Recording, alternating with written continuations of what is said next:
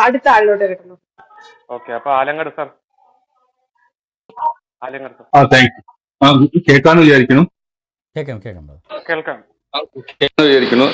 അതായത് ഞാൻ ഈ ഞാൻ എനിക്ക് പറയാനുള്ളത് എനിക്ക് അത്ഭുതമാണ് കേട്ടോ ഒരു ക്രിസ്തീയ സ്ത്രീ ഇത്രയൊക്കെ സോഷ്യൽ മീഡിയയിൽ ഇസ്ലാമിനെ കുറിച്ച് ഉണ്ടാവുമ്പോ ഇതൊക്കെ അറിഞ്ഞിട്ടും ഈ മതത്തിലേക്ക് പോയിട്ട് ഇതിനെ കുറിച്ച് പ്രബോധനം ചെയ്യാന്ന് പറഞ്ഞാൽ വിഡ്ഢികൾ ഇല്ലാത്ത ലോകം ഒരിക്കലും ഉണ്ടാവില്ല എന്ന് എന്നുള്ളത് അത് അത് ഷുവറാണ്.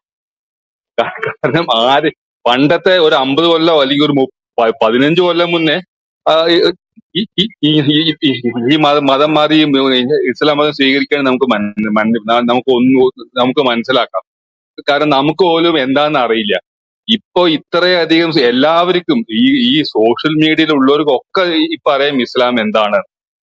എന്നിട്ട് പോലും മാറിയത് നമുക്ക് സാ- ആ സ്ത്രീനോട് സഹതാപാണ്. നമുക്ക് അത്ര അതാണ് എന്താണ് ഫസ്റ്റ് പറയാനുള്ളത്. പിന്നെ ഒരു ഒരു ഹദീസ് ഞാനൊന്ന് ഞാൻ ഞാൻ- വായിക്കാം. ഈ ജിഹാദ് എന്താണെന്ന്? ഈ വലിയ പശ്ചാത്താപം സാക്രിഫൈസ് എന്നൊക്കെ പറയുന്ന ആൾക്കാരോട് ഇതൊന്ന് വായിക്കണം. അതെന്താന്ന് വെച്ചാൽ സുനൻ അൻ നാസായി മുപ്പത് തൊണ്ണൂറ്റിയേഴ് സുന ഡോട്ട് കോമിലെ ഇതാണ് റെഫറൻസ് ആണ്. മൂന്ന് പൂജ്യം തൊണ്ണൂ മൂന്ന് പൂജ്യം ഒമ്പത് അത് ഏഴ്. ത്രീ സീറോ നയൻ സെവൻ അതിന്റെ തുടക്കം ഇതാണ്. Stern warning for forsaking jihad അതിൽ പറയണേ it was narrated that the said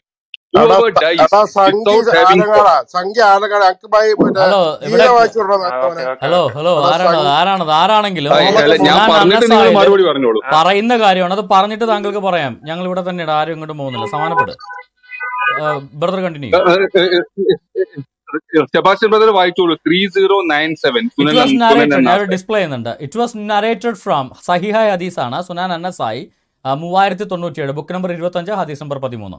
it was narrate chapter ഇതാണ് stern warning against forsaking jihad ജിഹാദ് ഉപേക്ഷിക്കുന്നവർക്കുള്ള വ്യക്തമായ താക്കീത് എന്ന് പറഞ്ഞുകൊണ്ടാണ് അതിന്റെ ചാപ്റ്റർ തുടങ്ങുന്നത്. അതിനകത്ത് പറയുന്നത് ഇങ്ങനെയാണ്. മുഹമ്മദ് പ്രകാരം പറഞ്ഞു whoever dies without having fought or thought of fighting ഈ യുദ്ധം ചെയ്യാനോ യുദ്ധം ചെയ്യാൻ ചെയ്യണമെന്ന ആഗ്രഹമില്ലാതെ ആരെങ്കിലും മരിച്ചാൽ he dies on the branches of the hypocrisy അവർ മുനാഫിക്കുകളായിട്ടാണ് മരിക്കുന്നത്. അതായത് ജിഹാദ് എന്ന് പറഞ്ഞ യുദ്ധമാണെന്നും അങ്ങനെ ചെയ്യണമെന്ന് ആഗ്രഹമില്ലാതെ മരിക്കുന്നവരെല്ലാം മുനാഫിക്കുകളാണ്. യഥാർത്ഥ മുസ്ലിങ്ങളല്ല എന്നുമാണ് മുഹമ്മദ് പറഞ്ഞിട്ടുള്ളത്. അതായത് ഈ മുസ്ലിങ്ങളെല്ലാം ജിഹാദ് ചെയ്യണമെന്ന് നാട്ടുകാരെ കൊല്ലണമെന്ന് അമുസ്ലിങ്ങളെ കൊന്നെടുക്കണമെന്ന് ആഗ്രഹിച്ചിരിക്കണം. അങ്ങനെ ആയാലേ അവർ മുസ്ലിം ആവത്തുള്ളൂ. അല്ലെങ്കിൽ അവർ കപട വിശ്വാസി മുനാഫിക്കാണ് എന്നാണ് ഈ Muhammad Sunan Annasai book number ഇരുപത്തഞ്ച് ഹദീസ് പതിമൂന്നിൽ പറഞ്ഞിരിക്കുന്നത്. അപ്പൊ ഇതിൽ എവിടെയാണ് സാക്രിഫൈസ് എന്ന് എന്ന സംഭവം? നിങ്ങൾ പശ്ചാത്താപിക്കണം നിങ്ങൾ ത്യാഗം ചെയ്യണം എന്നൊക്കെ ഇതിൽ എവിടെയാ പറയുന്നത്? ആലങ്കാട് ബ്രദർ ബ്രദറിന് ഇപ്പൊ ആരെങ്കിലും കൊല്ലണമെന്ന് പറഞ്ഞാൽ ചെയ്യുമോ ഞാൻ പറയാ ആലങ്കാട് ബ്രേ നമുക്ക് മറ്റോ അങ്ങ് തട്ടണം എന്ന് പറഞ്ഞാൽ ബ്രദർ അങ്ങനെ കൊല്ലാൻ ആഗ്രഹം ഉണ്ടാവും ഇല്ല അങ്ങനെയുള്ള നാട്ടുകാരെ കൊല്ലരുത് എന്നുള്ള ആഗ്രഹങ്ങളെല്ലാം നമ്മൾ അടിച്ചമർത്തണം. നമ്മുടെ ഉള്ളിൽ നമ്മൾ ത്യാഗം ചെയ്യണം. എന്നിട്ട് നമ്മൾ കൊലപാതകികളായിട്ട് മാറണം. അതാണ് പുള്ളി ഉദ്ദേശിച്ചത്. അത് തന്നെയാണ്. ഇൻ- ഇന്നിട്ട് ഇങ്ങനെ ആ സ്ത്രീ ഇന്നിട്ട് മതം മാറി സ്ത്രീ എന്നിട്ട് വെളുപ്പിക്കുക. അത് ഒരു വസ്തു അറിയില്ല. പിന്നെ ഞാൻ ഒരു ഒരു ഹദീസും കൂടെ വായിക്കാം. ഈ ഹദീസ് വായി വായിച്ചു കഴിഞ്ഞാൽ എനിക്ക് മനസ്സിലാക്കുന്നത് ചൈനക്കാരോടും ജപ്പാൻകാരോടും ഒക്കെ യു- യു- യു- യുദ്ധം ചെയ്യണമെന്ന് പറഞ്ഞ് മുഹമ്മദ് പറഞ്ഞു എന്നാണ് ഞാൻ മനസ്സിലാക്കുന്നത്. അത് തെറ്റായിരിക്കും. ഞാൻ ഞാൻ- ഞാൻ എന്തായാലും സൈറ്റേഷൻ പറയാം. സൈറ്റേഷൻ ആണ്. സഹി മുസ്ലിമിൽ two nine one two C sunnah sunnah dot കോമിൽ two nine one two C ഇതിൽ ഏഹ് പറയുന്നത് എന്താന്ന് വെച്ചാൽ the last hour would not come until you fight with people wearing shoes of shoes of hair and the last hour would not come until you fight with people having small eyes and and broad nub noses അപ്പൊ small ഐസും ഈ ഈ ചപ്പിയും ച- ച- ചപ്പിയ മൂക്കും ഉള്ള ആൾക്കാർ യുദ്ധം ചെയ്യണം. അതിന്റെ അർത്ഥം മുഹമ്മദ് പറഞ്ഞത് കിയാമത്ത് നാൾ വരണമെങ്കിൽ ചൈനക്കാരോടും ജപ്പാൻകാരോടും യുദ്ധം യുദ്ധം ചെയ്യണതാണെന്നാണ് നീ ഈ, എനിക്ക് ഇതിന്റെ അർത്ഥം അനുഭവം. അറബികൾക്കാർക്ക് ഇങ്ങനെയുള്ള ചപ്പിയ മോന്ത ഇല്ലല്ലോ.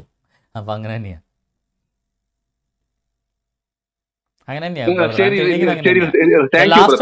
come Thank you. until you fight with the people having small eyes and broad snub noses. Correct ആയിട്ട് അങ്ങനെ തന്നെയാ ചെറിയ കണ്ണുകളും പരന്ന മൂക്കുകളും ഉള്ളവരുമായിട്ട് യുദ്ധം ചെയ്യുന്നവരെ ഇതിൽ ഇവന്മാർക്ക് ഈ യുദ്ധം യുദ്ധം എന്നുള്ള ഒരൊറ്റ വിചാരമുള്ളൂ നാട്ടുകാർ എങ്ങനെയെങ്കിലും കൊല്ലുക. അതാണ് ഇവരുടെ ആഗ്രഹം. അപ്പൊ ഇന്ത്യയെ കീഴടക്കണം ചൈനയെ കീഴടക്കണം ജപ്പാനെ കീഴടക്കണം മംഗോളിയനെ കീഴടക്കണം. ചില്ലറ ആഗ്രഹങ്ങളും. Thank you brother thank you thank you brother. Bike ബ്രദറെ ആരാണ് അവിടെ നിന്ന് ബഹളം ഉണ്ടാക്കിയ? കയറ്റി അത് താഴോട്ടാക്കി. അത് ഈ ഫേക്ക് ഐഡിയിൽ വന്നിട്ട് ചീത്ത വിളിക്കാൻ പറഞ്ഞത്. അലങ്കട് അല്ല പറയാനുള്ള ഉണ്ട് പറഞ്ഞോട്ടെ. നമുക്ക് കേൾക്കാം കുഴപ്പമില്ല. ബഹളം ഉണ്ടാക്കിയതാ ഒന്നാമനാണ് സെബാസ്റ്റ്യൻ ബ്രദർ ഒന്നാമനാണ് ഒരു ജിഹാദിയാണ്. ഒന്ന് കയറ്റിവിടാം ആ ഒന്നാമൻ ഒന്നാമൻ ഒന്നാമൻ ഒന്നാം ഒന്നാമൻ അല്ലേ? ഓക്കെ അടുത്ത ആൾ വിളിച്ചു. നമുക്ക് കിട്ടുമ്പോൾ എടുക്കാം. കാണുന്നില്ല ഇവിടെ? ഹലോ? കേൾക്കുന്നുണ്ടോ? കേൾക്കാം. ബ്രദർ എനിക്ക് ഈ സബ്ജക്ട് നോളജ് ഇല്ല. ഞാനൊരു ജിയോ പൊളിറ്റിക്കൽ ആംഗിളിൽ ചോദിക്കാനാണ്. സാധാരണ മുസ്ലിംസിന്റെ അടുത്ത് ജിഹാദിനെ കുറിച്ച് ചോദിക്കുമ്പോൾ അവർ പറയുന്ന ഒരു ന്യായമുണ്ട്. അതായത് പൈസസിനെ ക്രിയേറ്റ് ചെയ്തത് യു എസ് ആണ്. ആ ഒരു രീതിയിൽ അവർ പറയാറുണ്ട്. അപ്പോ എനിക്ക് അറിയേണ്ടത് ഞാൻ ചില ജിയോ പൊളിറ്റിക്കൽ ഇതിലും വാച്ച് ചെയ്യുമ്പോഴും അവരും കൂടുതൽ ഫോക്കസ് ചെയ്യുന്ന ആ ഒരു ആംഗിളിലാണ് അതായത് യു എസ് എസ് അല്ലെങ്കിൽ western countries are using jihadis against other countries third world countries വേറെ ഏതെങ്കിലും കൺട്രീസ് റേസ് ആവുമ്പോ അവർ മുന്നോട്ട് വരുമ്പോ ജിഹാദീസിനെ യൂസ് ചെയ്ത് അവരെ താഴ്ത്താൻ വെസ്റ്റേൺ കൺട്രീസ് ചെയ്യുന്നുണ്ടെന്നൊരു ഇതുണ്ട്. താങ്കൾക്ക് അതിനെക്കുറിച്ച് എന്താണ് എന്തെങ്കിലും ടേക്ക് ഉണ്ടോ? ആ, എന്റെ ടേക്ക് ഇതാണ് സിസ്റ്റർ അതായത് നമ്മൾ ഇന്നുള്ള ഇപ്പോൾ സിസ്റ്ററുടെ ഒരാൾ ജിഹാദി ആവണം. അതായത് ഇത്രയും വലിയ സൈന്യങ്ങൾക്കെതിരെ തോക്കെടുത്ത് പോരാടണം എന്ന് പറഞ്ഞാൽ പോകാൻ മടിക്കും. തലക്ക് വെളിവുള്ള ആരാണെങ്കിലും പോകാൻ മടിക്കുമോ മടിക്കും. എന്നിട്ടും അവരെ പോകാൻ പ്രാപ്തമാക്കുന്നതിന് അതിന് അമേരിക്കക്കാർ വന്ന് പറഞ്ഞിട്ട് കാര്യമില്ല. കാര്യം ഈ ജിഹാദിന് പോകുന്നവരെല്ലാം സുഖവാസത്തിനല്ല പോകുന്നത്. ആദ്യം മനസ്സിലാക്കണം നമ്മൾ അവരെല്ലാം ഈ പാറ പാറക്കടയിലും അവിടെ എവിടെയും തണുപ്പും ചൂടത്തും കഞ്ചാവും വലിച്ച് നടക്കുന്നവരാ. ആ, കഞ്ചാവ് വലിക്കുന്ന കഞ്ചാവല്ല കേട്ടോ അവർ വലിക്കുന്നത് മറ്റേ പോപ്പി പ്ലാന്റിന്റെ സാധനങ്ങളാണ് അപ്പോൾ ഇങ്ങനെ ഇത്ര കഠിനമായ സാഹചര്യങ്ങളിൽ ഇവർ പോകുന്നതിന് അവർക്കൊരു ഐഡിയോളജിക്കൽ ബേസ് വേണം. അതല്ലാതെ ആരും പോകത്തില്ല.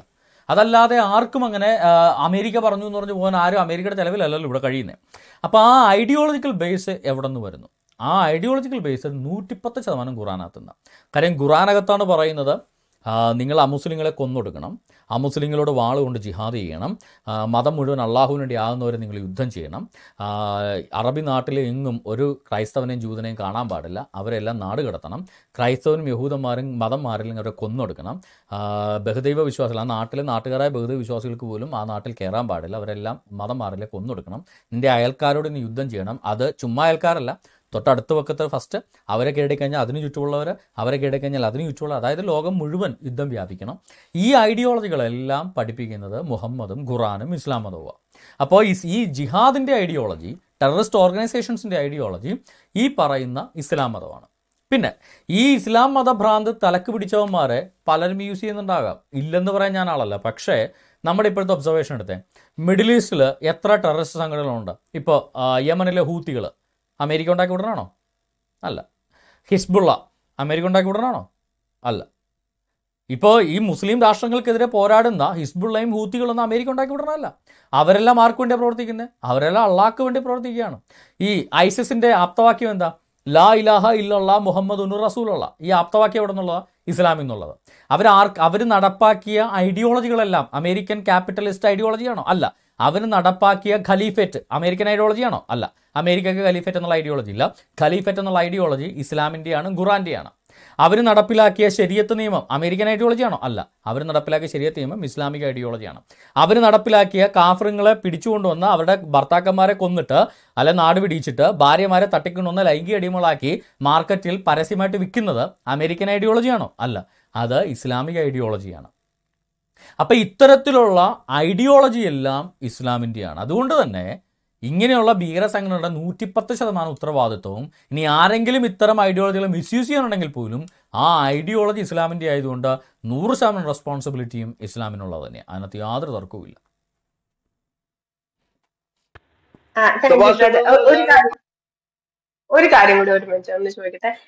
താങ്കൾ പറഞ്ഞത് കറക്റ്റ് ആണ് ഡെഫിനറ്റ്ലി ഞാൻ ജസ്റ്റ് എനിക്ക് അറിയേണ്ടത് ഇത് ഈ ഒരു സംഭവത്തെ അവർ യൂസ് ചെയ്യണുണ്ടോ എന്നുള്ള രീതിയിലാണ് ഞാൻ ചോദിക്കുന്നത്. ഡെഫിനറ്റ്ലി ഇസ്ലാമിൽ ഇത് ഉണ്ട് എന്നുള്ളത് ഒരു സംശയമില്ല വേറൊരു കാര്യം കൂടി ചോദിക്കാണ്ട് അത് തടി കേടാൻ കേടാവാൻ സാധ്യതയുള്ള ഒരു ചോദ്യമാണ്. താങ്കൾക്ക് താങ്കളുടെ ശത്രുപക്ഷത്തിരിക്കുന്ന ഒരാളുമായിട്ട് ഡിബേറ്റിന് താല്പര്യമുണ്ടോ? അതിന് വലിയ ബൗണ്ടി ഒക്കെ ഓഫർ ചെയ്തിട്ടുണ്ട്. എന്റെ ശത്രുപക്ഷത്ത് നിൽക്കുന്ന സംസ്കാരമായിട്ട് സംസ്കാര ശൂന്യമല്ലാതെ അതായത് മാന്യമായിട്ട്. കാര്യം ഞാൻ എന്റെ ഡിബേറ്റിൽ ഇന്ന് വരെ ഒരു മോശപ്പെട്ട വാക്ക് ഉപയോഗിച്ചിട്ടില്ല. ഞാൻ തെറിയോ അങ്ങനത്തെ കാര്യങ്ങളൊന്നും ഉപയോഗിക്കാറില്ല. കാര്യം അങ്ങനത്തെ ടീമുകളുണ്ട്. ഞാൻ ഇഷ്ടംപോലെ കേട്ടിട്ടുണ്ട് പക്ഷെ ഞാൻ തിരിച്ച് പറയാറില്ല. അപ്പം അങ്ങനെ മാന്യമായിട്ട് സംസ്കാരിക്ക സംസാരിക്കുന്ന ആളുകളാണെങ്കിൽ എനിക്ക് യാതൊരു കുഴപ്പമില്ല ഞാൻ എല്ലാവരും ഓപ്പൺ ആയിട്ട് ഡിബേറ്റ് ചെയ്യുന്ന. ആർക്കാണെങ്കിലും ഇവിടെ വരാം. പക്ഷെ മാന്യമായിട്ട് സംസാരിക്കുന്ന ആയിരിക്കണം അല്ലാതെ എന്താ പറയുക തലക്ക് വെളിവില്ലാതെ കഞ്ചാവടിച്ച പോലെ തെറി പറഞ്ഞുകൊണ്ട് നടക്കുന്നവന്മാരെ പറ്റത്തില്ല. മാത്രമേ ഉള്ളൂ. അല്ല സെബസ്റ്റ്യൻ അത് പേര് പറഞ്ഞതിന് ശേഷം തീരുമാനിക്കാം. ഷിബു എനിക്ക് തോന്നുന്നു എനിക്ക് തോന്നുന്നു എനിക്ക് തോന്നുന്നു അത് നമുക്ക് കെവിൻ ചേട്ടൻ വന്നതിന് ശേഷം ഷിബു പീഡിയക്കൽ. ഷിബു പീഡിയക്കലായിട്ട് ഞാൻ സംവാദങ്ങൾ ഇഷ്ടംപോലെ നടത്തിയിട്ടുണ്ട്. ഷിബു പീഡിയക്കൽ ഈ എക്കിൽ ഈ ഗ്ലോറിയസ് ഗോസ്പൽ ഉണ്ടാക്കുന്നതിന് മുന്നേ സംവാദം ലൈവായിട്ട് നടത്തിയിട്ട് കട്ടായി പോകേണ്ട മൂന്ന് പോർഷനായിട്ടാണ് അതിനകത്ത് ഷിബു പീഡിയക്കൽ അതിന്റെ അവസാന പോർഷൻ ഇന്നുവരെ റിലീസ് പോലും ചെയ്തിട്ടില്ല. ഫേസ്ബുക്കിൽ ലൈവായിട്ട് കണ്ടവർ മാത്രം അന്നും പത്ത് നൂറ്റമ്പതും പേരൊക്കെ ലൈവായിട്ട് കാണത്തുള്ളൂ. ഇന്നത്തെ പോലെ വൈഡ് റീച്ച് ഒന്നുമില്ല. ഇത് മൂന്നാൽ വർഷങ്ങൾക്ക് മുന്നേ നടന്ന സംഭവം. ഷിബു പിടിയേക്കലായിട്ട് ലൈവ് നടന്നിട്ട് ഷിബു പിടിയേക്കൽ അവസാനം മൂന്ന് ദൈവങ്ങളുണ്ട്. മൂന്ന് പൂർണ ദൈവങ്ങളുണ്ടെന്ന് സമ്മതിച്ച് അങ്ങനെ പറഞ്ഞ് അവസാനം വീഡിയോ കട്ട് ചെയ്ത് ഷിബു പിടിയകൽ മുങ്ങിയ ആളാണ്. അതാണ് ഷിബു. സംശയം ഉണ്ടെങ്കിൽ ഞാൻ ഷിബു പിടിയക്കൽ ഞാനുമായിട്ടുള്ള ചാറ്റ് ഞാൻ ഇവിടെ പബ്ലിക്കായിട്ട് ഡിസ്പ്ലേ ഞാൻ ഒരു പ്രാവശ്യം ഡിസ്പ്ലേ ചെയ്ത് ഷിബു പിടിയക്കൽ നിൽക്കുമ്പോൾ തന്നെ ഞാൻ ഇതുപോലെ കേൾപ്പിച്ചിട്ടുണ്ട്. വേണം അടുത്ത് ഡിസ്പ്ലേ ചെയ്ത് തരാം. അമ്മ അതിനെ പേടിച്ചോടിയവന്മാർ ആദ്യം ആ ഡിബേറ്റ് ഒന്ന് പബ്ലിഷ് ചെയ്യാൻ പറ. എന്നിട്ടല്ലേ അടുത്തതിന് വരണേ. നടത്തിയ ഡിബേറ്റ് ഇപ്പോഴും പൂട്ടിക്കെട്ടി റൂമിൽ വെച്ചേക്കുക. കാരണം അത് പുള്ളിയുടെ ഫേസ്ബുക്കിലേക്ക് നമ്മൾ ഡയറക്റ്റ് പോയി ജോയിൻ ചെയ്യുക. ഇന്നത്തെ പോലെ ടെക്നോളജി ഒന്നും ഡെവലപ്പ് ആയിട്ടില്ല.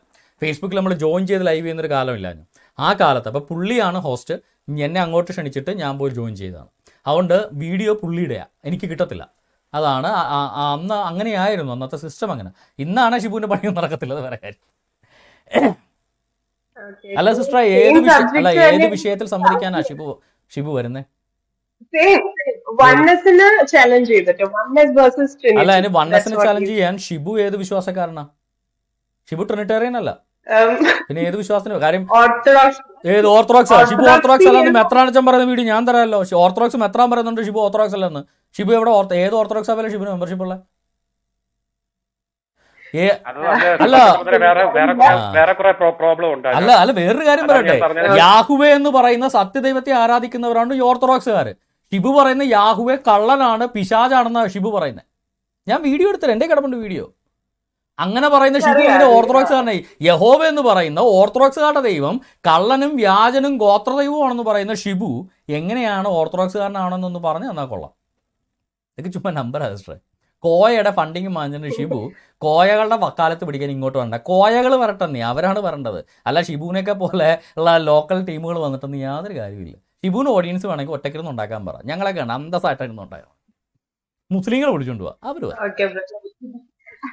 ഓഡിയൻസ് കുറെ പേര് എന്താ നിങ്ങൾ തമ്മിലുള്ള ഒരു ആർഗ്യുമെന്റ് കാണാൻ ഭയങ്കരമായിട്ട് ഇൻട്രസ്റ്റഡ് ആയിട്ട് നോക്കി ഞാനിത് മുസ്ലിങ്ങൾക്കെതിരെ പറയുമ്പോൾ ഷിബു കയറി പിടിക്കണം. ഷിബു മുസ്ലിം ആയിരിക്കണമല്ലോ. അല്ല ഷിബു ശരിക്കും ഇസ്ലാം ആയോ? എനിക്ക് അറി- അറിയില്ല. അതുകൊണ്ട് ചോദിച്ചതാ. മുസ്ലിങ്ങൾക്കെതിരെ പറയുമ്പോൾ ഷിബു വികാരം കൊള്ളണമെങ്കിൽ ഷിബു മുസ്ലിം ആയിരിക്കണമല്ലോ. അല്ല ഞാൻ പറഞ്ഞ സിക്സ് ലാക്സ് ആണ് ബൗണ്ടി ഒക്കെ ഓഫർ ചെയ്തിരിക്കുന്നത്. അതുകൊണ്ടാണ് ഞാൻ ഇങ്ങോട്ട് വന്നേ. എനിവേസ് അല്ല അല്ല ബൗണ്ടി സിക്സ് ലാക്ക് ടോപ്പിക് എന്താ? ഷിബു ഷിബു ആ പറഞ്ഞ വീഡിയോ ഞാൻ കണ്ടു. ഷിബു പറഞ്ഞ വീഡിയോ എനിക്കൊരാൾ അയച്ചു തന്നു. അതിനകത്ത് പറയുന്നത് നീ ഇത്രയും കാലം കോയമാരുടെ തുണിപൊക്കി നോക്കിയില്ലേടാ? മുണ്ടുപൊക്കി നോക്കില്ലേടാ ഇനി നമുക്ക് അങ്ങോട്ടും ഇങ്ങോട്ടും മുണ്ടുപൊക്കി നോക്കാന്ന്. എന്റെ പൊന്നു ഷിബു നിങ്ങൾക്ക് തുണിപൊക്കി കാണിക്കണം ഒറ്റക്കിരുന്ന് കാണിച്ചാൽ പോരെ. ഞങ്ങളെ ഞങ്ങളെന്തിനാ തുണിപൊക്കി കാണിക്കണേ? ഇനി ഉണ്ട്.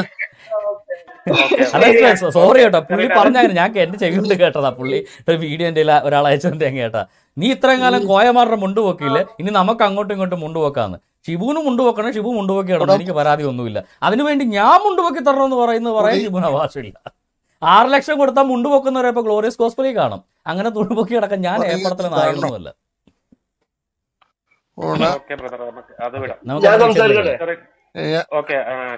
എന്നെ വിളിച്ചായിരുന്നോ ബ്രദറെ? ബ്രദർ വരാം. നമ്മൾ ഒരു ഞാൻ ഉറങ്ങിപ്പോയിരുന്നു ഓക്കെ ഓക്കെ വരാം വരാം. അത് നെക്സ്റ്റ് വരാം. ഷംസു പറഞ്ഞു? എന്നാ എന്നാ ഞാൻ ഞാനൊരു ഒരു മണിക്കൂർ കഴിഞ്ഞ് ജോയിൻ ചെയ്താൽ മതി. ഞാൻ ഒന്ന് ഭക്ഷണം കഴിക്കാൻ പോവാം. Okay brother okay. ഷംസു എന്നിട്ട് ഞാൻ സംസാരിച്ചോട്ടെ ബൈക്ക്.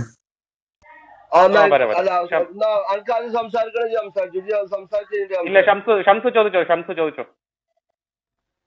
ഓക്കെ പിന്നെ എനിക്ക് ആദ്യം പിന്നെ സെബാസ്റ്റ്യൻ ബ്രദറിനോട് എനിക്ക് പറയാനുള്ളത് എന്താ വെച്ച് കഴിഞ്ഞാൽ ശിബുച്ചായൻ പറയണത് എന്താന്ന് വെച്ച് കഴിഞ്ഞാൽ സെബാസ്റ്റ്യൻ ബ്രദർ ഷംസു ക്രിസ്ത്യാനി അല്ല ഷംസു ഷംസു ക്രിസ്- ഷംസു പറയട്ടെ ഷംസു പറയട്ടെ പറയട്ടെ ടോപ്പിക്കിലോട്ട് വരും സംശയം പറയാനുള്ള കാര്യം ടോപ്പിക്കിലോട്ട് പറയാം മറ്റേ ഷിബു ഏ, ഷംസുവിന്റെ കാര്യം ഷംസുവേ പറയോ കാര്യം സെബാസ്റ്റ്യൻ തൽക്കാലത്തേക്ക് മുന്നക്കൽ പറയണ്ട ക്രിസ്ത്യാനിയാണെന്നുള്ളത് ഞങ്ങൾ ക്രിസ്ത്യാനികളൊക്കെ തീരുമാനിച്ചോളാം. ഷംസു മുസ്ലിം അല്ലേ മുസ്ലിമായിട്ട് സംസാരിക്കും. ഷിബുവിന്റെ വക്കീൽ ഞങ്ങൾ വേണം ഇവിടെ കാശ് കൊടുത്ത് വരുത്തിക്കോളാം. താങ്കൾ ഷിബുവിന്റെ വക്കീലാവണ്ട. താങ്കൾ താങ്കളുടെ കാര്യം പറയും. ഇവിടെ ഇസ്ലാം മതത്തെയാണ് ഞാൻ വിമർശിച്ചത്. മുനു മുനീർ പറഞ്ഞ മുഴുവൻ നുണയാണെന്ന് സ്ഥാപിച്ചത്. അതിനെക്കുറിച്ച് താങ്കളുടെ അഭിപ്രായം എന്താണ്? ഇല്ല പിന്നെ സെബാസ്റ്റ്യൻ ബ്രദർ എനിക്ക് പിന്നെ ഇസ്ലാമിനെ കുറിച്ച് ഒരു സംശയമില്ല ഓക്കെ ക്രിസ്ത്യാനിറ്റിയിൽ എന്നാ താങ്കൾ ഇസ്ലാമിനെ കുറിച്ച് താങ്കൾക്ക് സംശയമൊന്നുമില്ല. മിനു മുനീർ പറഞ്ഞാണോ ശരി ഞാൻ പറഞ്ഞാണോ ശരി? ഒരു മിനിറ്റ് ബ്രദർ ഞാൻ ഒരു ചോദ്യം ചോദിക്കാൻ വേണ്ടി അറിവുള്ള മനുഷ്യനല്ല അപ്പൊ ഒരു ചോദ്യം ചോദിക്കാൻ വേണ്ടി വന്നതാണ്. ഞാനൊരു അറിവില്ലാത്തൊരു മനുഷ്യനല്ല സെബാസ്റ്റ്യൻ ബ്രദറെ. എനിക്ക് സെബാസ്റ്റ്യൻ താങ്കൾക്ക് എന്തിനെ കുറിച്ച് അറിവില്ല ക്രിസ്ത്യൻ മതത്തെ കുറിച്ച് അറിവില്ലെന്നാണോ ഇസ്ലാം മതത്തെ കുറിച്ച് അറിവില്ലാത്ത ആളാണെന്ന്? എന്താണ് ഉദ്ദേശിച്ചത്? അല്ല എനിക്ക് ചെറിയൊരു സംശയം ഞാൻ പറയാം ചോദ്യം ഞാൻ പറയാം. പൊട്ടാണ് മുല്ലാക്കോട് ചോദിച്ചു നോക്ക് ഇവിടെ ചോദിക്കണ്ട. ചോദ്യം പറയാം. ആ ഓക്കെ ഓക്കെ ഓക്കെ. ക്രിസ്ത്യാനിറ്റിയിൽ പിന്നെ പിതാവ് പിന്നെ പുത്രൻ പരിശുദ്ധ പരിശുദ്ധാത്മാവ്. ഈ പരിശുദ്ധാത്മാവായിട്ട് അല്ല പിന്നെ പുത്രനായിട്ടുള്ള യേശുക്രിസ്തു പിന്നെ മരിച്ചണോ ഇല്ല ഇതാ ചോദ്യം. പുത്രനായിട്ടുള്ള യേശു മനുഷ്യനായി യേശു ക്രിസ്തു മരിച്ചു അടക്കപ്പെട്ട് ഉയർത്തെഴുന്നേറ്റ് സ്വർഗാരോഹണം ചെയ്ത് ഇനി വീണ്ടും രണ്ടാമത് വീണ്ടും ഭൂമിയിലേക്ക് വരും. ആ മനുഷ്യനായിട്ട് മരിച്ച് അടക്കപ്പെട്ട് ഉയർത്തെഴുന്നേറ്റ് സ്വർഗാരോഹണം ചെയ്ത് വീണ്ടും ഭൂമിയിലേക്ക് രണ്ടാമത് വരുന്ന യേശു ക്രിസ്തുവായിട്ട് വന്നത് സർവശക്തനായ പിതാവും സൃഷ്ടാവുമായ ഏകദൈവം തന്നെയാണ്. ഇതാണ് അതിന്റെ ഉത്തരം. ഓക്കെ അല്ല മരിച്ചത് പിന്നെ അതായത് നമ്മൾ സാധാരണക്കാർ നമ്മൾ ലോകത്തുള്ള എല്ലാവരും മരിക്കലുണ്ട്. അതായത് പിന്നെ എല്ലാവരും മനുഷ്യനായിട്ട് ജനിച്ചിട്ടുള്ള ആരായാലും ശരി അവർ മരിക്കലുണ്ട്. അതുപോലെ മരിച്ചതാണോ? അല്ല അല്ല അത് സാധാരണ ഇപ്പൊ ഞാനും താങ്കളൊക്കെ മരിച്ച പോലെ മരിച്ചതല്ല. റോമക്കാര് യഹൂദന്മാരെ പറഞ്ഞിട്ട് റോമക്കാരെ ക്രൂശിൽ തറച്ച് കൊന്ന യേശുവിനെ. അല്ല ഞാൻ മരിക്കുന്നത് മരിച്ച് മരിക്കാൻ പോകുന്നത് പോലെയോ ഞാൻ എന്തായാലും ഇന്നത്തെ കാലത്ത് ക്രൂശ് മരണം ഇല്ലാത്തതുകൊണ്ട് എന്നെ ആരും ക്രൂശിക്കാൻ പോകുന്നില്ല. അൺലസ് നിങ്ങൾ ജിഹാദികൾ ആരെങ്കിലും പിടിച്ച് മുഹമ്മദിന്റെ വാക്ക് കേട്ട് കൈകാലികൾ എതിർദിശയിലേക്ക് മുറിച്ചുകളെയോ ക്രൂശിക്കുകയോ ചെയ്യുന്ന പോലെ ക്രൂശിച്ചാലേ ഉള്ളൂ. അല്ലാതെ ഞാൻ ക്രൂശിക്കപ്പെട്ട് മരിക്കത്തില്ല. അപ്പോൾ സാധാരണപ്പെട്ട മനുഷ്യർ മരിച്ച പോലെയല്ല ക്രൂശിക്കപ്പെട്ടാണ് ക്രിസ്തു മരിച്ചത്. ഷംസോട് എനിക്ക് ചോദ്യം പ്ലീസ് പ്ലീസ് അപ്പൊ അതായത് സാധാരണ മരണം ഞാൻ ഉദ്ദേശിച്ചു ചില ആൾക്കാർ ആത്മഹത്യയായിട്ട് മരിക്കുന്നില്ല ചില ആൾക്കാർ പോലീസുകാരെ പിന്നെ തല്ലോട് മരണം പല രൂപത്തിലുണ്ട്. അപ്പൊ ഞാൻ ചോദ്യം മനസ്സിലായത് മനുഷ്യനായിട്ട് ജനിച്ചിങ്ങാട്ട് മനുഷ്യനായിട്ട് പിന്നെ മരിച്ചണോ ഇല്ലെന്നാണ് ചോദ്യം. അതായത് താങ്കൾ പറഞ്ഞാലും മരണം പല രൂപത്തിലുണ്ട്. ചിലർ പോലീസുകാർ തല്ലിക്കൊല്ലും. ചിലർ പെണ്ണുങ്ങളെ തട്ടിക്കൊണ്ടുവരുമ്പോൾ ആ പെണ്ണുങ്ങൾ വിഷം കൊടുത്തു കൊല്ലും. അങ്ങനെ മരണം പല രൂപത്തിലുണ്ട് പക്ഷേ യേശുക്രിസ്തുവിന്റെ മരണം റോമക്കാർ ക്രൂശി തറച്ചിട്ടാണ് യേശുക്രിസ്തു മരിച്ചത്.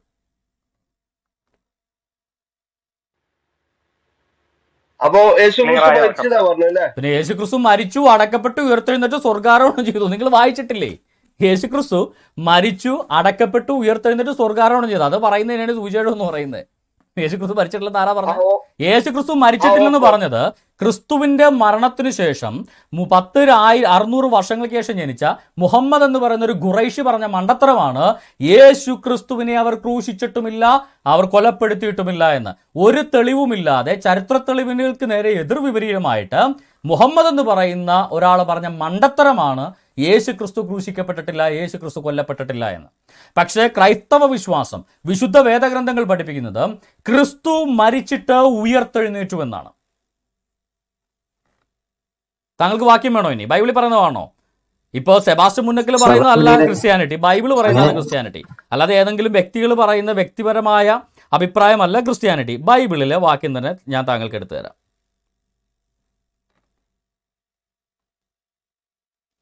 ഞാൻ ബാക്കി എടുത്തു തരാം ഓക്കെ.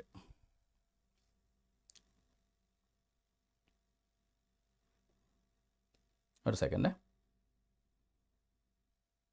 എന്റെ പൊണ്ണി സെബാസ്റ്റ്യൻ ഈ പുള്ളി ഇസ്ലാം മത ശാസ്ത്രിയുടെ ബൈബിൾ കേൾപ്പിച്ചിട്ട് വല്ല കാര്യമുണ്ടോ? അതിനൊന്നും പറഞ്ഞിട്ട് കാര്യമില്ല. ചുമ്മാ ടൈം വേസ്റ്റിംഗ് ആ. ഓക്കെ കേട്ടോളൂ.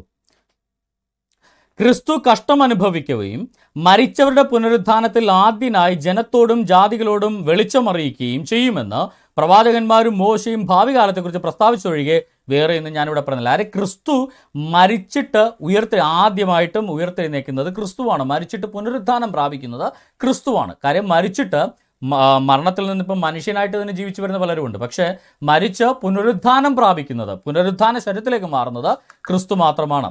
റോമർക്കെഴുതിയ ലേഖനം ഒന്നിന്റെ അഞ്ച്. ജഡം സംബന്ധിച്ച് ദാവീദിന്റെ സന്തതിയിൽ നിന്ന് ജനിക്കുകയും മരിച്ചിട്ട് ഉയർത്തെഴുന്നേൽക്കുകയാൽ വിശുദ്ധിയുടെ ആത്മാവ് സംബന്ധിച്ച് ദൈവപുത്രൻ ശക്തിയോടെ നിർണയിക്കപ്പെടുകയും ചെയ്തിരിക്കുന്നുവല്ലോ. യേശുക്രിസ്തു മരിച്ചു അടക്കപ്പെട്ട് ഉയർത്തെഴുന്നേറ്റുവെന്ന് വളരെ കൃത്യമായിട്ട് ബൈബിൾ പറയുന്നു. റോമർക്കെഴുതിയ ലേഖനം അഞ്ചിന്റെ ആറ്. നാം ബലഹീനരായിരിക്കുമ്പോൾ തന്നെ ക്രിസ്തു തക്ക സമയത്ത് അഭർത്ത അഭക്തർക്ക് വേണ്ടി മരിച്ചു. നീതിമാന് വേണ്ടി ആരെങ്കിലും മരിക്കുന്ന ദുർലഭം. ഗുണവാന് വേണ്ടി പക്ഷെ മരിക്കുവാൻ തുനിയുമായിരിക്കും. ക്രിസ്തുവോ നാം പാപികളായിരിക്കുമ്പോൾ തന്നെ നമുക്ക് വേണ്ടി മരിക്കയാൽ ദൈവം തനിക്ക് നമ്മോടുള്ള സ്നേഹത്തെ പ്രദർശിപ്പിക്കുന്നു.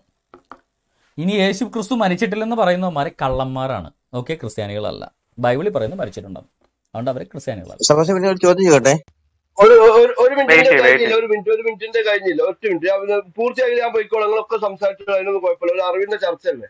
അപ്പൊ പിന്നെ ഖുറാന്റെ ആയത്ത് സഭാഷ്യം അറിയാമല്ലേ ഖുറാനിൽ ആയത്ത് ഖുറാനിൽ വളരെ കൃത്യമായിട്ട് രണ്ട് ഒരു സ്ഥലത്ത് പറയുന്നു മുഹമ്മദ് യേശു ഈസാ നബിയെ അവർ ക്രൂശിച്ചിട്ടുമില്ല കൊലപ്പെടുത്തിയിട്ടുമില്ല. ക്രൂശിച്ചിട്ടുമില്ല ആ അവർ കൊലപ്പെടുത്തിയിട്ടുമില്ല. വേറെ സ്ഥലത്ത് പറയുന്നു ഈസാ നബി വഫാത്തായെന്ന്. അവൻ എന്നെ വഫാത്താക്കിയപ്പോൾ ഒന്ന് ഈസാ നബി ചോദിക്കുന്നുണ്ട് അതുകൊണ്ട് ഖുറാൻ എഴുത്തുകാർക്ക് കൺഫ്യൂഷനാണ് ഈസാ നബി വഫാത്തായോ ഇല്ലെന്ന് കൺഫ്യൂഷനാണ് അതിപ്പോൾ എന്റെ കുഴപ്പമില്ല അത് എഴുത്തുകാരോട് ചോദിക്കണം എന്താണ് കൺഫ്യൂഷൻ എന്ന്.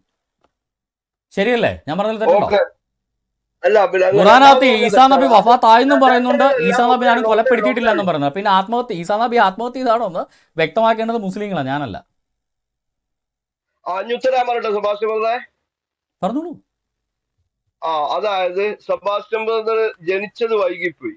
ഈസാ നബി ഭൂമിയിലേക്ക് വരണമെന്ന് ജനിച്ചു കഴിഞ്ഞിരുന്നെങ്കിൽ ഈസാ നബിയെ ഡയറക്റ്റ് ആയിട്ട് പിന്നെ സെബാസ്റ്റ്യൻ ബ്രദറിന് കാണായിരുന്നു. പക്ഷെ ഈസാ നബി വരുന്ന സമയമായിട്ടില്ല അതല്ല പറഞ്ഞ ഈസാ നബി വഫാത്തായെന്ന് ഖുറാനകത്ത് പറയുന്നു. അപ്പൊ പിന്നെ ഈസാ നബി മരിക്കാതെ എങ്ങനെ വഫാത്താന്ന് മരിച്ചതിനല്ലേ വഫാത്തെന്ന് പറയുന്നത് ഈസാ നബി വഫാത്തായി എന്ന് ഖുറാനകത്ത് പറയുമ്പോൾ താങ്കൾ എങ്ങനെയാണ് യേശുക്രിസ്തു ക്രൂശിക്കപ്പെട്ടിട്ടില്ലെന്ന് പറയുന്നത് സെബാസ്റ്റ്യൻ ബ്രദർ ഞാൻ പറഞ്ഞില്ല സൂറ നാലിൽ നൂറ്റി പിന്നെ എന്താ പറയാ അമ്പത്തി ഏഴിൽ കറക്റ്റ് ആയിട്ട് എന്താ പറഞ്ഞെന്ന് പറഞ്ഞു എന്താ സൂറ നാലിന് നൂറ്റമ്പത്തേഴിൽ എന്താ പറയുന്നത് നിങ്ങൾ പറഞ്ഞു താങ്കൾ പറയുന്ന വാക്യം വായിച്ചാലാണോ എന്റെ പണി? താങ്കൾ എടുത്ത വാക്യം താങ്കൾ വായിക്കണം. അതല്ല എന്റെ ശരി. അല്ല അത് നിങ്ങൾ വായിച്ചു കൊടുക്കി. ഞാനല്ലല്ലോ.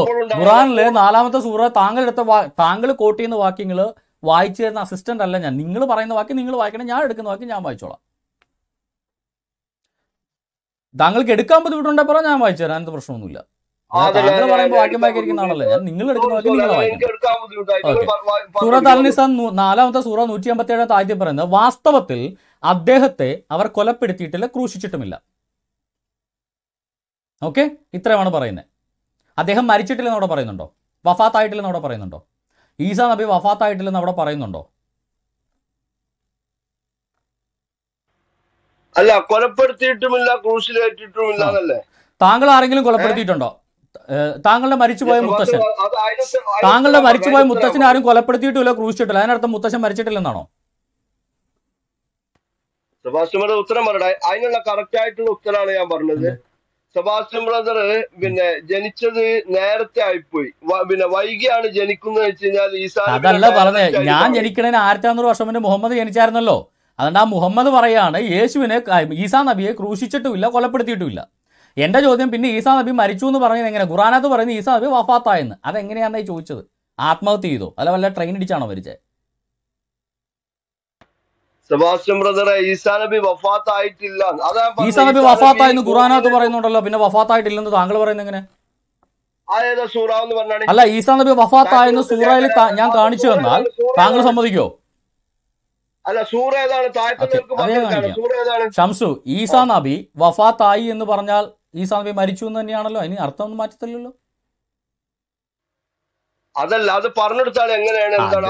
എന്താണെങ്കിലും ഞാൻ ചോദിച്ചതിനകത്ത് പറ. മുഹമ്മദ് വഫാത്ത വഫാത്തായി എന്ന് പറഞ്ഞാൽ മുഹമ്മദ് മരിച്ചു എന്നല്ലേ അർത്ഥം? വേറെ അർത്ഥം വല്ലതും ഉണ്ടോന്ന് ചോദിച്ചത് ഇല്ലല്ല അതല്ല പറഞ്ഞു.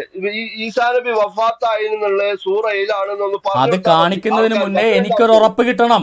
ഈസാ നബി വഫാത്ത എന്ന് പറഞ്ഞാൽ ഈസാ നബി മരിച്ചു എന്ന് തന്നെയാണ് അർത്ഥമെന്ന് താങ്കൾ പറ സമ്മതിക്കണം. അല്ല വഫാത്ത എന്ന് പറയുമ്പോൾ ബിരിയാണി കഴിക്കാൻ പോകുന്ന താങ്കൾ പറയാൻ നിൽക്കരുതെന്നാ പറഞ്ഞേ. അത് സമ്മതമാണോ? എന്റെ സമ്മതമല്ലല്ലോ. താങ്കളുടെ സമ്മതം ചോദിക്കുന്നത് ചോദിക്കും താങ്കൾ താങ്കളല്ലേ സമ്മതിക്കുന്നത്. അപ്പൊ താങ്കളുടെ സമ്മതം ചോദിക്കണ്ടേ. അതായത് ഈസാ നബി വഫാത്തായി എന്ന് ഖുറാനത്ത് പറയുന്നുണ്ട് എന്ന് ഞാൻ പറയുന്നു. അപ്പൊ ഈസാ നബി വഫാത്തായി എന്ന് ഖുറാനകത്ത് പറഞ്ഞു എന്ന് കാണിച്ചു തരാൻ താങ്കൾ പറയുന്നു. എന്റെ ചോദ്യം ഈസാ നബി വഫാത്തായി എന്ന് ഖുറാനകത്ത് ഞാൻ കാണിച്ചു തന്നാൽ ഈസാ നബി മരിച്ചു എന്ന് താങ്കൾ സമ്മതിക്കുമല്ലോ എന്നാണ് ഞാൻ ചോദിച്ചത്. ഈസാ നബി വഫാത്തായിട്ടില്ല എന്നാണ് ഞാൻ പറഞ്ഞത്. താങ്കൾ പറയുന്ന കാര്യം ഇവിടെ പ്രസക്തമല്ലല്ലോ. ഖുറാൻ പറയുന്നതല്ല പ്രസക്തം.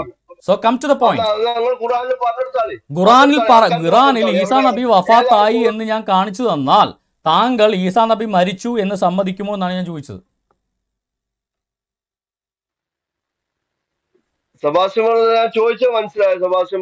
ഞാൻ ചോദിച്ച താങ്കൾക്ക് മനസ്സിലായെന്നാണ് വ്യക്തമാക്കേണ്ടത്. താങ്കളുടെ വേദഗ്രന്ഥം ഖുറാനാണ് ആ ഖുറാനകത്ത് ഈസാ നബി വഫാത്തായെന്ന് കാണിച്ചാൽ താങ്കൾക്ക് പിന്നെ ഈസാ നബി മരിച്ചു ഇല്ലെന്ന് സംശയം ഉണ്ടാകേണ്ട കാര്യമില്ല. അതാണ് ഞാൻ ചോദിച്ചത്. അത് ഉറപ്പിച്ച് പറ.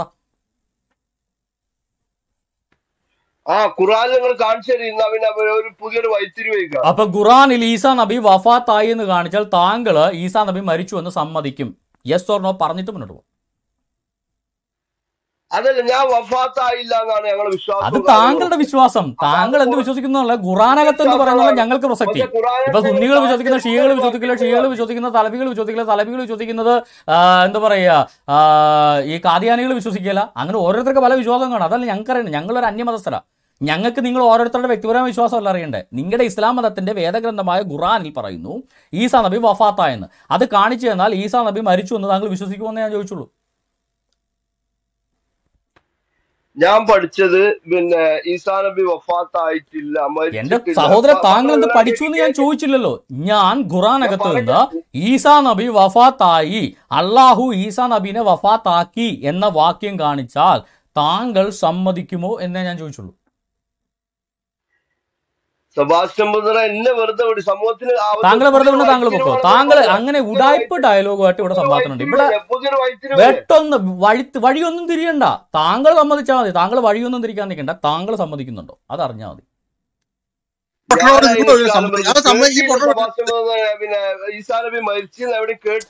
ഈസാ നബി. വഫാത്തായെന്ന് ഖുറാനകത്ത് ഞാൻ കാണിച്ചു തന്നാൽ ഈസാ നബി മരിച്ചു എന്ന് ഷംസു സമ്മതിക്കുമെന്നാണ് എനിക്കറിയേണ്ടത്. നാട്ടുകാരുടെ കാര്യമല്ല. വഴിത്തിരിവും വേണ്ട ഇവിടെ. ഒരു വഴിത്തിരിവും വേണ്ട. പക്ഷെ അത് നിങ്ങൾ പറഞ്ഞത് ശരിയാണോ തെറ്റാണോ എന്നുള്ള മറ്റൊരാളോട് ഖുറാനകത്ത് പറഞ്ഞ ശരിയാണോ തെറ്റാണോ നിന്നെ താങ്കൾ ചോദിച്ചില്ല ഖുറാനകത്ത് പറഞ്ഞ് കാണിച്ചു തന്നാ പോരെ അപ്പൊ ഖുറാൻ അറിയാതെയാണോ താങ്കൾ എന്തായാലും പഠിക്കണേ എന്തായാലും ഷംസു ഇനി ഉരുളണ്ട ഞാൻ എടുത്ത് തരാം ഓക്കെ? ഷംസു എന്നല്ല ഈ പറയുന്ന നിങ്ങളുടെ ഏത് ഉസ്താദ് വന്നാലും ഉരുളുമെന്ന് അറിയാവുന്നതുകൊണ്ട് ഞാൻ ഒന്ന് ഉരുട്ടിയതാ. നിങ്ങൾ ഉരുളും. അതറിയാവുന്നതുകൊണ്ട് മുൻകൂട്ടി ഓഡിയൻസിന് വേണ്ടി ഒന്ന് ഉരുട്ടിയതാ. ഓക്കെ എടുത്തോളൂ. സൂറത്ത് അൽ മായിദ നൂറ്റി പതിനേഴാമത്തെ ആയത്ത്. സൂറത്ത് അൽ മായിദ നൂറ്റി പതിനേഴാമത്തെ ആയത്ത്. ഞാൻ അവർക്കിടയിൽ ഉണ്ടായിരുന്നപ്പോഴൊക്കെ ഞാൻ അവരുടെ മേൽ സാക്ഷിയായിരുന്നു. ഈ സനബി പറയുന്ന ആയത്താണ് സൂറത്ത് അൽ മായിദ നൂറ്റി പതിനേഴാമത്തെ ആയത്ത്. ഷംസു എടുത്ത് വായിച്ചോളൂ. ഞാൻ അവർക്കിടയിൽ ഉണ്ടായിരുന്നപ്പോഴൊക്കെ ഞാൻ അവരുടെ മേൽ സാക്ഷിയായിരുന്നു. പിന്നീട് നീ എന്നെ വഫാത്താക്കിയപ്പോൾ ഫലം മാത്ത വഫായിത്തനി. പിന്നീട് നീ എന്നെ വഫാത്താക്കിയപ്പോൾ നീ എന്നെ വഫാത്താക്കുക. തവഫായിത്തനി. ഫലമ്മ തവഫായിത്തനി കുന്ത അന്ത അൽ റബീക അലൈഹിം വന്ത അല കുല്ലി ഷൈൻ ഷഹീദുൻ. നീ എന്നെ വഫാത്താക്കിയപ്പോൾ നീ തന്നെയായിരുന്നു അവരെ കാര്യങ്ങൾ നിരീക്ഷിച്ചിരുന്നവൻ. നീ എല്ലാ കാര്യത്തിനും സാക്ഷിയായിരുന്നു. എ ഡി ആയിരത്തി എ ഡി അറുന്നൂറിൽ ക്രിസ്തു മരിച്ച് ആയിര വെറും അറുന്നൂറ് വർഷങ്ങൾക്ക് ശേഷം മുഹമ്മദ് ഖുറാനകത്ത് പറയുകയാണ് ഈസാ നബി ഇപ്രകാരം പറഞ്ഞു നീ എന്നെ വഫാത്താക്കിയപ്പോൾ നീ അവരുടെ മേൽ സാക്ഷിയായിരുന്നു. ഈസാ നബീനെ അള്ളാഹു വഫാത്താക്കിയെന്ന് ഈസാ നബി പറയുന്നു. ഷംസ് പറയുന്നു ഈസാ നബി വഫാത്തായിട്ടില്ലെന്ന്. അല്ല ഈ അള്ളാഹു വഫാത്താക്കിയിട്ടും വഫാത്താകാത്ത മനുഷ്യനപ്പോൾ സൂപ്പർ അള്ളാഹു ആയിരിക്കുമല്ലോ? ഈസാ നബി അള്ളാഹുവിനേക്കാൾ ശക്തിയുള്ളവനാണെന്ന് താങ്കൾ വിശ്വസിക്കുന്നു? സുഭാഷ് ബ്രദറെ ഈസാ നബി വഫാത്തായി നിന്ന് ഞാൻ മാത്രമാണോ പറഞ്ഞത്? അല്ലെങ്കിൽ പിന്നെ ലോക മുസ്ലിങ്ങൾ മൊത്തം ലോക മുസ്ലിങ്ങൾ എന്ത് തേങ്ങാക്കൊല പറയണമെന്ന് എനിക്കറിയണ്ട. ഖുറാനകത്ത് പറയുന്നു ഫലമ്മാത്ത വഫായി തന്നെ ഈസാ നബി അള്ളഹാനോട് പറയുന്നു. നീ എന്നെ വഫാത്താക്കിയപ്പോൾ നീ തന്നെയായിരുന്നു അവരുടെ കാര്യങ്ങൾ നിരീക്ഷിച്ചിരുന്നത്. ഫലം മാ തവഫായി തനി നീ എന്നെ വഫാത്താക്കുക. അതാണ് തവഫായി തനി അറിയില്ലെങ്കിൽ അറബി അറിയാതെ ആരുടെയും ചോദിച്ചു നോക്കി. ഇനി വഫാത്തായി എന്ന് പറഞ്ഞാൽ കാക്കാന്റെ കടയിൽ നിന്ന് ബിരിയാണി കഴിച്ചു എന്നാണ് അർത്ഥം. അതുകൊണ്ട് ഫലമാത്ത വഫായത്തിന് എന്ന ഈസാ നബീനെ അള്ളാഹു ബിരിയാണി കഴിപ്പിച്ചു എന്നൊക്കെ നിങ്ങൾ അർത്ഥം പറഞ്ഞ് ഞങ്ങൾ തെറ്റിപ്പോകും. ഞങ്ങൾക്കൊന്നും ചെയ്യാനില്ല. ഈസാ നബീനെ അള്ളാഹു വഫാത്താക്കിയെന്ന് ഖുറാനകത്തുണ്ട് ഇനി വഫാത്തിന് ബിരിയാണി കഴിക്കാൻ വേണ്ടി ടൂർ പോയെന്നൊക്കെ അർത്ഥമാണെങ്കിൽ പിന്നെ ഞങ്ങൾക്കൊന്നും പറയാനില്ല. എന്റെ പൊന്ന് സഭാഷണം ഈ പൊണ്ണ പണ്ട് കാര്യം വേറെ സംസാരിക്കും വേറെ ഇത് ചുമ്മാ യൂസ് കഴിഞ്ഞ?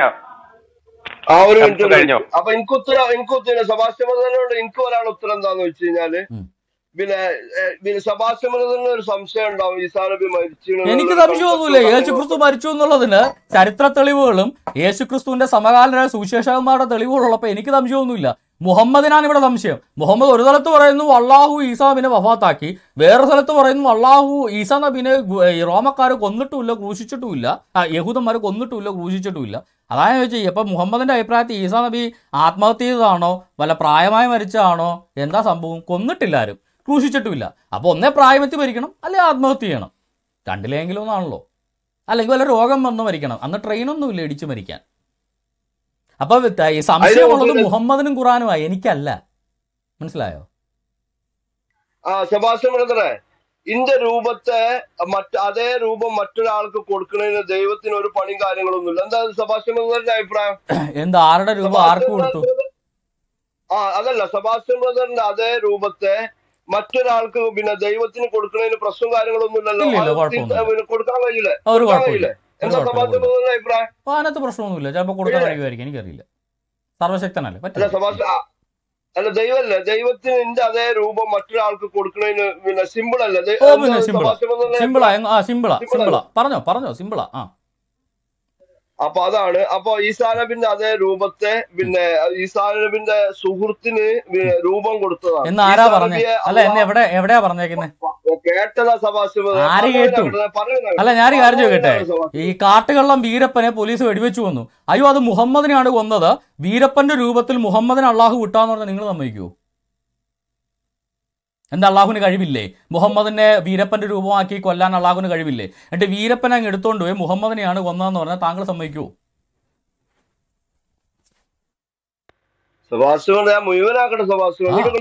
മുഴുവനാക്കട്ടെ മുഴുവനാക്കിയിട്ട് ഞാൻ ചോദിക്കാം. ഈ ചോദ്യം തന്നെ ചോദിക്കാം കുഴപ്പമൊന്നുമില്ല. അപ്പൊ അതാ പറഞ്ഞത് ഈസാനബിന്റെ അതേ രൂപത്തെ പിന്നെ ഈസാനബിന്റെ സുഹൃത്തിന് പിന്നെ ദൈവം പിന്നെ രൂപത്തെ കൊടുത്ത്.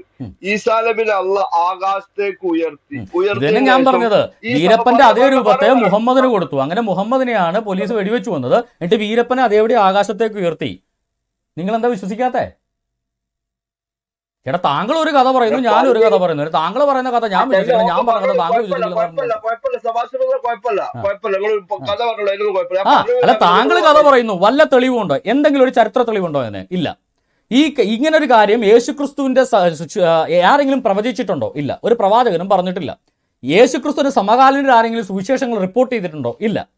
മുഹമ്മദ് എന്ന് പറയുന്ന ഒരു ഖുറൈഷി എന്തെങ്കിലും വായി തോന്നി വിളിച്ചു പറഞ്ഞു കഴിഞ്ഞാൽ അത് ശരിയാവെങ്കിൽ സെബാസ്റ്റൻ എന്ന് പറയുന്ന ഒരു മലയാളി വീരപ്പനെ അല്ല കൊന്നത്. പകരം മുഹമ്മദിനെയാണ് വീരപ്പന്റെ രൂപം മുഹമ്മദിന് കൊടുത്താണെന്ന് പറഞ്ഞാൽ അതും താങ്കൾ വിശ്വസിക്കണം. കാരണം അത്രയും നിലപാട് ഇത് ആരെങ്കിലും വായി തോന്നി കോതക്കോട്ടയിൽ വിളിച്ചു പറയുന്നതിനുള്ളൂ യേശുക്രിസ്തുവിന്റെ സമകാലീനരാണത് പറയുന്നതെങ്കിൽ മനസ്സിലാക്കാം. യേശുക്രിസ്തു സമകാലം പറഞ്ഞാൽ യേശുവിനല്ല ക്രൂശിച്ചത്. യേശുവിനെ പോലെ രൂപമുള്ള വേറൊരാളെ ക്രൂശെന്ന് യേശുവിന്റെ സമകാലം പറഞ്ഞാൽ വിശ്വസിക്കാം. യേശുവിന് അറുന്നൂറ് വർഷത്തിന് ശേഷം ജനിച്ച മുഹമ്മദ് ഇരുന്ന് ഡയലോഗ് അടിച്ചാൽ വിശ്വസിക്കാൻ ഞങ്ങൾക്ക് തലക്കകത്ത് ആൾതാമസമുണ്ട്. നിങ്ങളെ ഓക്കെ ഞാൻ പറഞ്ഞു കഴിഞ്ഞോ? ഇല്ല ഒരു മിനിറ്റ് ഞാൻ പറഞ്ഞു തരാം. ഇത് ചുമ്മാ സമയം ഈ ടൈം ജിഹാദാണ്.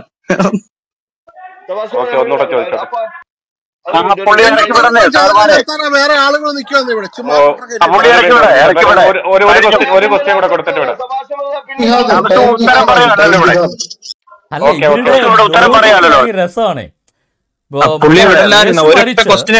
അറുന്നൂറ് വർഷത്തിന് ശേഷം മുഹമ്മദ് എന്ന് പറയുന്ന ഒരു അറബി യേശുവായിട്ടോ ദൈവമായിട്ടോ ഒരു ബന്ധമില്ലാതെ ഖുറൈശി ജിന്നിനെ ആരാധിക്കുന്ന ഒരു അറബി വന്നിട്ട് പറയും ഈസാ നബി മരിച്ചിട്ടില്ല ക്രൂശിച്ചിട്ടില്ല എന്ന് പറയുമ്പോൾ അത് വിശ്വസിക്കണം. ഈസാ നബിയുടെ രൂപം വേറെ ആർക്കാണ്ടും കൊടുത്ത് അയാളെയാണ് ക്രൂശിച്ചതെന്ന് പറഞ്ഞാൽ അത് വിശ്വസിക്കണം.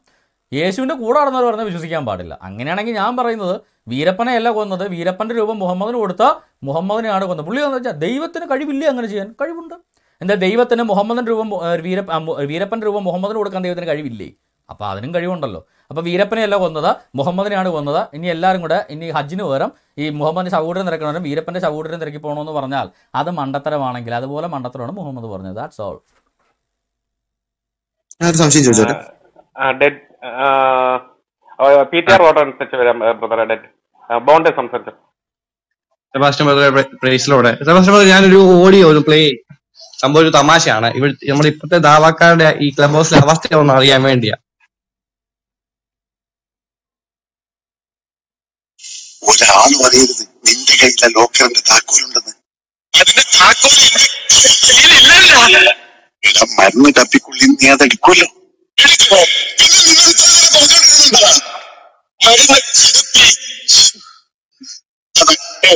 അതിനകത്തുനിന്ന് ആ താക്കോലെടുത്ത് മറ്റെവിടെയെങ്കിലും ഒളിപ്പിക്കാം.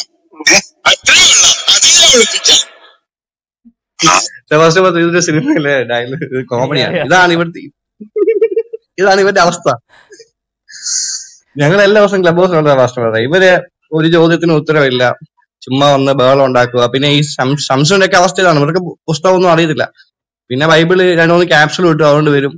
എന്നാലും സെബാസ്റ്റ്യൻ ഇത് പിന്നെ ഈ മിനു മിനുമിനുണ്ട് ഒരു വീഡിയോ ഉണ്ടല്ലോ പുള്ളിക്കാരിക്ക് മറ്റേ സ്വർഗത്തിൽ പോയിട്ട് എഴുപത്തിരണ്ട് ഹൂറന്മാരെയൊക്കെ കിട്ടുമെന്ന് അത് ഞാൻ കണ്ടായിരുന്നു. അത് സംഭവം വിളിച്ചിട്ടുണ്ട്. എന്തോ ചെയ്യാനാ ബ്രദറെ? ഇവർ എന്തോ വിചാരിക്കുന്നത് എഴുപത്തിരണ്ട് പുരുഷന്മാരുമായിട്ട് തന്റെ ഭാര്യ അല്ലെ എഴുപത്തിരണ്ട് പുരുഷന്മാര് അതും ഇരുപതിലധികം മീറ്റർ വലിപ്പമുള്ള പുരുഷന്മാർ ഈ ഇത്തിരി പോകുന്ന മിനുമുറിനെ പോലെ പെണ്ണുങ്ങളുമായിട്ട് പോകുന്നത് കണ്ട് ഭർത്താവ് സന്തോഷിച്ചിരിക്കുമെന്ന് അത് ഏത് കൊഞ്ഞാണം ഭർത്താവാണ് എന്നാണ് നമുക്കറിയണ്ടേ.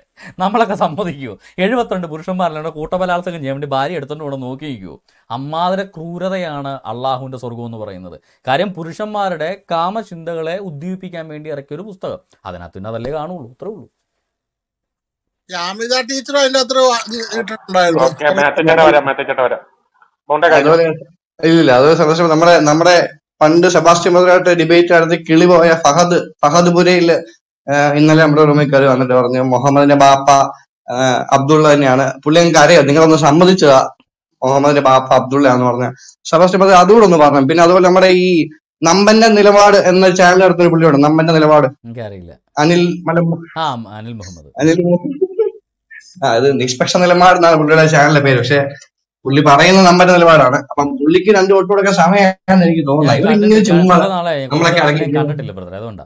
ഓക്കെ നമുക്ക് അടുത്ത ചോദ്യം ആരെങ്കിലും ഉണ്ടോ മുസ്ലിംസ് ആരെങ്കിലും ഉണ്ടോ മുസ്ലിംസിനെ ആരും ഇല്ല. ഓക്കെ സെബാസ്റ്റ്യൻ ഈ ഈ മുഹം ഈ അബ്ദുള്ള കാര്യം ഒന്ന് ഒന്ന് പറഞ്ഞേക്കാം. വേറെ അബ്ദുള്ളയുടെ ഫറൂഖ് കാര്യം എന്ന് ഫറൂഖിനെ വെച്ചാൽ ഒന്ന് ചരിത്രം ഇബിനു സാദിന്റെ ചരിത്രത്തിനകത്ത് ഇബിനു സാദിന്റെ ഈ മുഹമ്മദിനെ സീറടകത്ത് പറയുന്ന ഒരു കാര്യമാണ്. അതായത് മുഹമ്മദിന്റെ വാപ്പ അബ്ദുള്ളയും അബ്ദുള്ളയുടെ വാപ്പ അബ്ദുൾ മുത്തലിബും ഒരേ സമയം ചേടത്തിനും അനിയത്തിനും കല്യാണം കഴിച്ചു. അത് തന്നെ വൃത്തികേടാ. അപ്പനും മകനും പോയിട്ട് ചേട്ടനെ അനിയന്റെ പെമ്മക്കൾ അതായത് കസിൻസിനെ കല്യാണം കഴിച്ചു. അതായത് മുഹമ്മദിന്റെ ബാപ്പയുടെ ഭാര്യ മുഹമ്മദിന്റെ ഭാര്യയുടെ ചേച്ചിയാണ്. രണ്ടുപേരും ഒരേ ദിവസം ഒരേ പന്തലിൽ കല്യാണം കഴിച്ചു. എന്നാ വൃത്തികേടാന്ന് വിചാരിക്കണം. ഓക്കെ എന്തെങ്കിലും ആയിട്ട് കുടുംബമായി മഹിമ എന്തെങ്കിലും ആയിട്ട് അങ്ങനെ കല്യാണം കഴിച്ചു കൊണ്ടുവന്നിട്ട് ആ മുഹമ്മദിന്റെ വാപ്പ മരിച്ചിട്ട് മരിച്ചതിന് ശേഷമാണ് ഈ ഈ മുഹമ്മദിന്റെ വാപ്പക്ക് ഒരു മകൻ ജനിക്കുന്നത്. ഹംസ എന്ന് പറയുന്ന ഒരു മകൻ ജനിക്കുന്നത്. അതായത് മുഹമ്മദിന്റെ വാപ്പ മരിച്ചതിന് ശേഷമാണ് ഹംസ ജനിക്കുന്നത്. അത് സാദ് വളരെ കൃത്യമായിട്ട് ഇബിന് സാദ് പറയുന്നുണ്ട്. ഹംസ് മുഹമ്മദിന്റെ വാപ്പ അബ്ദുള്ള മരിച്ചതിന് ശേഷമാണ് ഹംസ ജനിക്കുന്നത്. വേറെ സ്ഥലത്ത് ഇബിന് സാദ് പറയുന്നു ഹംസ ജനിച്ചിട്ട് നാല് വർഷത്തിന് ശേഷമാണ് മുഹമ്മദ് ഹംസ മുഹമ്മദിനേക്കാൾ നാല് വർഷം പ്രായ കൂടുതലുണ്ടെന്ന് അതായത് മുഹമ്മദിന്റെ വാപ്പ മരിച്ചതിന് ശേഷമാണ് ഹംസ ജനിക്കുന്നത്. മുഹമ്മദിന്റെ വാപ്പ മരിച്ച് ഹംസ ജനിച്ച് നാല് വർഷത്തിന് ശേഷമാണ് മുഹമ്മദ് ജനിക്കുന്നതെന്നാണ് ഇസ്ലാമിക ചരിത്ര ഗ്രന്ഥത്തിനകത്ത് മുഹമ്മദിന്റെ സീറയുടെ പറയുന്നത്.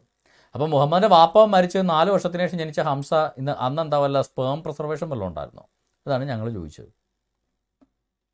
അപ്പം മരിച്ച് നാല് വർഷത്തിന് ശേഷം പിന്നെ അത് അങ്ങയുടെ അപ്പനാണെന്ന് എന്താ ഗ്യാരണ്ടി എന്നാ ചോദിച്ചത്? ഇത് ഈ ചർച്ച നമ്മളുടെ ഇടയിലുണ്ടായ ചർച്ചയാണ്. ഇത് ഇസ്ലാമിക് ഇന്റേണൽ ഗ്രൂപ്പിൽ നടന്നൊരു ചർച്ചയാണ്. അങ്ങനെയാണ് അൽക്കുമാർ ആയപ്പം പ്രധാനത അത് കിട്ടുന്നത്. പുള്ളി പറഞ്ഞിട്ടാണ് ഞാൻ ശ്രദ്ധിക്കുന്നത് ശരിക്കും. നമ്മുടെ ഫഹദാണ്. ഫഹദ് ഇപ്പൊ ഞാൻ ചോദിച്ചത് അന്ന് ഈ ആറാം നൂറ്റാണ്ടിൽ മറ്റേ സെമൻ എടുത്ത് വെച്ച് ഫ്രീസ് ചെയ്ത് വല്ലതും ആർട്ടിഫിഷ്യൽ ഇൻസെമിനേഷൻ വല്ലതും നടത്തിയാണോ? ഫഹദ് എന്നിട്ട് അങ്ങ് നിങ്ങൾ നിങ്ങൾ കരയോ? നിങ്ങൾ സമ്മതിക്കണം എന്നൊക്കെ പറഞ്ഞു. അപ്പൊ ഇവർ തള്ളുന്നതാണല്ലേ ഈ അബ്ദുള്ള. അപ്പം സംഭവം അജ്ഞാതമാണ്. സംഭവം അവരുടെ ഗ്രന്ഥപ്രകാരം അജ്ഞാതം. നമുക്കിപ്പോൾ അബ്ദുള്ള ആയാലും കുഴപ്പമില്ല. ആരായാലും നമുക്ക് എന്നാ പ്രശ്നം? മുഹമ്മദിന്റെ വാപ്പ ആരാണെന്നുള്ളത്? It's not a cons matter of concern for Christians Muhammad എന്ത് പറഞ്ഞു എന്നുള്ളതാണ് ക്രിസ്ത്യാനികളെ സംബന്ധിച്ചിടത്തോളം. മുഹമ്മദിന്റെ വാപ്പയുടെ കാര്യത്തിൽ സംശയമുള്ളത് ക്രിസ്ത്യാനികൾക്കല്ല. നമുക്ക് അതിന്റെ ആവശ്യമില്ല. മുഹമ്മദിന്റെ വാപ്പ ആരായാലും doesn't make any difference to us. Muhammad എന്ത് പഠിപ്പിച്ചു? മുഹമ്മദിന്റെ വായിൽ നിന്ന് പുറപ്പെട്ട എന്താണ്? മുഹമ്മദിന്റെ പ്രവൃത്തികൾ എന്താണ്? ഇതാണ് ഒരു ക്രൈസ്തവനെ സംബന്ധിച്ചിടത്തോളം ബാധ. അല്ലാതെ അദ്ദേഹത്തിന്റെ വാപ്പ ആരാണെന്നോ ഉമ്മ ആരാണെന്നോ നമുക്കറിയേണ്ട കാര്യമില്ല. പക്ഷേ എന്റെ പൊന്ന സഹോദരൻ മുഹമ്മദ് മുഹമ്മദിനെ വിളിക്കേണ്ടത് മുഹമ്മദിനോട് പറയുക. മുഹമ്മദിനോട് പറയേണ്ട കാര്യങ്ങൾ മുഹമ്മദിനോട് നേരിട്ട് പറയുക. അതിനുള്ള വേദിയല്ല ഇത്? പ്ലീസ് അല്ല ഞാൻ ഈ അബ്ദുൾ ചോദിക്കുന്ന കാര്യം വെച്ചാൽ ഇവർ യേശുക്രിസ്തുവിൽ ഒരു ആരോപണം ഇടയ്ക്ക് ഉന്നയിക്കുന്ന ഇടയ്ക്ക്. അപ്പൊ ഞാൻ പറയേണ്ട ആവശ്യമില്ല. അപ്പം ഇവർ പറയുന്ന ഇവർ മുഹമ്മദിന്റെ ഇതുകൂടെ നോക്കണമല്ലോ. അതുകൊണ്ട് ഞാനിങ്ങനെ അങ്ങനെ വേണം ചോദിക്കുന്ന ചോദിച്ചാൽ അല്ലാതെ മനസ്സിലായോ? മുഹമ്മദിന്റെ വാപ്പ ആരായാലും doesn't make any difference to us. പക്ഷേ ഇസ്ലാമിക ചരിത്രകാരന്മാർക്ക് മുഹമ്മദിന്റെ വാപ്പയെക്കുറിച്ച് സംശയമുണ്ട്. അത് നമ്മുടെ കുഴപ്പമല്ല. അത് അവരുടെ ഇസ്ലാമിക ചരിത്രകാരന്മാരുടെ കുഴപ്പമാണ്. അവർ കൃത്യമായിട്ട് പറയുന്നുണ്ട് യേശു ഈ മുഹമ്മദിന്റെ വാപ്പ മരിച്ചിട്ട് നാല് വർഷത്തിന് ശേഷമാണ് മുഹമ്മദ് ജനിച്ചത്. അപ്പോൾ അതെങ്ങനെയാണ് എന്നുള്ള കാര്യത്തിൽ അവർക്ക് സംശയമുണ്ട്. അതിപ്പോൾ നമുക്ക് എന്ത് ചെയ്യാൻ പറ്റും? അവർക്ക് സംശയമില്ല. തെളിവ് വേണേ റെഫറൻസ് ആയിട്ട് ഞാൻ പറയാം. എനിക്ക് ബുദ്ധിമുട്ടൊന്നുമില്ല. അവൻ അത്രയും തെറി പറഞ്ഞുകൊണ്ട് ഞാനത് വേണ്ടാന്ന് വെച്ചിരുന്നത്. അവൻ അത്രയും പറഞ്ഞതുകൊണ്ട് നമുക്ക് തെളിവും കൂടി എടുത്തിട്ട് പോവാം. അതിന്റെ തെളിവും കൂടി കാണിച്ചേക്കട്ടെ ഒരു സെക്കൻഡ് അതിന്റെ തെളിവും കൂടെ ഒന്ന് കാണിച്ചേക്കട്ടെ. ഒരു സെക്കൻഡ് ഇത് ഇബിന് സാദിന്റെ Kitab al Tabaqat al Kabir the book of major classes Kitab al Tabaqat Al കബീറിൽ Ibn Saad എന്ന സീറ എഴുത്തുകാരൻ volume number one part number one point nineteen point one അതിനകത്ത് പറയുന്നത് Hamza was born after Abdullah's demise ചരിത്രം ഇങ്ങനെയാണ്. When Abdul Muttalib saw that he had few supporters in digging well of Zamzam that he had only his son al Harith to help him in digging Zamzam വെള്ളത്തിന്റെ അവിടെ ഈ ബഹുദൈവ മതവിശ്വാസിയായ അബ്ദുൾ മുത്തലിബ് ആ ബഹുദൈവ മതത്തിന്റെ Zamzam വെള്ളം തിരക്കിയിട്ട് അവിടെ നിന്ന് സംസം കിണർ കുത്തുക. ഈ സംസം കിണറൊക്കെ ബഹുദൈവ മതത്തിന്റെ കിണറായിരുന്നു. അവിടുന്ന് കുത്തിക്കൊണ്ടിരുന്നപ്പോൾ അൽഹരിത്ത് എന്ന് പറയുന്ന ഒരു മോഹം മാത്രമേ ഉണ്ടായിരുന്നുള്ളൂ. He took a vow that he would sacrifice one of one son if Allah out on him ten sons അള്ളാഹു അവന് പത്ത് മക്കളെ കൊടുത്തു കഴിഞ്ഞാൽ ഒരു മകനെ അള്ളാഹുവിന് വേണ്ടി ബലി കൊടുക്കുമെന്ന് ഈ അള്ളാഹു എന്ന് പറയുന്ന അന്നത്തെ ഈ ഗോത്രദേവനാണ്. ആ ഗോത്രദേവന് ബലി കൊടുക്കുക ആ, ബഹുദൈവ മാത്ര ദേവനാണ്. അങ്ങേർക്ക് നരബലി നടത്തുമെന്ന് ഈ മുഹമ്മദിന്റെ പാപ്പ പ്രതിജ്ഞ ചെയ്തു. Accordingly when the number reach ten namely al Harith al Zubair Abu Talib Abdullah Hamza എന്നിട്ട് അവിടെ പറയാം Hamza was born after Abdullah's demise അബ്ദുള്ളയുടെ മരണത്തിന് ശേഷമാണ് ഹംസ ജനിച്ചത്. അല്ലെങ്കിൽ ഹംസയെ ബലി കൊടുക്കേണ്ടി വന്നേനെ. അബ്ദുള്ള മരിച്ചതുകൊണ്ട് പിന്നെ പകരം ഒട്ടകത്തെ കൊടുത്ത് അഡ്ജസ്റ്റ് ചെയ്തു. Okay his mother Hala was married to Abdul Muttalib when Amina was married to Abdullah and only three months after that Abdullah passed away Abdullah ആമിനെ വിവാഹം കഴിച്ചതും ഈ അബ്ദുൾ മുത്തലിബ് ഹംസയെ വിവാഹം കഴിച്ചതും ഒരേ സമയം ഒരേ ഒരേ കസിൻസ് ആണ് അവർ ഒരേ സമയമാണ് വിവാഹം കഴിച്ചത്. അതിനുശേഷം മൂന്ന് മാസത്തിന് ശേഷം അബ്ദുള്ള മരിച്ചു. അബ്ദുള്ള മരിച്ചതിന് ശേഷമാണ് ഈ ഹല ഹലയിൽ അബ്ദുൾ മുത്തലിബിന് ഹംസ എന്ന മകൻ ജനിക്കുന്നത്. ഓക്കെ. ഇനി ഇതേ ഇബിനു സാദിന്റെ കിതാബൽ തബാക്ക അൽ കബീറിലെ വോളിയം നമ്പർ മൂന്ന് പേജ് നമ്പർ നാലിനകത്ത് അതിനകത്ത് പറയുന്ന കാര്യം ഇതാ. ഹംസയെക്കുറിച്ച് പറയുമ്പോൾ he was killed at the age of fifty nine അമ്പത്തി ഒമ്പതാമത്തെ വയസ്സിലാണ് Hamza കൊല്ലപ്പെടുന്നത്. In the battle of Uhud Uhud യുദ്ധത്തിലാണ് കൊല്ലപ്പെടുന്നത്. Which took place thirty two months after Hijra ഹിജറക്ക് മുപ്പത്തിരണ്ട് മാസത്തിന് ശേഷമാണ് ഉഹുദ് യുദ്ധം നടക്കുന്നത്. He was four years older than the messenger of Allah മുഹമ്മദിനേക്കാൾ Hamza നാല് വർഷം മൂത്തതായിരുന്നു.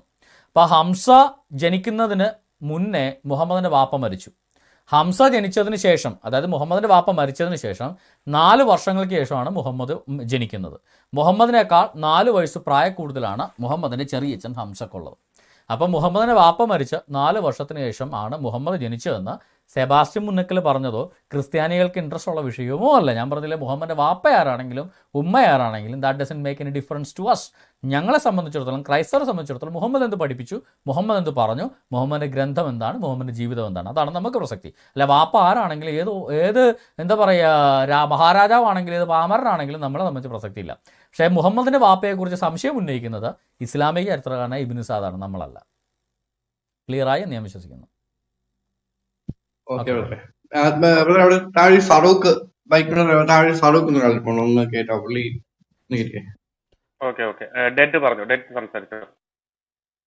ഓക്കെ എനിക്ക് താങ്കളുടെ പ്രസന്റേഷനിൽ നിന്ന് ഒരു ചോദ്യം ചോദിക്കേണ്ട ആദ്യമായിട്ട്. പത്തായിട്ട് സുവിശേഷത്തിന്റെ ഇരുപത്തിനാലിന്റെ മുപ്പത്തി ആറ് but about the day or the no one knows not not the, not even the angels in heaven nor the son but only the father. അവിടെ only എന്ന ഗ്രീക്ക് മാനസ്ക്രിപ്റ്റ്സിൽ യൂസ് ചെയ്തിരിക്കുന്ന വേർഡ് മോണോസ് മോണോസ് എന്നുള്ള വേർഡാണ് അവിടെ യൂസ് ചെയ്തിരിക്കുന്നത്. അപ്പോ എന്റെ ചോദ്യം ഇതാണ് ഇപ്പൊ പിതാവിന് മാത്രം അറിവ് ലാസ്റ്റ് അവറിനെ കുറിച്ചുള്ള നോളജ് ഉള്ളൂ. പുത്രന്റെ ഹ്യൂമൻ നേച്ചറിന് വാസ് ഇഗ്നോറന്റ് അത് വേണേ അംഗീകരിച്ചേക്കാം. പക്ഷെ പരിശുദ്ധാത്മാവിന് എന്തുകൊണ്ട് ഹോളി സ്പിരിറ്റിന് എന്തുകൊണ്ട് ലാസ്റ്റ് അവറിനെ കുറിച്ച് അറിയത്തില്ല? എന്നാണ് എന്റെ ചോദ്യം. ബ്രദറെ ഈ ദൈവത്തെക്കുറിച്ച് ബൈബിളിൽ പറയുന്ന അനുസരിച്ചിട്ടാണ്. ഈ ചോദ്യം ശരിക്കും മുസ്ലിം ഒരു മുസ്ലിം ഡിബേറ്റർ നമ്മുടെ ഡേവിഡ് വുഡിനോട് ചോദിച്ച ചോദ്യം അന്നാണ് ഞാൻ ഈ ചോദ്യം ആദ്യമായിട്ട് കേൾക്കുന്നത്. ഒരു മുസ്ലിം ഡിബേറ്റർ ഡേവിഡ് വുഡിനോട് ചോദിച്ച ചോദ്യമാണത്. ഓക്കെ എന്തായാലും കം ടു പോയിന്റ് ദൈവത്തെക്കുറിച്ച് ട്രിനിറ്റി പോയിന്റ് ഓഫ് വ്യൂവിൽ ചിന്തിക്കുമ്പോഴാണ് ഈ ഒരു ചോദ്യം എറൈസ് ആവുന്നത്. ദൈവത്തെക്കുറിച്ച് ബിബ്ലിക്കൽ പോയിന്റ് ഓഫ് വ്യൂവിൽ അതായത് തിയോളജിക്കൽ ഡോക്ടറിനൽ പോയിന്റ് ഓഫ് വ്യൂവിൽ നിന്ന് മാറി ബിബ്ലിക്കൽ പോയിന്റ് ഓഫ് വ്യൂവിൽ ചിന്തിക്കുമ്പോൾ ഇങ്ങനൊരു ക്വസ്റ്റിന് പ്രസക്തിയില്ല എന്റെ കാരണം ഞാൻ പറയാം. പിതാവും സൃഷ്ടാവുമായി ഏക ദൈവമേ നമുക്കുള്ളൂ. കാര്യം ബൈബിൾ പ്രകാരം ആകാശത്തിലോ ഭൂമിയിലോ ദേവന്മാർ പേരുള്ള അനേകരുണ്ടെങ്കിലും ദൈവങ്ങൾ എന്ന് പേരുള്ള അനേകരുണ്ടെങ്കിലും പിതാവായ ഏക ദൈവമേ നമുക്കുള്ളൂ. We have one God the Father പിതാവായ ഏക ദൈവമേ നമുക്കുള്ളൂ. അത് വളരെ കൃത്യമായിട്ട് ബൈബിളിൽ പഠിപ്പിക്കുന്ന കാര്യമാണ്. നമുക്ക് ദൈവവും പിതാവുമായവൻ ഒരുവൻ മാത്രം. അല്ലാതെ നമുക്ക് ദൈവമായ വേറെ രണ്ട് പേരും കൂടെ ഉണ്ടെന്ന് ബൈബിൾ പറയുന്നില്ല. ഞാൻ യഹോവയാകുന്നു മറ്റൊരുത്തനുമില്ല. ഞാനല്ലാതെ വേറെ ഒരു ദൈവവുമില്ല. ഞാൻ യഹോവയാകുന്നു വേറെ രണ്ട് പേര് കൂടെ ഉണ്ടെന്ന് ബൈബിളിൽ പറയുന്നില്ല. അപ്പോൾ പിതാവായ ഏക ദൈവമേ നമുക്കുള്ളൂ. നമുക്കൊരൊറ്റ ദൈവമേ ഉള്ളൂ. അവൻ നമ്മുടെ പിതാവാണ് നമ്മുടെ സൃഷ്ടാവാണ് അവൻ അക്ഷയനാണ് അദൃശ്യനാണ് ഏകദൈവമാണ് അവൻ ആകാശഭൂമി നിറഞ്ഞു നിൽക്കുന്നവനാണ് അതാണ് നമ്മുടെ ദൈവം എന്ന് പറയുന്നത്. യാഹു എന്ന നാമമുള്ള സൃഷ്ടാവ ഏകദൈവം. ആ ദൈവം ആത്മാക്കളാണ് ആത്മാക്കൾ എന്ന് പറയുന്നത് സൃഷ്ടികളാണ് എന്റെ ആത്മാവ് സൃഷ്ടിയാണ് സാത്താന്റെ ആത്മാവ് സാത്താൻ എന്ന ആത്മാവ് സൃഷ്ടിയാണ് ദൂതന്മാരുടെ ആത്മാക്കൾ സൃഷ്ടിയാണ് പ്രപഞ്ചത്തിലുള്ള ക്ലീൻ ആയിട്ടും എല്ലാ ആത്മാക്കളും ദൈവത്തിന്റെ സൃഷ്ടികളാണ്. ആ സൃഷ്ടികളോട് ഇടപെടാൻ ആത്മാക്കളോട് ഇടപെടാൻ ദൈവം ആത്മാവായിട്ട് മാനിഫെസ്റ്റ് ചെയ്യുന്നതാണ് പരിശുദ്ധ ആത്മാവ് എന്ന് പറയുന്നത്. ശരീരമുള്ള സൃഷ്ടികളോട് ഇടപെടാൻ സ്വർഗീയ ശരീരത്തിലോ മനുഷ്യ ശരീരത്തിലോ ദൈവം വെളിപ്പെടുന്നതാണ് പുത്രൻ എന്ന് പറയുന്നത് ദൈവത്തിന്റെ മാനിഫെസ്റ്റേഷൻ സൈമിൾട്ടേനിയസാണ് അതുകൊണ്ട് തന്നെ പുത്രന് ദൈവത്തോട് കൂടെ ആയിരിക്കാം ദൈവം തന്നെയാണ്. വചനം ദൈവത്തോടു കൂടിയാണ് വചനം ദൈവമാണ് അതുപോലെ തന്നെ ദൈവത്തിന്റെ ആത്മാവാണ് പരിശുദ്ധാത്മാവ് ദൈവം ആത്മാവാകുന്നു. ഇത് സൈമൾട്ടേനിയസ് ആയിട്ടുള്ള എക്സിസ്റ്റൻസ് ആണ്. അല്ലാതെ ഒന്നില്ലാതായിട്ട് മറ്റൊന്നായി തീരുന്നതല്ല. ഒന്നൊരു രൂപമാറ്റം സംഭവിച്ച് മറ്റൊന്നായി തീരുന്നതല്ല. ദൈവത്തിന്റെ മാനിഫെസ്റ്റേഷൻ ആണ്. അവൻ ജഡത്തിൽ മാനിഫെസ്റ്റ് ചെയ്യുകയാണ്. ഓക്കെ അപ്പോൾ ദൈവം ആത്മാക്കളുടെ ലോകത്ത് ആത്മാക്കളുമായിട്ട് ഇടപെടാൻ ആത്മാവായിട്ട് മാനിഫെസ്റ്റ് ചെയ്യുന്നതാണ് പരിശുദ്ധ ആത്മാവെന്ന് പറയുന്നത്. ആത്മാക്കളുടെ ഡയമെൻഷൻ ഇപ്പം മനുഷ്യന്റെ ഡയമെൻഷനിൽ മനുഷ്യനെ സംബന്ധിച്ചിടത്തോളം മനുഷ്യൻ സർവജ്ഞാനിയല്ല. അതുകൊണ്ട് യേശു എന്ന മനുഷ്യൻ പുത്രൻ സർവജ്ഞാനിയല്ല. പക്ഷേ യേശു എന്ന ദൈവം എന്ന് പറഞ്ഞാൽ അത് സർവശക്തനായ സൃഷ്ടാവും പിതാവുമായി ഏകദൈവമാണ്. ദൈവം എന്ന നിലയിൽ അവൻ സർവജ്ഞാനിയാണ്. ആത്മാവെന്ന നിലയിൽ ഒരു ആത്മാവിന്റെ പരിമിതിക്കകത്ത് നിന്നുകൊണ്ട് ആ നാളും നാഴികയും പരിശുദ്ധാമാനം എന്നുള്ള ഒരു ആത്മാവിനും അറിയില്ല. അത് മനുഷ്യന്റെയോ ആത്മാവിന്റെയോ പരിമിതിക്കകത്തുള്ളൊരു കാര്യമല്ല. ദൈവത്തിന് മാത്രം അറിയുന്ന കാര്യം. പക്ഷേ പരിശുദ്ധി ആത്മാവ് ദൈവമായതുകൊണ്ട് ദൈവമെന്ന നിലയിൽ പരിശുദ്ധാമാവൻ അറിയാം അതായത് സൃഷ്ടാവും പിതാവുമായി ഏകദൈവം എന്ന നിലയിൽ പരിശുദ്ധാത്മാവിന് ആ നാളും നാഴികയും അറിയാം. അതായത് ആത്മാവെന്നുള്ളത് എന്തൊരു ടോട്ടലി ഡിഫറെന്റ് എന്റൈറ്റി ആയിട്ട് ദൈവത്തിൽ നിന്ന് വ്യത്യസ്തമായ മറ്റൊരു ദൈവമായിട്ടോ മറ്റൊരുവനായിട്ടോ കാണുമ്പോഴാണ് ആ ചോദ്യം അറൈസ് ചെയ്യുന്നത്. പക്ഷേ ബിബ്ലിക്കൽ പോയിന്റ് ഓഫ് വ്യൂവിൽ ആത്മാവെന്ന് പറയുന്നത് ദൈവത്തിന്റെ മാനിഫെസ്റ്റേഷൻ അതുകൊണ്ട് ദൈവത്തിന്റെ ആത്മാവാണ് പുത്രൻ ദൈവത്തിന്റെ മാനിഫെസ്റ്റേഷൻ ദൈവത്തിന്റെ പുത്രനാണ് പുത്രൻ ദൈവമാവുന്നത് മനുഷ്യൻ ദൈവമാവുന്നതുകൊണ്ടല്ല യേശു ദൈവമാവുന്നത് ദൈവം മനുഷ്യനായി വന്നതുകൊണ്ടാണ് ദൈവം പുത്രനായി വന്നതുകൊണ്ടാണ് യേശു ദൈവമാവുന്നത് അല്ലാതെ മനുഷ്യൻ ദൈവമായതുകൊണ്ടോ പുത്രൻ ദൈവമായതുകൊണ്ടല്ല.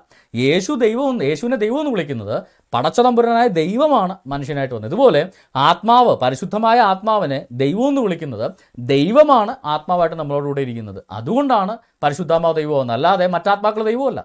മനുഷ്യന്റെ ആത്മാവ് ദൈവമാണോ? അല്ല. സാത്താന്റെ ആത്മാവ് ദൈവമാണോ? അല്ല. ദൂതന്മാരുടെ ആത്മാക്കൾ ദൈവമാണോ? അല്ല. അൺക്ലീൻ സ്പിരിറ്റ്സ് ആരെങ്കിലും ദൈവമാണോ അല്ല പക്ഷെ പരിശുദ്ധാമ മാത്രം ദൈവമാണ് എന്തുകൊണ്ടാണ് പരിശുദ്ധാമ എന്ന് പറയുന്നത് ദൈവം തന്നെയാണ് ആത്മാവായിട്ട് വെളിപ്പെടുന്നത്. ദൈവം തന്നെയാണ് ആത്മാവായിട്ട് വരുന്നത്. അതുകൊണ്ടാണ് പരിശുദ്ധാമ ദൈവം എന്ന് സെബാസ്റ്റോ എന്ന മനുഷ്യൻ ദൈവമാണോ അല്ല പത്രോസ് എന്ന മനുഷ്യൻ ദൈവമാണോ അല്ല പൗലോസ് എന്ന മനുഷ്യൻ ദൈവമാണോ അല്ല യേശു എന്ന മനുഷ്യൻ ദൈവമാണോ ആണ്. എന്തുകൊണ്ടാണ് മനുഷ്യൻ ദൈവമായതുകൊണ്ടല്ല. ദൈവം മനുഷ്യനായിട്ട് വന്നതുകൊണ്ടാണ് അപ്പോൾ ഈ ഒരു ഡിസ്പെൻസേഷൻ മനസ്സിലാകുമ്പോൾ ആ ചോദ്യം അവിടെ ആൻസർ ചെയ്യപ്പെടുകയാണ്. ആത്മാവിന്റെ പരിമിതിക്കകത്ത് നിന്നുകൊണ്ടോ മനുഷ്യന്റെ പരിമിതിക്കകത്ത് നിന്നുകൊണ്ടോ ആ നാളും നാഴികയും ആർക്കും അറിയില്ല. ദൈവം എന്ന നിലയിൽ മാത്രമേ ആ നാളും നാഴിക അറിയത്തുള്ളൂ. ദൈവത്തിന് മാത്രമേ അറിയത്തുള്ളൂ. പരിശുദ്ധാത്മാവ് ദൈവമായതുകൊണ്ട് ദൈവം എന്ന നിലയിൽ അറിയാം ആത്മാവെന്ന നിലയിൽ അറിയില്ല. യേശുക്രിസ്തു ദൈവമായതുകൊണ്ട് ദൈവം എന്ന നിലയിൽ അറിയാം ഒരു മനുഷ്യൻ അഥവാ പുത്രൻ എന്നുള്ള നിലയിൽ അറിയില്ല. ക്ലിയറായി ഞാൻ ഒരുപാട് കാര്യങ്ങൾ പറഞ്ഞു. എന്നാലും ഞാൻ ഒന്ന് ഒരു കൺക്ലൂഷൻ ആയിട്ട് ഒരു സ്റ്റേറ്റ്മെന്റ് പറയാം. ഇപ്പൊ നൈസിയൻ ട്രിനിറ്റി അനുസരിച്ച് പിതാവ് പുത്രനല്ല പുത്രൻ പരിശുദ്ധാത്മാവല്ല പരിശുദ്ധാത്മാവ് പിതാവ് പിതാവല്ല. അപ്പൊ ഇങ്ങനെ ഒരു നോഷൻ അല്ല താങ്കൾ അംഗീകരിക്കുന്നത്. പിതാവ് തന്നെയാണ് പുത്രൻ പുത്രൻ തന്നെയാണ് പരിശുദ്ധാത്മാവ് പരിശുദ്ധാത്മാവ് തന്നെ പിതാവ്. ഇങ്ങനെയാണ് ഞാൻ മനസ്സിലാക്കേണ്ടത്. ട്രിനിറ്റി അനുസരിച്ചിട്ടാണ്. It's not because of biblical belief Nicene Trinity ഞാൻ ട്രിനിറ്റി വിശ്വസിക്കുന്ന ആളല്ല. ഞാൻ പരസ്യമായിട്ട് പറഞ്ഞിട്ടില്ല. ഞാൻ ട്രിനിറ്റി ആന്റി ട്രിനിറ്റേറിയൻ ആണ്. ഞാൻ ട്രിനിറ്റിക്കെതിരെ ഡിബേറ്റ് നടത്തിയിട്ടുള്ള ആളാണ്. ഡിബേറ്റ് നടത്തുന്ന ആളാണ്. ഇനി നടത്താൻ താല്പര്യമുള്ള ആളുമാണ്. ബ്രദറെ ഞാൻ പിതാവല്ല പിതാവ് പുത്രൻ പരിശുദ്ധാമാവ് ഉണ്ട്. പുത്രന് പിതാവിനോട് പ്രാർത്ഥിക്കാം. പുത്രനോട് പിതാവിന് സംസാരിക്കാം. ഇതെല്ലാം ബൈബിളിൽ പറയുന്ന കാര്യം. വി ഓൾ ആക്സെപ്റ്റ് പക്ഷേ നൈസിയൻ ട്രിനിറ്റി പറയുന്ന കാര്യം വിശ്വസിച്ചാൽ ദൈവത്തെക്കുറിച്ച് നമുക്ക് മനസ്സിലാക്കാൻ പറ്റില്ല. ഞാൻ സിമ്പിളായിട്ടൊരു കാര്യം ചോദിക്കും. ഞാൻ പണ്ട് ഒരു ഡിബേറ്റ് ചോദിച്ചിട്ടുള്ളൊരു ചോദ്യമാണ്. ദൈവം തന്റെ പുത്രനെ ഭൂമിയിലേക്ക് അയച്ചു. നൈസിയൻ ട്രിനിറ്റി പ്രകാരം ആ ദൈവം മൂന്ന് വ്യക്തികളുള്ള ദൈവമാണോ? ഏക വ്യക്തിയായ ദൈവമാണോ? എന്റെ അടുത്താണ് ചോദ്യം. ഒന്നും റിപ്പീറ്റ് ചെയ്ത്. അതായത് ദൈവം തന്റെ പുത്രനെ ഭൂമിയിലേക്ക് അയച്ചു. ബൈബിളിലുള്ള കാര്യമാണ്. ദൈവം തന്റെ പുത്രനെ ഭൂമിയിലേക്ക് അയച്ച ലോകത്തെ ആ ഇത് അനിൽ കൊടിത്തോട്ടത്തിന്റെ അടുത്ത് താങ്കൾ ചോദിച്ച ചോദ്യമല്ലേ? നല്ല ചോദ്യമാണ്. വേറെ ചോദിക്കാം. ആ ദൈവം പുത്രനെ ഭൂമിയിലേക്ക് അയച്ച ദൈവം ത്രിയേക ദൈവമാണോ? അതോ ഒരു വ്യക്തി മാത്രമുള്ള ദൈവമാണോ? ട്രിനിറ്റി പ്രകാരം അങ്ങനെയാണല്ലോ. ദൈവം എന്ന് പറഞ്ഞാൽ മൂന്ന് വ്യക്തികളുള്ള ദൈവമല്ലേ? അപ്പൊ ആ ദൈവത്തിൽ എത്ര വ്യക്തികളുണ്ട്? ട്രിനിറ്റി മൂന്ന് വ്യക്തികളുണ്ട്. അപ്പോൾ പിതൃപുത്ര പരിശുദ്ധാമാവാം ത്രിയേക ദൈവം തന്റെ പുത്രനെ. അപ്പൊ ഈ പുത്രൻ പുത്രന്റെയും പുത്രനായി പോകത്തില്ല ബ്രദറെ? ഭൂമിയിലേക്ക് അയച്ചതാണ്. അപ്പം മുകളിൽ ത്രിയേക ദൈവം ഉണ്ട് പിന്നെ വേറൊരു പുത്രൻ ഉണ്ടെന്ന് പറയേണ്ടി വരും. മൂന്ന് പേർക്കും കൂടെ വേറൊരു പുത്രൻ ഉണ്ടെന്ന് പറയേണ്ടി വരും. ഇതാണ് നൈസൻ ആൻഡ് ട്രിനിറ്റിയുടെ പ്രശ്നം. ഇത് ബൈബിളിന്റെ പ്രശ്നമോ പിതാവിന്റെ പ്രശ്നമോ പുത്രന്റെ പ്രശ്നമോ പരിശുദ്ധാമാന്റെ പ്രശ്നമല്ല നമ്മുടെ തിയോളജീൻസിന്റെ പ്രശ്നമാണ്. അല്ലാതെ ബൈബിളിന്റെയോ ക്രിസ്തീയതയുടെയോ പ്രശ്നമല്ല. ഇത് തിയോളജിയുടെ പ്രശ്നമാണ്. അതുകൊണ്ടാണ് ഞാൻ പറഞ്ഞത് നൈസിയൻ ട്രിനിറ്റി ഡോക്ടറിനാണ് ഞാൻ അംഗീകരിക്കാത്തത്. അല്ലാതെ പിതാവിനെ പുത്രനെ പരിശുദ്ധാമാവിനെ അല്ല. പിതാവ് ദൈവമാണ് പുത്രൻ ദൈവമാണ് പരിശുദ്ധാമ ദൈവമാണ് ദൈവം ഒന്നേ ഉള്ളൂ. ഇത് ഞാനും അംഗീകരിക്കുന്നു താങ്കളും അംഗീകരിക്കുന്നു. പക്ഷേ ഇതിനെ വിശദീകരിക്കാൻ വേണ്ടി നൈസിയൻ പോയിന്റ് ഓഫ് വ്യൂവിൽ വരുമ്പോൾ ഇതിനെ വിശദീകരിക്കുകയല്ല യു ആർ മേക്കിംഗ് ഇറ്റ് എന്താ പറയുക ഒന്നുകിൽ യേശു ദൈവമല്ലെന്ന് പറയണം അല്ല മൂന്ന് ദൈവം ഉണ്ടെന്ന് പറയേണ്ടി വരും. അതാണ് നൈസൻ ട്രിനിറ്റിയുടെ പ്രശ്നം. പക്ഷേ ബിബ്ലിക്കൽ കോൺടാക്സിൽ ഒരു ഡിസ്പെൻസേഷനാണ് ദൈവം നമ്മുടെ ഡയമെൻഷനിലേക്ക് ഇറങ്ങി വരികയാണ്. ആ ഡിസ്പെൻസേഷനകത്ത് ആ ബിബ്ലിക്കൽ കോൺടാക്സ് വിശ്വസിച്ചാൽ ആർക്കും ഒരു പ്രശ്നമില്ല ഇറ്റ്സ് വെരി സ്മൂത്ത് അത് ക്ലിയർ ആട്ടോ. നമുക്ക് എനിക്ക് അവിടെ തന്നെ ഒരു ചെറിയ കാര്യം കൂടെ ചോദിക്കാണ്ട് ഈ യേശുക്രിസ്തു ഭൂമിയിൽ ഉണ്ടായിരുന്ന സമയത്ത് പൂർണ ദൈവം പൂർണ മനുഷ്യനായിരുന്നു എന്നുള്ള ആ സ്റ്റേറ്റ്മെന്റ് താങ്കൾ അംഗീകരിക്കുന്നുണ്ട്? ബ്രദറെ ആ സ്റ്റേറ്റ്മെന്റ് താങ്കൾ എന്താ ഉദ്ദേശിക്കുന്നത് ദൈവത്തിന് മനുഷ്യനകത്ത് പൂർണ ദൈവം വന്നിരുന്നു എന്നാണോ? അതോ ദൈവത്തിനകത്ത് പൂർണ മനുഷ്യൻ വന്നിരുന്നുണ്ട് എന്താണ് താങ്കൾ ഉദ്ദേശിക്കുന്നത് പൂർണ ദൈവം അങ്ങനെയൊക്കെ പറഞ്ഞു ഞാൻ ചോദ്യത്തിന് ചോദ്യകർത്താവിന് പോലും ക്ലാരിറ്റി ഇല്ലാത്ത ചോദ്യമാണത്. അതുകൊണ്ട് തന്നെ ആ ചോദ്യമേ അർത്ഥമില്ലാത്ത കാരണം എന്റെ വിശ്വാസം അതായത് ദൈവം മനുഷ്യനായിട്ട് മാനിഫെസ്റ്റ് ചെയ്താണ് യേശു ക്രിസ്തു യേശു ദൈവമാണോ? ആണെന്നുള്ള ആരാണ് മനുഷ്യനായിട്ട് വന്നതെന്ന് ചോദിച്ചാൽ യേശു ദൈവമാണ്. ദൈവമാണ് മനുഷ്യനായിട്ട് വന്നത്. ദൈവം ആരായിട്ട് വന്നതാണെന്ന് ചോദിക്കുമ്പോഴാണ് യേശു മനുഷ്യനായിട്ടാണ് വന്നത്. മനുഷ്യനാണ്. അതുകൊണ്ട് യേശു ദൈവം മനുഷ്യനായിട്ടാണ് വന്നത്. ഞാൻ പറഞ്ഞ പോയിന്റ് മനസ്സിലായോ? അല്ലാതെ ദൈവവും മനുഷ്യനും രണ്ടും കൂടെ കൂടിച്ചേർന്ന ഒരു സങ്കരജീവി അല്ല യേശു. ദൈവം മനുഷ്യനായിട്ട് വെളിപ്പെട്ട പൂർണ മനുഷ്യനായിട്ട് പൂർണ ദൈവം മാനിഫെസ്റ്റ് ചെയ്താണ് യേശു ക്രിസ്തു എന്ന് പറയുന്നത്. അല്ലാതെ അതിനകത്ത് അങ്ങനെ ഒരു ചോദ്യം പൂർണ ദൈവവും പൂർണ മനുഷ്യനുമാണെന്ന് ചോദിച്ചാൽ ചോദ്യകർത്താവ് ഡിഫൈൻ ചെയ്യണം. What you mean by that പൂർണ ദൈവം പൂർണ മനുഷ്യൻ എന്നുകൊണ്ട് ചോദ്യകർത്താവ് എന്താണ് ഉദ്ദേശിക്കുന്നത്? പൂർണ മനു ദൈവം പൂർണ മനുഷ്യനകത്ത് കയറിയിരിക്കുന്നതാണോ? അതോ മറ്റെന്തെങ്കിലും ആണോ അത് ചോദ്യകർത്താവ് ഡിഫൈൻ ചെയ്താലേ ആ ചോദ്യത്തിന് ഉത്തരം പറയാൻ പറ്റത്തുള്ളൂ. അല്ലാതെ ജസ്റ്റ് ഒരു കോൺടാക്ട് പറഞ്ഞിട്ട് താങ്കൾ എന്താണ് ആ കോൺടാക്ടിന് ഉദ്ദേശിക്കുന്നത് അറിയാതെ എനിക്ക് ഉത്തരം പറയാൻ പറ്റത്തില്ല. കാരണം ആ ചോദ്യം അർത്ഥമില്ലാത്ത ചോദ്യമാണ്. ആ ചോദ്യം ചോദ്യകർത്താക്കൾക്ക് പോലും ആ ചോദ്യം ഡിഫൈൻ ചെയ്യാൻ പറ്റില്ല പിന്നെ എങ്ങനെയാണ് ഉത്തരം ഡിഫൈൻ ചെയ്യാൻ പറ്റുന്നത്? ഇത് ക്രിസ്ത്യൻസ് ജനറലി പറയുന്ന ഒരു രീതിയാണ്. പറഞ്ഞു ശരിക്കും നമ്മുടെ ആളുകൾ പലരും ജനറലി പലതും പറയും. അതല്ല ബൈബിൾ. ബൈബിളിൽ പറയുന്ന ബൈബിളിലെ കോണ്ടാക്ട് വെച്ചിട്ട് ബ്രദർ ഒന്ന് ചിന്തിക്കുക ചോദ്യം ചോദിക്കുകയും ചെയ്ത്. ഒരു പ്രശ്നം ഇവിടെ ഉണ്ടാകത്തില്ല. ബൈബിളിലെ കോണ്ടാക്ട് വെച്ചാൽ ബൈബിളിൽ എവിടെയെങ്കിലും പൂർണ ദൈവം പൂർണ മനുഷ്യനുമായിരുന്നു യേശു എന്ന് ബൈബിളിൽ പറയുന്നുണ്ടോ? ഇല്ല. യേശു മനുഷ്യനാണെന്ന് ബൈബിളിൽ പറയുന്നുണ്ടോ? ഉണ്ട്. യേശു ദൈവമാണെന്ന് ബൈബിളിൽ പറയുന്നുണ്ടോ? ഉണ്ട്. പൂർണ മനുഷ്യനും പൂർണ ദൈവവും ചേർന്ന് സംഗ്രഹനാണെന്ന് ബൈബിളിൽ പറയുന്നുണ്ടോ? ഇല്ല ബ്രദറെ എന്തിനാ നമ്മൾ ആവശ്യമില്ലാത്ത ബിബ്ലിക്കൽ കോണ്ടാക്ട് ദൈവത്തെക്കുറിച്ച് ദൈവം മനുഷ്യർക്ക് വ്യക്തമായിട്ട് പറഞ്ഞിട്ടുള്ള കാര്യമാണ് അപ്പോസ്ലന്മാരിലൂടെ ബൈബിളിൽ പറഞ്ഞേക്കുന്നത്. ആ വാക്യം ആ വാക്കുകളും ആ ഡെഫിനിഷൻസ് ഉപയോഗിക്കാതെ നമ്മൾ മാനുഷികമായിട്ട് ഡെഫിനിഷൻസ് ഉണ്ടാക്കിയിട്ട് ദൈവത്തിന്റെ കൊണ്ട് വെക്കാനുള്ള ബുദ്ധിയൊന്നും നമുക്കാർക്കും ഇല്ലയെന്ന് വിശ്വസിക്കുന്ന ആളാണ് ഞാൻ. അതുകൊണ്ടാണ് ഞാൻ ഈ മനുഷിക ടേംസ് അതായത് മനുഷ്യർ തിയറിറ്റിക്കലി തിയോളജിയൻസ് കുത്തിത്തിരിപ്പുണ്ടാക്കിയ ടേംസുകൾ including Trinity including triune including God the son ഇതെല്ലാം മനുഷ്യരുണ്ടാക്കിയ ടെർമിനോളജികളാണ് including full human full God ഇത്തരത്തിലുള്ള ഹ്യൂമൻ ടെർമിനോളജികൾ ഉപയോഗിക്കാത്തതിന്റെ കാരണമാണ് കാര്യം മനുഷ്യർക്ക് അതിനുള്ള കഴിവില്ല. ദൈവത്തെ ഡിഫൈൻ ചെയ്യാൻ മനുഷ്യൻ വളർന്നിട്ടില്ല. അതുകൊണ്ട് തന്നെ മനുഷ്യന്റെ ടെർമിനോളജി വെച്ച് ദൈവത്തെ വിശദീകരിക്കാതിരിക്കുന്നതാണ് ഭേദം. ദൈവം പറഞ്ഞിട്ടുണ്ടല്ലോ ബൈബിളിൽ അത് ചോദിച്ച് നമുക്ക് വിശദീകരിക്കാം. ഓക്കെ നെറ്റ് കഴിഞ്ഞല്ലോ. ട്രിനിറ്റിനെ ബേസ് ചെയ്ത ക്വസ്റ്റ്യൻ കഴിഞ്ഞു. രണ്ട് അക്കാഡമിക് ആയിട്ട് ചോദ്യങ്ങളുണ്ട്. അതുകൊണ്ട് ഞാൻ പൊക്കോളാം. ചോദിച്ചോട്ടെ? ചോദിച്ചോളൂ. ഓക്കെ ഓക്കെ അവിടെ ചോദിക്കാനുള്ള സ്കോളേഴ്സ് പലരും ആർഗ്യ ചെയ്യുന്ന ഒരു മെത്തേഡാണ് ഇപ്പൊ ഗോസ്പൽ ഓഫ് മാർക്കാണ് ആദ്യം വന്ന ഗോസ്പൽ അത് സെവന്റി എ ഡിയിലാണ് എഴുതപ്പെട്ടത്. Gospel of John about ninety five A D ആണ് എഴുതപ്പെട്ടതെന്ന് പറയുന്നു. ഈ അതിന്റെ ഇടയിലാണ് മാത്യു ലൂക്കും എഴുതിയത്. മാർക്കിൽ നിന്ന് ഇൻസ്പയർ ചെയ്ത് അല്ലെങ്കിൽ കോപ്പി അടിച്ചിട്ടാണ് മാത്യു ലൂക്കും എഴുതിയെന്നാണ് ബാർട്ടറും പോലത്തെ സ്കോളേഴ്സ് പറയുന്നത്. ഈ എഴുതിയ നാല് സുവിശേഷങ്ങളും യേശുക്രിസ്തുവിന്റെ ഡിസൈപ്പിൾസ് അല്ല എഴുതിയതെന്നാണ് സ്കോളേഴ്സ് പലരും ആർഗ്യ ചെയ്യുന്നത്. ഈ ഒരു പോയിന്റ് ഓഫ് വ്യൂ നിങ്ങൾ അംഗീകരിക്കുന്നുണ്ട്? Okay one thing that's just an argument ഈ സ്കോളേഴ്സിന് എവിഡൻസ് പറയാൻ പറ്റത്തില്ല. ജസ്റ്റ് എൻ ആർഗ്യുമെന്റ് അവർ അവരുടെ സ്കോളറിൽ ഇതിൽ ആ ലാംഗ്വേജ് കണ്ട് ആർഗ്യൂ ചെയ്യുന്നത് ഇപ്പം മാത്യു മാർക്ക് മാർക്കിന്റെ കോപ്പി ചെയ്താണെങ്കിൽ മർക്കോസിനകത്ത് യേശുക്രിസ്തുവിന് ജനനത്തെക്കുറിച്ച് പറയുന്നില്ല. പിന്നെ മാത്യു കോപ്പി ചെയ്താണെങ്കിൽ ഓട്ടോമാറ്റിക്കലി അത് കോപ്പി ചെയ്യുകയാണെങ്കിൽ ആ രീതിയിലേ വരത്തുള്ളൂ. താങ്കൾക്ക് തോന്നുന്നുണ്ടോ? മർക്കോസിന്റെ കോപ്പി ചെയ്താണെങ്കിൽ യേശുക്രിസ്തു എണ്ണം വരത്തില്ല ഒരിക്കലും. കാര്യം മർക്കോസിനകത്ത് യേശുക്രിസ്തു ജന്നത്തെക്കുറിച്ച് പറഞ്ഞിട്ടില്ല. യോഹന്നാന്റെ സ്നാപകന്റെ അവിടെ മുതലാണ് മർക്കോസ് തുടങ്ങുന്നത്. എന്ന് പറഞ്ഞിട്ട് തുടങ്ങുന്നത് അപ്പൊ പിന്നെ ആ ആർഗ്യുമെന്റ് ഓരോ സ്കോളേഴ്സിനും വായി തോന്നിയത് ആർഗ്യ ചെയ്യാം. ഞാൻ പറഞ്ഞില്ല ഇപ്പൊ നൈസിയൻ സ്കോളേഴ്സിന് അവർക്ക് തോന്നിയ ആർഗ്യ ചെയ്യാം. ദാറ്റ്സ് ഹ്യൂമൻ ആർഗ്യുമെന്റ് അതിനകത്ത് നമുക്ക് ഉത്തരം പറയേണ്ട കാര്യമില്ല. അത് ഓരോരുത്തർക്ക് ഇഷ്ടമുള്ള ആർഗ്യ ചെയ്യാം. വേണം നാളെ ഒരാൾ വന്നിട്ട് മാത്യു അല്ല മുഹമ്മദാണ് ഗോസ്പൽ എഴുതുന്ന വേണം ആർഗ്യ ചെയ്യാം. ബർണവാസ് ഗോസ്പൽ എഴുതിയെന്ന് പറഞ്ഞിട്ട് കോയമാർ ആർഗ്യ ചെയ്യുന്ന പോലെ. ഏത് ബർണവാസ് എന്ന് വെച്ചാൽ അവർക്ക് പോലും അറിയില്ല. ഏടി ആയിരത്തി അറുന്നുള്ള സ്പാനിഷ് കോയാണ് എഴുതിയ സാധനം. അപ്പോൾ ആർഗ്യുമെന്റ് ആർക്കും ചെയ്യാൻ brother that doesn't mean anything എവിഡൻസുകളാണ് പിന്നെ അത് ഞാൻ പറഞ്ഞുതരാം. അപ്പൊ ക്യൂ ഡോക്യുമെന്റ്സിൽ എടുത്തു ഇതേ സ്കോളേഴ്സ് തന്നെ പറയുന്നുണ്ട്. കൊല സോഴ്സസ് അത് താങ്കൾ അംഗീകരിക്കുന്നുണ്ടോ? ബ്രദറെ ഈ ഗോസ്പൽസിനെ കുറിച്ച് ഏറ്റവും ഏളിയസ്റ്റ് ആയിട്ടുള്ള ഒരു ഇന്റർപ്രളേഷൻ വരുന്നത് പ്രൂഫ് ഓഫ് ഗോസ്പൽസ് എന്ന് പറഞ്ഞിട്ട് യൂസേബിയസിന്റെ ഒരു ഗ്രന്ഥമാണ്. അതാണ് എ ഡി എത്ര റഫ്ലി നാനൂറുകളോ മുന്നൂറുകളോ നാനൂറുകളോ റേഞ്ച് ആയിരിക്കുന്നത് ഓർമ്മ ശരിയാണെങ്കിൽ. യു സി ബി എസിന്റെ പ്രൂഫ് ഓഫ് ഗോസ്പൽസ് അതാണ് ഗോസ്പൽസിനെ അപഗ്രഥിച്ചുകൊണ്ട് ഗോസ്പൽസിന്റെ എവിഡൻസുകൾ തേടിക്കൊണ്ട് നടന്ന ആദ്യത്തെ ശ്രമം. അതിന്റെ കാരണം ഒന്നാം തലമുറക്കാർക്ക് ആ ഒരു സംശയത്തിന്റെ സ്കോപ്പ് വരുന്നില്ല. കാര്യം അവർ ഡയറക്റ്റ് അവരുടെ കയ്യിലൂടെ കൈമറിഞ്ഞു പോയ പ്രതികളാണത്. അതുകൊണ്ട് തന്നെ അവർക്ക് തന്നെ സംശയം വരുന്നില്ല. രണ്ടാം തലമുറക്കാർക്കും അവരുടെ ഡയറക്റ്റ് അവരുടെ പിതാക്കന്മാരിൽ നിന്ന് കേട്ടറിയുന്നതാണ്. അതുകൊണ്ട് അവർക്കും അത് സംശയം വരുന്നില്ല. മൂന്നാം തലമുറ ആയപ്പോഴേക്കും അക്കാഡമിക്കായിട്ട് അതിനെ അതിന്റെ ആധികാരികത അക്കാഡമിക്കായിട്ട് പ്രൂവ് ചെയ്യപ്പെടേണ്ടി വരുന്നു. ആ മൂന്നാം തലമുറക്കാരനെ യു സി ബി എസ് അത് വെടിപ്പായിട്ട് തന്നെ മാക്സിമം പ്രൂഫുകൾ എടുത്ത് അത് ചെയ്തിട്ടുമുണ്ട്. പിന്നീട് ആ രണ്ടായിരം വർഷങ്ങൾക്ക് ശേഷം ഏതെങ്കിലും മനുഷ്യർ ഇവിടെ നിന്നുണ്ട്. രണ്ടായിരം വർഷങ്ങൾക്ക് മുന്നേ എന്തായിരിക്കും സംഭവിച്ചിട്ടുണ്ടായിരിക്കുക എന്ന് ഊഹിച്ച് കണ്ടുപിടിക്കുന്നത് ഊഹക്കച്ചവടമാണ്. അല്ലാതെ എന്ത് എവിഡൻസ് ബ്രദർ ലിസ്റ്റ് ചെയ്യൂ എന്ത് എവിഡൻസിന്റെ ബേസിലാണ് അവർ അത്ര ഒരു ആർഗ്യുമെന്റിലേക്ക് എത്തുന്നത്? അവരൊരു ഊഹാപോഹം തന്നെയാണ്. അങ്ങനെ പലതും ഊഹാപോഹം ആർക്കും പറയാലോ ബ്രദർ ഇപ്പൊ നമുക്ക് എന്ത് ചെയ്യാൻ പറ്റും? ഞാൻ പറഞ്ഞില്ലേ പഠിച്ചിട്ടുള്ള ആൾക്കാർ മുഹമ്മദ് ഊഹിക്കുന്നത് മുഹമ്മദ് ഡിഫറെന്റ് എഴുതിയെന്ന് വേണമെങ്കിൽ ഊഹാപോഹിക്കാം.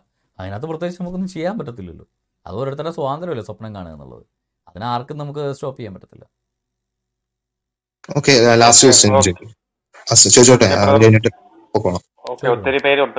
ആ എനിക്കറിയാം കുറെ ആൾക്കാർ നിൽക്കുന്നുണ്ട് ലാസ്റ്റ് ടൈം. ലാസ്റ്റ് ടൈം എനിക്ക് രണ്ട് ചോദ്യം ചോദിക്കാൻ പറ്റുള്ളൂ അന്ന് അരമണിക്കൂർ മേലെ സംസാരിച്ചായിരുന്നു. എനിവേ ഇപ്പൊ നേരത്തെ നിങ്ങൾ ഞാൻ കഴിഞ്ഞ ആഴ്ച സംസാരിച്ചതിന്റെ ഒരു കണ്ടിന്യൂഷൻ പറയാൻ ആഗ്രഹിക്കുന്നു അഡൾട്രസ് കൊണ്ട് സ്റ്റോറി പറഞ്ഞല്ലോ.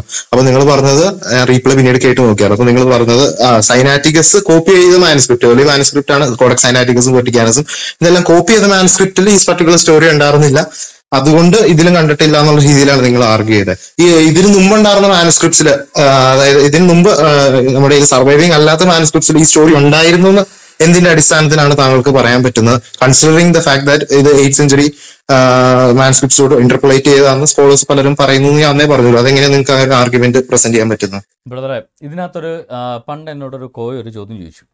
ബൈബിൾ മത്തായി എഴുതിയ സുവിശേഷം മത്തായുടെ എന്നുള്ളത് മത്തായി എഴുതിയ കോപ്പി ഉണ്ടോ? ഓക്കെ മത്തായി എഴുതിയ കോപ്പി ഉണ്ടോ? ഞാൻ പറഞ്ഞില്ല. മത്തായി എഴുതിയ കോപ്പി ഇല്ല. അപ്പോൾ പിന്നെ മത്തായി എഴുതിയ എന്താ തെളിവ്? എന്ത് തെളിവ് ഹാജരാക്കാൻ പറ്റുക? എന്നാൽ ഞാനൊരു തിരിച്ചൊരു ചോദ്യം വെച്ചല്ല ഈ ഖുറാൻ മുഹമ്മദ് എഴുതിയുണ്ടാക്കിയപ്പോൾ സയ്യിദ് ബിൻ സാബിത്ത് എഴുതിയ കോപ്പി ആരുടെങ്കിലും കയ്യിലുണ്ടോ? ഇല്ല. അപ്പോൾ പിന്നെ അത് ഇതാണെന്ന് എന്താ തെളിവ്? അത് ഞങ്ങൾക്ക് ഓർമ്മയുണ്ടെന്ന്. മുഹമ്മദിന് പോലും ഖുറാൻ ഓർമ്മയില്ലായിരുന്നു. ഇതുപോലെ തന്നെയാണ് ഈ ഓരോ എക്സ്പ്ലറേഷൻസ് വരുന്നത്. മത്തായി എഴുതിയ സുവിശേഷത്തിന്റെ മത്തായി എഴുതിയ കോപ്പി അതിന്റെ മാനുസ്ക്രിപ്റ്റ് നിലവിലില്ല. കാര്യം ഒരിക്കലും നിലവിലുണ്ടാവില്ല. അങ്ങനെ നിലവിലുണ്ടെന്ന് പറഞ്ഞാൽ അത് ഫേക്കാണ് കാരണം എന്ന് വെച്ച് കഴിഞ്ഞാൽ അത്രയും വർഷം ഒരു മാനസ്ക്രിപ്റ്റും സർവൈവ് ചെയ്യത്തില്ല അന്നത്തെ കാലത്ത്. അതിനുള്ള ടെക്നോളജി ഇന്നത്തെ കാലത്ത് പോലും മ്യൂസിയംസിൽ നമ്മൾ നമ്മുടെ ഒരു ബുക്ക് വെച്ചാൽ പോലും എത്ര നാളെ കിട്ടുന്നത് പക്ഷേ അന്നത്തെ മെറ്റീരിയൽസ് അങ്ങനെ സർവൈവബിൾ ആയിട്ടുള്ള ഒരു മെറ്റീരിയൽ അല്ല. എക്സ്ട്രീംലി പ്രിവെ നമ്മൾ പ്രൊട്ടക്ട് ചെയ്താൽ പോലും നമുക്ക് സർവൈവ് ചെയ്യാൻ നമുക്ക് കീപ്പ് ചെയ്യാൻ പറ്റുന്ന നിശ്ചിത സമയം മാത്രം. ആർക്കിയോളജി പഠിച്ചിട്ടുള്ളവർക്കറിയാം.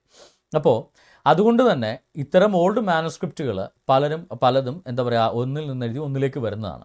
അപ്പോൾ ചില സ്റ്റോറീസ് ചിലപ്പോൾ മിസ്സാവും ചിലർ എഴുതി വരുമ്പോൾ ചിലപ്പോൾ അവിടെ വെച്ച് നിർത്തി അല്ലെങ്കിൽ ആ ഒരു പേജ് മിസ്സാവേ അങ്ങനെ ഒത്തിരി ഇൻസിഡൻസ് ഉണ്ടാവാം.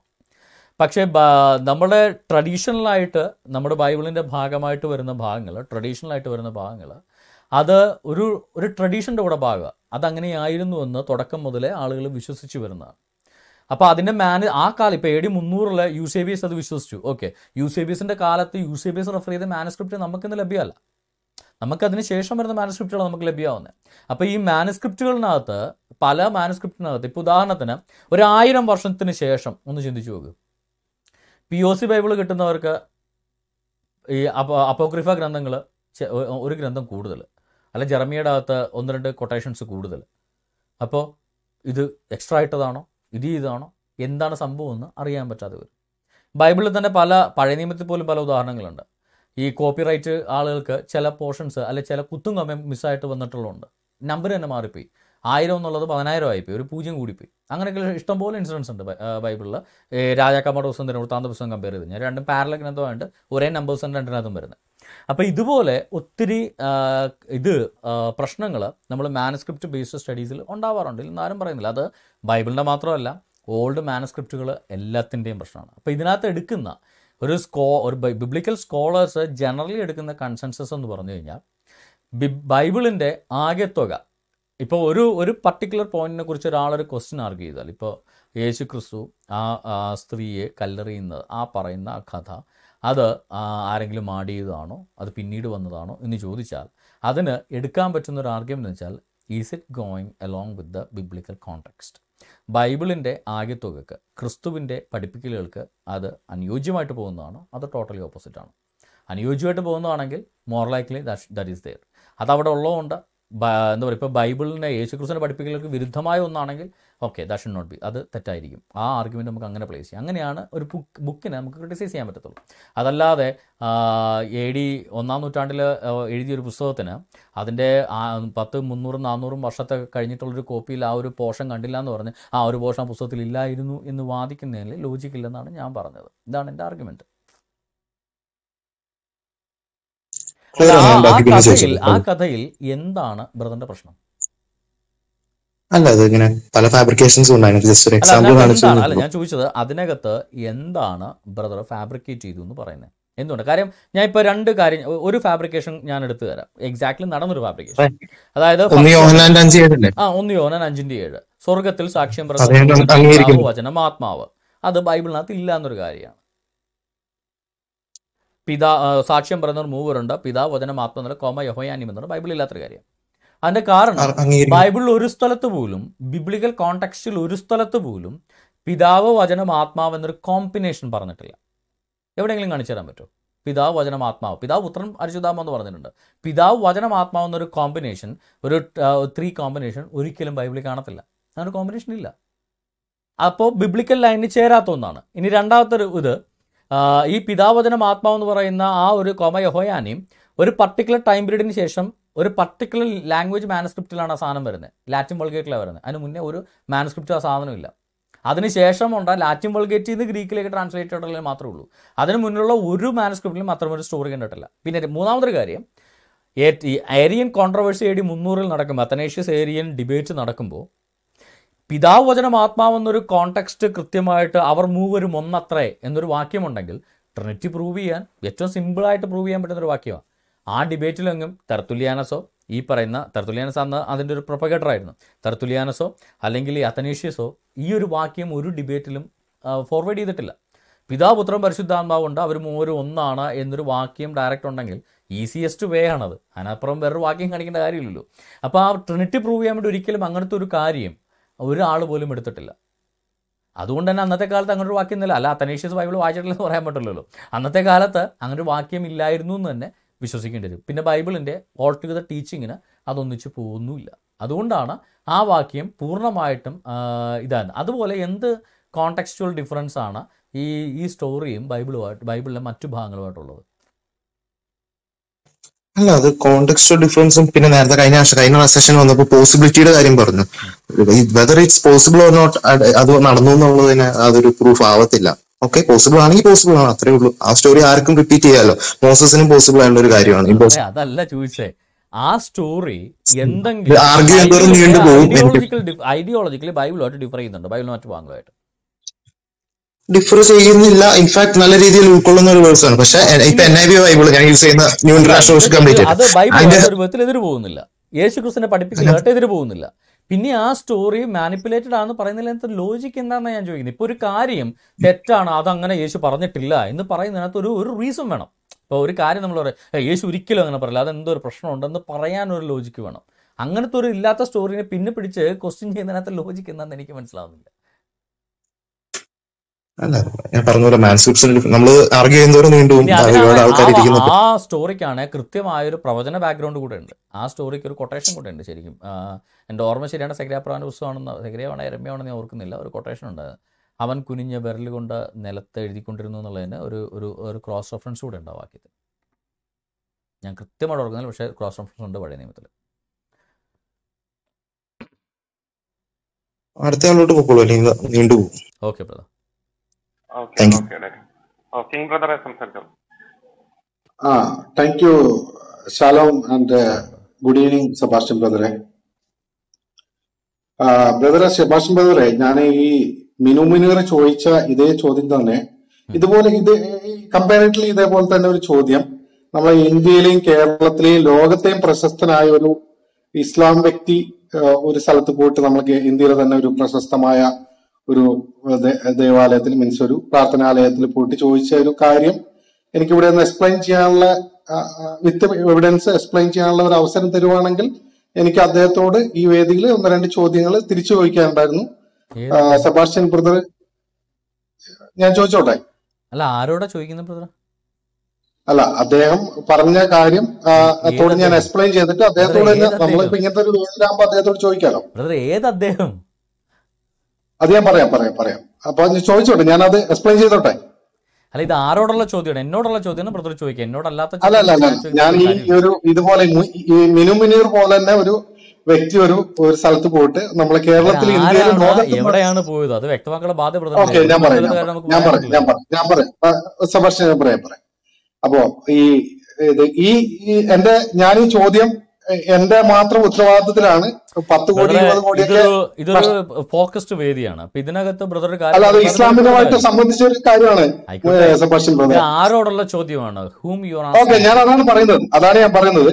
ഈ ചോദ്യം എന്റെ മാത്രം ഉത്തരവാദിത്തത്തിലാണ്. അപ്പോ ഈ നമ്മളെ എന്താണ് നമ്മളെ ലുലുവിന്റെ ഓണറായ നമ്മളെ യൂസഫ് അലി സാറ് ആ യൂസഫ് അലി സാറ് അദ്ദേഹം ഈ പിന്നെ ഈ കഴിഞ്ഞ മാർച്ചിൽ ഒരു പിന്നെ ഹൈദരാബാദിലുള്ള ഒരു അർദ്ധനാരി ക്ഷേത്രത്തിൽ പോയിട്ട് അദ്ദേഹം ഇസ്ലാമിനെ കുറിച്ച് അദ്ദേഹം ഒരു ബിസിനസ്സുകാരനാണ്. അദ്ദേഹത്തിനെ വിളിച്ചത് അവിടെ ഒരു ബിസിനസ്സുകാരനായിട്ട് ഇൻവൈറ്റ് ചെയ്യാൻ വേണ്ടിയിട്ട് അവിടെ ആൾക്കാരെ ഒരുപാട് ആൾക്ക് ജോലി കൊടുക്കുന്നുണ്ട്. അവിടെ പുള്ളി എന്താ അദ്ദേഹം പുതിയൊരു പ്രൊജക്ട് തുടങ്ങുന്നതിന്റെ ഭാഗമായിട്ട് അവരെ പുള്ളിനെ ഇൻവൈറ്റ് ചെയ്തതാണ്. അപ്പൊ അവിടെ പോയിട്ട് പുള്ളി ഒരു ഇസ്ലാമിനെ കുറിച്ച് ഒന്ന് രണ്ട് വേർഡ്സുകൾ അവിടെ പിന്നെ വിത്ത് വീഡിയോ ഉണ്ട്. ഞാനത് സബാഷൻ ബ്രദറിന്റെ ബേക്കനിൽ ഇട്ട് തരാം. അപ്പൊ അദ്ദേഹം പിന്നെ അള്ളാഹുവിനെ കുറിച്ച് ഓക്കെ ഓക്കെ ഞാൻ ഓക്കെ ചെയ്തു തരാം ചെയ്തു തരാം. എനിക്ക് വീഡിയോ എനിക്കുണ്ട്. This incredible story has gone ഒരു സെക്കൻഡ് ബ്രദർ പറഞ്ഞു?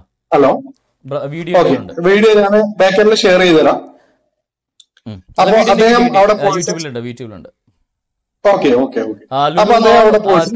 okay owner Yusuf Ali Ahmedabad Akshardham Mandir അതല്ലേ അതെ തന്നെ അതെ ഓക്കെ തന്നെ ഒരു കാര്യം ചെയ്യൂ. ആ കാര്യം ഒന്ന് ഡിസ്ക്രൈബ് ചെയ്യൂ. ഞാൻ ചെറിയൊരു ടോയ്ലറ്റ് ബ്രേക്ക് എടുക്കാം. ബ്രദർ അപ്പോഴത്തെ കാര്യം ഡിസ്ക്രൈബ് ചെയ്യൂ. ഞാൻ വീഡിയോ എന്നിട്ട് പ്ലേ ചെയ്യാം. ഓക്കെ അപ്പൊ ഞാൻ പിന്നെ സെബാസ്റ്റ്യൻ ബ്രദറെ മീറ്റ് ചെയ്തോളൂ ഞാനൊന്ന് പറയാം. പിന്നെ ആരെങ്കിലും ഇനിയിപ്പോ പത്ത് കോടി ഇരുപത് കോടിയുടെ നഷ്ടപരിഹാരം കൊടുക്കുവാണെങ്കിൽ എന്റെ പേരിൽ കൊടുക്കണം. എന്റെ പേര് മാത്യു എന്നാണ് കിങ്മാൻ എന്നല്ല. ഞാൻ ഉള്ളത് ഇറ്റലിയിലാണ്. ഞാൻ കോട്ടയത്ത് പാലയാണ് എന്റെ ദേശം. എന്തെങ്കിലും നഷ്ടപരിഹാരം ഉണ്ടെങ്കിൽ ഞാൻ എന്റെ നമ്പർ തരാം എന്റെ കോൺടാക്ട് നമ്പർ തരാം. എന്റെ പേരിൽ പത്ത് കോടി ഇരുപത് കോടിയുടെ നഷ്ടപരിഹാരത്തിന് കേസ് കൊടുക്കണം. വേറെ ആരും ഈ ക്ലബ് ഈ ക്ലബ് ഹൗസിലുള്ള ആരെ പേരിലും കേസ് കൊടുക്കരുത്. ഞാൻ അദ്ദേഹത്തെ ആക്ഷേപിക്കുന്നൊന്നുമില്ല. കാരണം ഇന്ത്യയിൽ വന്നിട്ടുള്ള അദ്ദേഹം ഒരു ബിസിനസ്സുകാരനായതുകൊണ്ട് അദ്ദേഹം ഇന്ത്യയിൽ വന്ന് പിന്നെ ഒരു ക്ഷേത്രത്തിൽ കയറി അദ്ദേഹം ഈ അള്ളാഹുവിനെയും ഈ പിന്നെ മതത്തെക്കുറിച്ചും അദ്ദേഹം ഒരുപാട് കാര്യങ്ങൾ പൊക്കി പറഞ്ഞതുകൊണ്ട് എനിക്ക് കുറച്ച് സംശയങ്ങളുണ്ട് അദ്ദേഹത്തോട് ചോദിക്കാൻ അദ്ദേഹത്തോട് നേരിട്ട് ചോദിക്കാനുള്ള ഒരു അവസരം ഇല്ലാത്തതുകൊണ്ട് ഈ വീഡിയോ അദ്ദേഹം കാണുന്നതിന്റെ കാര്യത്തിന് എനിക്ക് ഉറപ്പാണ്. അപ്പോ ഒരുപാട് ആൾക്കാർ അദ്ദേഹത്തെ ബന്ധപ്പെട്ട ആൾക്കാർ താഴെ ഇരിപ്പുണ്ടാവും. നിങ്ങൾ അദ്ദേഹത്തെ ഇത് ഈ വീഡിയോ കാണിക്കണം. എന്റെ ചോദ്യത്തിന് അദ്ദേഹത്തോട് ഉത്തരം പറയാൻ പറയണം. എന്റെ കാര്യം ഇത്രയാണ്. അദ്ദേഹം ഞാൻ ആ വീഡിയോ ഒന്ന് എടുത്തോട്ടെ. അദ്ദേഹം പറയുന്നത് അദ്ദേഹം ആ ക്ഷേത്രത്തിൽ പോയിട്ട് പറയുന്നത് പിന്നെ ഇത് ഈ കാര്യമാണ്. ഒരു മിനിറ്റ്.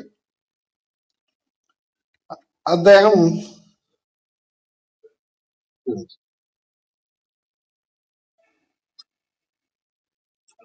അദ്ദേഹം ഈ ക്ഷേത്രത്തിൽ പോയിട്ട് പറയുന്നത് അദ്ദേഹം അവിടുത്തെ പൂജാരിയോട് പറയുന്നത് ബിസ്മി ചൊല്ലി ക്ഷേത്ര പൂജാരിയോട് അദ്ദേഹം പറയും ഞങ്ങൾ വിശ്വസിക്കുന്ന ഏക ദൈവം അള്ളാഹുവിൽ ഈ ലോകത്തെ സൃഷ്ടിച്ചു. സംരക്ഷിക്കുന്നവനും അള്ളാഹുവാണെന്നാണ്. ആ ക്ഷേത്രത്തിൽ പോയിട്ട് അദ്ദേഹം ഒരു ബിസിനസ്സുകാരനാണ്. ഞാനൊരു ഒരു മതപണ്ഡിതനായിരുന്നെങ്കിൽ ഞാൻ ഈ ചോദ്യം ചോദിക്കില്ലായിരുന്നു. അദ്ദേഹം ഒരു ബിസിനസ്സുകാരനാണ്.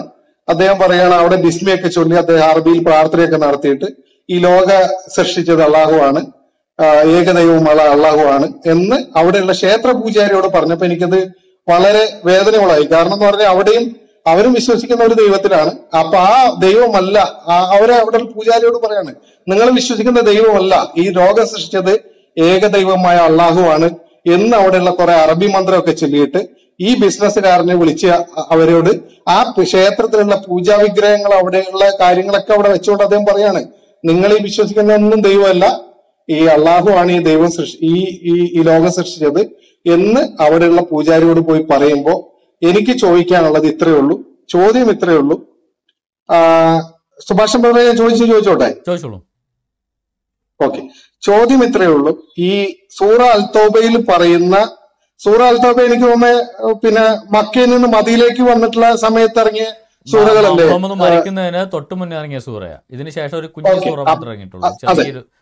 ഏറ്റവും അവസാനത്തെ സൂറ അപ്പൊ ഈ സൂറയിൽ പിന്നെ സൂറ അൽത്തോബയിൽ ഒരുപാട് പിന്നെ വയലൻസ് ആയ വചനങ്ങളുണ്ട്. അവസാനം ഇറങ്ങിയ സൂറയാണ്. അപ്പോ ഒരു സൂറ പോയിട്ട് മറ്റൊരു സൂറ ഇറങ്ങുമ്പോൾ അതാണ് ഏറ്റവും പുതിയ സൂറ എന്ന് വിശ്വസിക്കുന്ന ഇസ്ലാം സമൂഹത്തോട് എനിക്ക് ചോദിക്കാനുള്ളത്.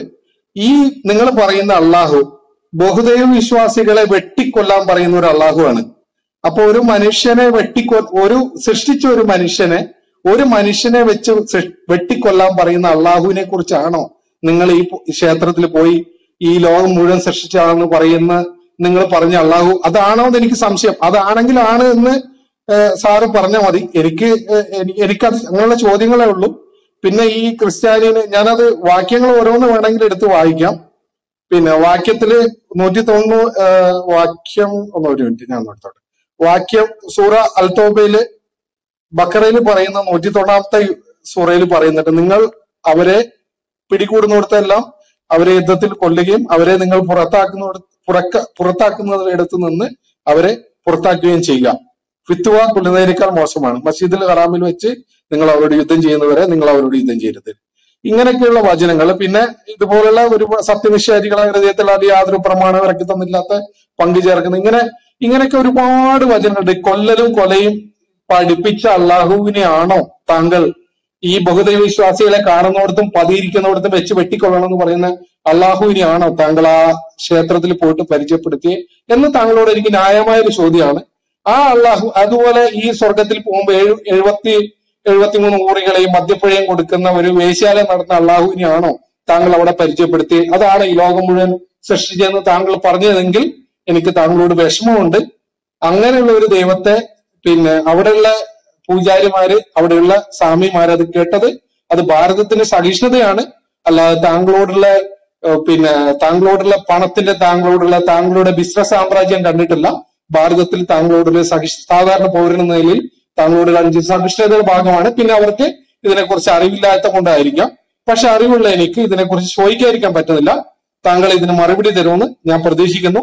താങ്ക് യു എനിക്ക് ഇത്രേ പറയുള്ളൂ. ഓക്കെ ബ്രദറെ ഞാൻ ആ വീഡിയോ ഞാൻ എടുത്ത വീഡിയോ കറക്റ്റ് ആണോ എന്ന് ജസ്റ്റ് നോക്കിയിട്ട് ഞാൻ പ്ലേ ചെയ്യാം ഒരു സെക്കൻഡ്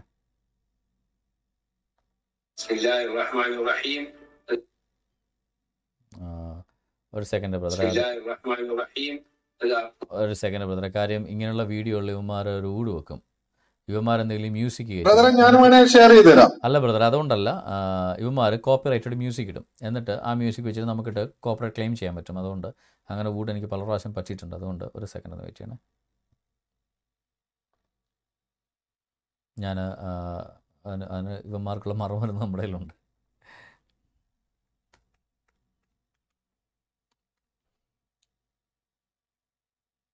ഒരു സെക്കൻഡ് അതായത് പുള്ളി പറഞ്ഞതിന്റെ രത്ന ചുരുക്കം എന്ന് പറഞ്ഞു കഴിഞ്ഞാൽ യൂസഫ് അലിയെ നമ്മുടെ അക്ഷർധാം ക്ഷേത്ര അഹമ്മദാബാദിലെ അക്ഷർധാം ക്ഷേത്രത്തിലേക്ക് ക്ഷണിച്ചു. ആ ക്ഷണിച്ച യൂസഫ് അലി അവിടെ ചെന്നിട്ട് അള്ളാഹുവിനെ കുറിച്ച് അവിടുത്തെ സ്വാമിമാരോട് അവിടുത്തെ അവിടെ നടന്നൊരു മീറ്റിങ്ങിൽ അള്ളാഹു ആണ് ലോകത്തെ സൃഷ്ടിച്ച് പരിപാലിക്കുന്നത് എന്ന് പറഞ്ഞു. ഇതാണ് അദ്ദേഹം പറഞ്ഞതിന്റെ ഒരു ഒരു ചെറിയ രത്ന ചുരുക്കം എന്ന് പറയുന്നത്. അതെ അതെ ബ്രദർ അവിടെ പുള്ളി ഒരുപാട് സൂറകളൊക്കെ ഓതിയിട്ട് ഈ അപ്പൊ അത് അങ്ങനെ പറയുമ്പോ എന്താ പറയാ അവിടെ ഒരു ഒരു ക്ഷേത്രമാണ്. അദ്ദേഹം ഒരു മതപണ്ഡിതനല്ല. അദ്ദേഹം ഒരു ബിസിനസ്സുകാരനാണ്. അദ്ദേഹത്തെ വിളിച്ച വേറെ ഉദ്ദേശം വെച്ചാണ്. അദ്ദേഹം അവിടെ കുറെ സൂറകളൊക്കെ ഓതിയിട്ട് പറയാണ്. ഈ ഈ ലോകത്തെ മൊത്തം സൃഷ്ടിച്ചതും ഇവിടെ പരിപാലിക്കുന്ന കള്ളാവുമാണ്. അപ്പൊ അവിടെയുള്ള ക്ഷേത്രത്തിലുള്ള പൂജാരിമാരും അവിടെയുള്ള പൂജാ വിഗ്രഹങ്ങളും ഒന്നുമല്ല എന്നാണ് അദ്ദേഹം ചുരുക്കത്തിൽ പറഞ്ഞു വെച്ചത്. അവിടെയുള്ളവരൊക്കെ ആസാക്കിയിട്ട് അദ്ദേഹം അദ്ദേഹത്തിന്റെ ദൈവത്തെ പ്രകീർത്തിച്ച് പോകുകയാണ് ഉണ്ടായത്. അതിനെയാണ് നമ്മൾ ചോദ്യം ചെയ്തത്. ഓക്കെ. എന്തായാലും നല്ലൊരു തോട്ടാണ് ബ്രദർ പറഞ്ഞത് പക്ഷെ അദ്ദേഹത്തിന്റെ വീഡിയോ ഞാൻ പ്ലേ ചെയ്യാൻ നോക്കുകയാണ്. Gimme gimme couple of seconds actually I can do it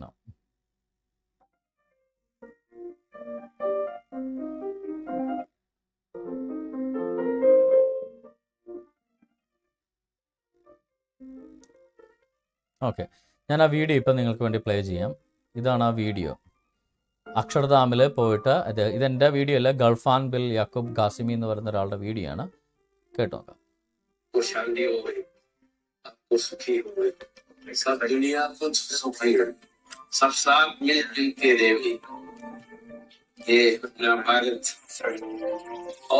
അസ്സലാമലൈക്കും നാസരീൻ മേ ഉസ്മാൻ ബിൻ യാക്കൂബ് കാസ്മി. ഇത് പുള്ളി പറഞ്ഞല്ല ഇത് ഇവന്മാരെ കോയകൾ പറയുന്ന ഒരു സെക്കൻഡ് ബ്രദറെ കറക്റ്റ് ആയതുണ്ട് ഇത് ഇവന്മാരാ അതിന്റെ കമന്ററി കൊടുക്കുന്ന ബ്രദറെ ഈ വീഡിയോ ബ്രദറെ ഞാൻ മലയാളത്തിലുള്ള വീഡിയോ വേണമെങ്കിൽ അയച്ചുതരാം. മലയാളത്തിൽ കമന്ററി കൊടുക്കുന്നത് കമന്ററി അല്ല കറക്റ്റ് പുള്ളി പറഞ്ഞ സ്റ്റേറ്റ്മെന്റ് ഉണ്ട് നമുക്ക് മറ്റുള്ളവര് പുള്ളി പറഞ്ഞതിനെ കുറിച്ച് അസ്യൂം ചെയ്യുന്നതിനെ കുറിച്ച് നമുക്ക് പറയാം എനിക്ക് വാട്സപ്പിൽ അയക്കാൻ പറ്റുമോ ബ്രദറിനെ വാട്സപ്പ് നമ്പർ എനിക്ക് ബാക്കിൽ അയച്ചു ഞാൻ ഇപ്പൊ തന്നെ അയച്ചു തന്നെ zero zero three five three ഒന്ന് ബാക്കിൽ അയക്കൂ ബ്രദറെ ഞാൻ മെസ്സേജ് ചെയ്യാൻ പറ്റത്തില്ല ബ്രദർ ഞാൻ ഒന്ന് അയച്ചു ബൈക്ക് അയച്ചോ ബൈക്ക് അയച്ചോ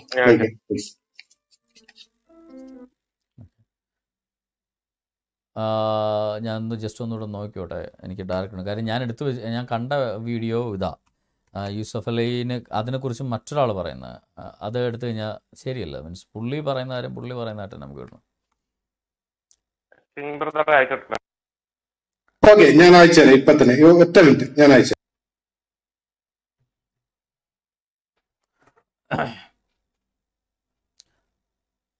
ആഹാ. യൂസഫ് അലി സാഹിബ് വേറെയും കുറേയൊക്കെ ഉണ്ടല്ലോ. ഞാൻ ഇതുവരെ ശ്രദ്ധിക്കാത്ത ഒരു മേഖലയായിരുന്നു. ഒന്ന് എടുക്കേണ്ടി വരും മിക്കവാറും.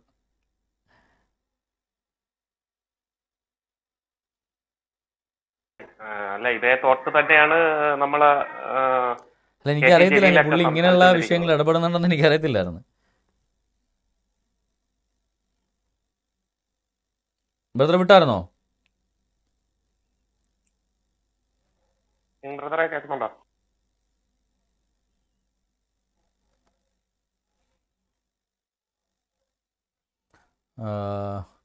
ഓക്കെ എന്തായാലും അങ്ങനെ പറഞ്ഞിട്ടുണ്ടെങ്കിൽ തെറ്റു എന്റെ കാരണം എന്താണെന്ന് വെച്ച് കഴിഞ്ഞാൽ ഇപ്പൊ യൂസഫ് അലിയുടെ വീഡിയോ വരണമെങ്കിൽ വരട്ടെ. ബ്രദറെ ഞാൻ വിട്ടുതരാം. ബ്രദർ അടുത്ത ആളിലേക്ക് പോയി ഒരു രണ്ട് മിനിറ്റ് ഞാൻ എടുത്തിട്ട് വിട്ടുതരാം. അതിന്റെ കാരണം എന്താണെന്ന് വെച്ച് കഴിഞ്ഞാൽ ഈ ഇപ്പോൾ ഒരു മറ്റൊരു ക്ഷേത്രത്തിൽ പോയിട്ട് ഒരു ഇപ്പോ ഹിന്ദു മതക്ഷേത്രം വെച്ചാൽ ഒരു ബഹുദൈവ ആരാധനാ കേന്ദ്രമാണ്. ഒന്നിലധികം ദേവദേവഗണങ്ങളെ ആരാധിക്കുന്ന ഒരു സ്ഥലമാണ്.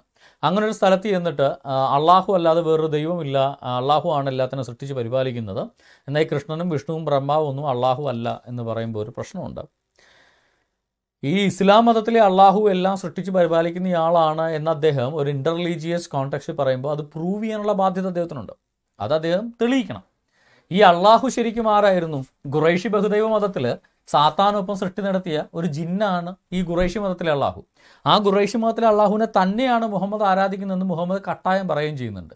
അപ്പോൾ ആ ഖുറൈഷി മതത്തിലെ ഒരു ജിന്ന് കേരളത്തിലെ ബ്രഹ്മാവിനേക്കാൾ വലുതാണ് എന്ന് പറയുമ്പോൾ അതിനകത്ത് എന്താ ലോജിക് ഉള്ളതെന്ന് നിങ്ങൾ തന്നെ ചിന്തിക്കുക. ഇപ്പൊ ഖുറൈഷി മതത്തിലെ ഒരു ജിന്നായ ഒരു ബഹുദൈവ മതത്തിലെ ഒരു ദേവനെ എടുത്ത് ആ ദേവനാണ് എല്ലാം സൃഷ്ടിച്ചതെന്ന് ഇന്ത്യയിൽ എന്ന് പറയുമ്പോൾ ഇന്ത്യയിൽ അതിലും വലിയ ദേവ ദേവ- ദേവന്മാർ ഇവിടെ ഉണ്ട് ബഹുദേവ മതത്തിൽ ഇന്ത്യയിൽ ബ്രഹ്മാവുണ്ട് വിഷ്ണുവുണ്ട് മഹേശ്വരനുണ്ട്. ഗുറേഷി മതത്തിൽ കുറേ ദേവന്മാരുണ്ട്. ഹുബലുണ്ട് ദുഷാരയുണ്ട് അൽമഖയുണ്ട്. അക്കൂട്ടത്തിൽ ഒരാളായിരുന്നു ലാത്തയുടെ പാപ്പ അല്ലാഹ് എന്ന് പറയുന്നത് അല്ലാഹ്. ഈ അല്ലാഹാണ് എല്ലാം സൃഷ്ടിച്ചതെന്ന് പറയുമ്പോൾ ജിന്നിന്റെ ഇബിലീസിന്റെ സഹോദരനാണ് ഈ അല്ലാഹ്. എന്നാൽ ബ്രഹ്മാവിനോ വിഷ്ണുവോ മഹേശ്വരനോ ഏതെങ്കിലും ഒരു സാത്താന്റെ സഹോദരനല്ല ഒരു നെഗറ്റീവ് ശക്തിയുടെ സഹോദരന്മാരല്ല അവരാരും. പക്ഷേ അള്ളാഹിന് അത്രയും യോഗ്യത പോലും ഇല്ല. കാര്യം അള്ളാഹു എന്ന് പറയുന്ന ഒരു ബഹുദൈവ മതത്തിലെ ഇബിലീസിന്റെ സഹോദരനായിട്ട് ആരാധിക്കപ്പെട്ടിരുന്ന മൂന്ന് ദേവ ജിന്നുകളുടെ വാപ്പയായിട്ട് ആരാധിക്കപ്പെട്ടിരുന്ന ജിന്നുകളുടെ നേതാക്കന്മാരുടെ മരുമോനായിട്ട് ആരാധിക്കപ്പെട്ടിരുന്ന ഒരാളാണ് ഈ അള്ളാഹ് എന്ന് പറയുന്ന ദേവൻ. ആ ദേവനാണ് സകലവും സൃഷ്ടിച്ച് പടച്ച് പരിപാലിച്ചതെന്ന് പറയുമ്പോൾ അതിനകത്ത് എന്ത് ലോജിക്കാണുള്ളതെന്ന് യൂസഫ് അലി സാഹിബ് തന്നെ പറയണം. കാര്യം അത് പ്രൂവ് ചെയ്യാനുള്ള ബാധ്യത അദ്ദേഹത്തിനുണ്ട്. അങ്ങനെ അദ്ദേഹം പറഞ്ഞിട്ടുണ്ടെങ്കിൽ ആ, വീഡിയോ കിട്ടിയിട്ട് നമുക്ക് മുന്നോട്ട് പോവാം. പക്ഷേ സെബാസ്റ്റ്യൻ പറഞ്ഞ ഞാൻ അയച്ചിട്ടുണ്ട്. എന്റെ നമ്പർ ഇത് അയച്ചിട്ടുണ്ട്. ഇറ്റാലിയൻ നമ്പറിൽ നിന്ന് ഓക്കെ ഓക്കെ ഞാൻ plus double three nine okay brother second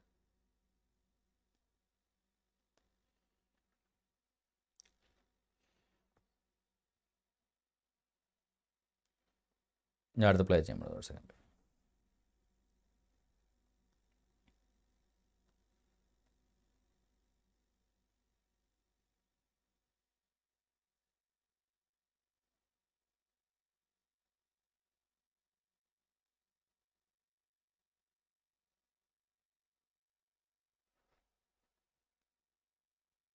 Sebastian ബ്രദറെ ഇയാൾക്ക് ഒരു പത്ത് കോടിയുടെ ഒക്കെ വക്കീൽ നോട്ടീസ് അയക്കുന്ന ഒരു സ്വഭാവം ഉണ്ട് കേട്ടോ അത് അതുകൊണ്ട് കോടതിയിലല്ലേ? നമ്മളത് കരുതി കൂട്ടി ചെയ്യണം. പത്ത് കോടിയുടെയാണ് മിനിമം നമുക്ക് യാതൊരു ബുദ്ധിമുട്ടും ഇല്ല കോടതിയിൽ പുള്ളി തെളിയിച്ചോട്ടെ നമുക്ക് ഒരു പരാതിയില്ല.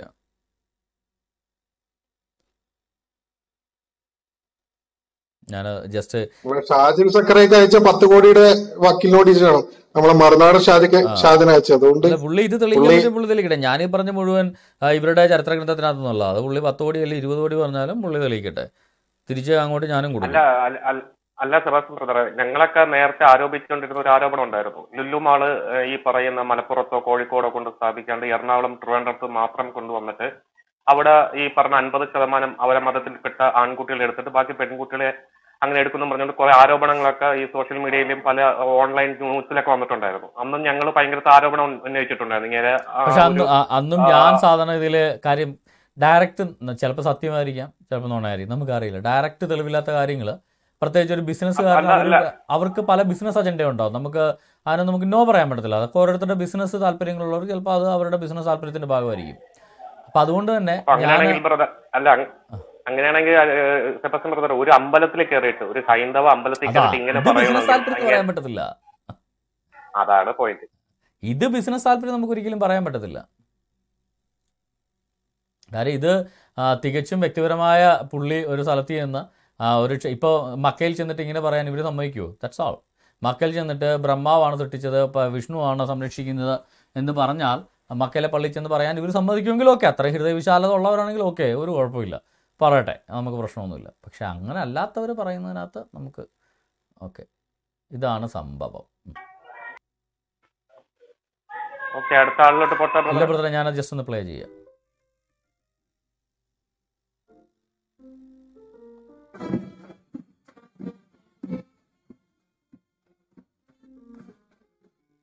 सब साल मिलजुल के रहते हो गए बिस्मिल्लाहिर्रहमानिर्रहीम खुदा आपको शांति हो गई आपको सुखी हो गई ആ, ബിസ്മില്ലാഹി റഹ്മാൻ റഹീം ആ, കാരുണ്യവാനായ അള്ളാഹുവിൻ്റെ നാമത്തിൽ ആ, നിങ്ങൾക്ക് എല്ലാവർക്കും ശാന്തിയും സമാധാനവും ഉണ്ടാകട്ടെ അതൊക്കെ പുള്ളി പുള്ളിയുടെ വിശ്വാസം പറയുന്നതിന് ഇപ്പം നമുക്ക് सब എന്ത് ചെയ്യാൻ പറ്റും दुनिया को सुखी हो सब साल मिलजुल के रहते ये अपना भारत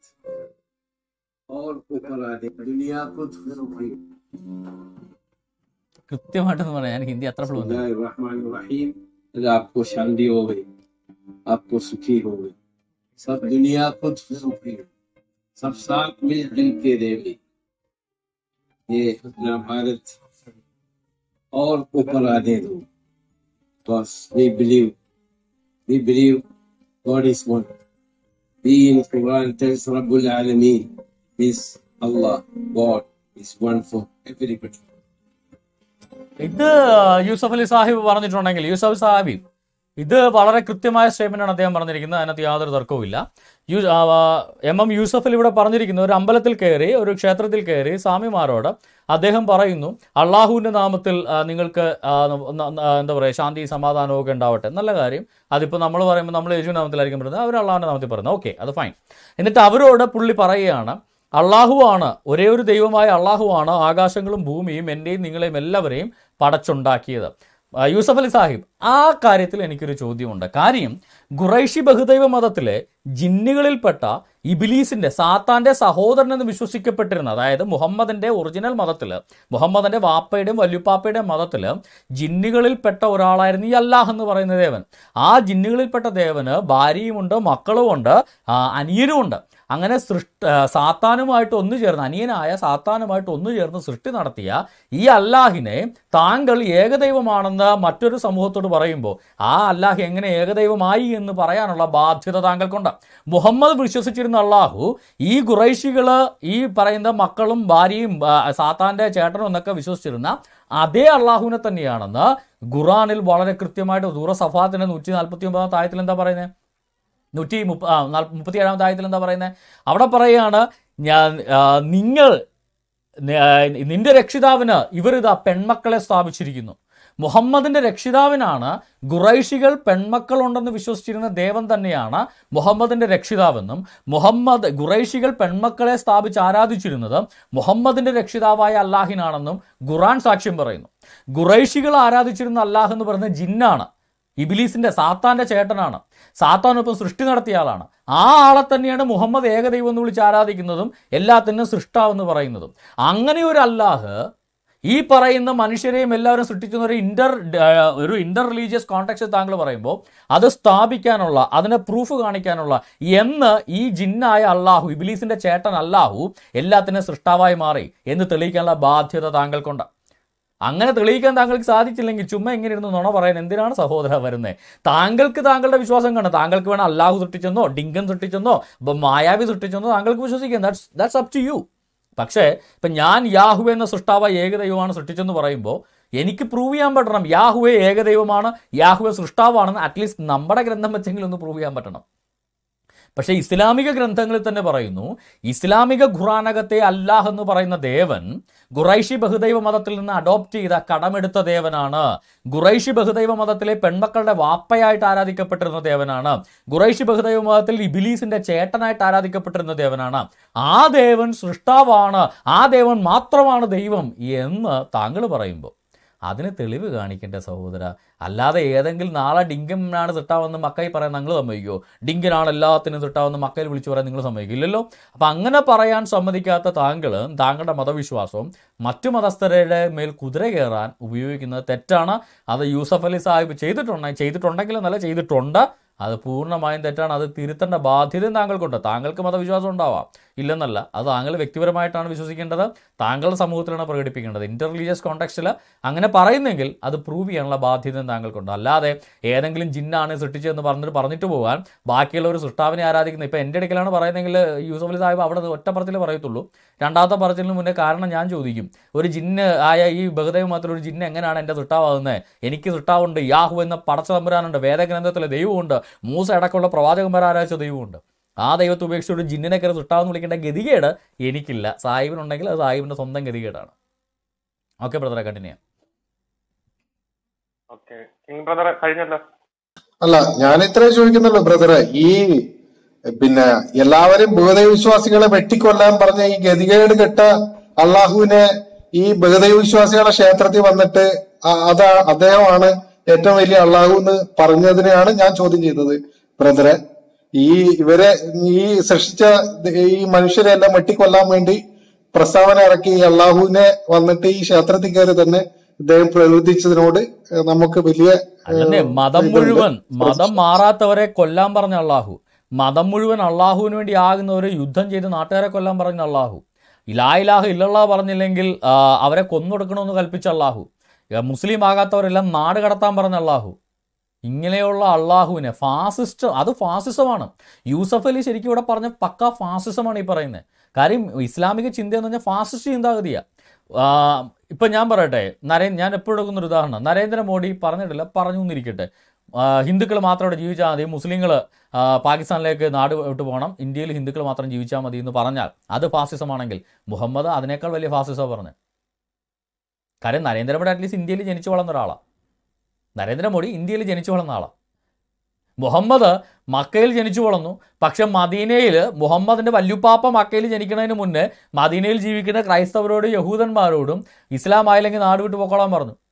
അത് ഫാസിസം അല്ലേ ആണ്. ഇസ്ലാം മതം ഹിന്ദു മതം സ്വീകരിക്കാത്ത മുസ്ലിങ്ങളെ എല്ലാം കൊന്നൊടുക്കുക എന്ന് നരേന്ദ്രമോദി പറഞ്ഞാൽ അത് ഫാസിസമാണെങ്കിൽ അങ്ങനെ പറഞ്ഞിട്ടില്ല അങ്ങനെ പറയുമെങ്കിൽ അത് ഫാസിസമാണെങ്കിൽ. അതല്ലേ മുഹമ്മദ് പറഞ്ഞു അപ്പം മുഹമ്മദ് ഫാസിസ്റ്റ് അല്ലേ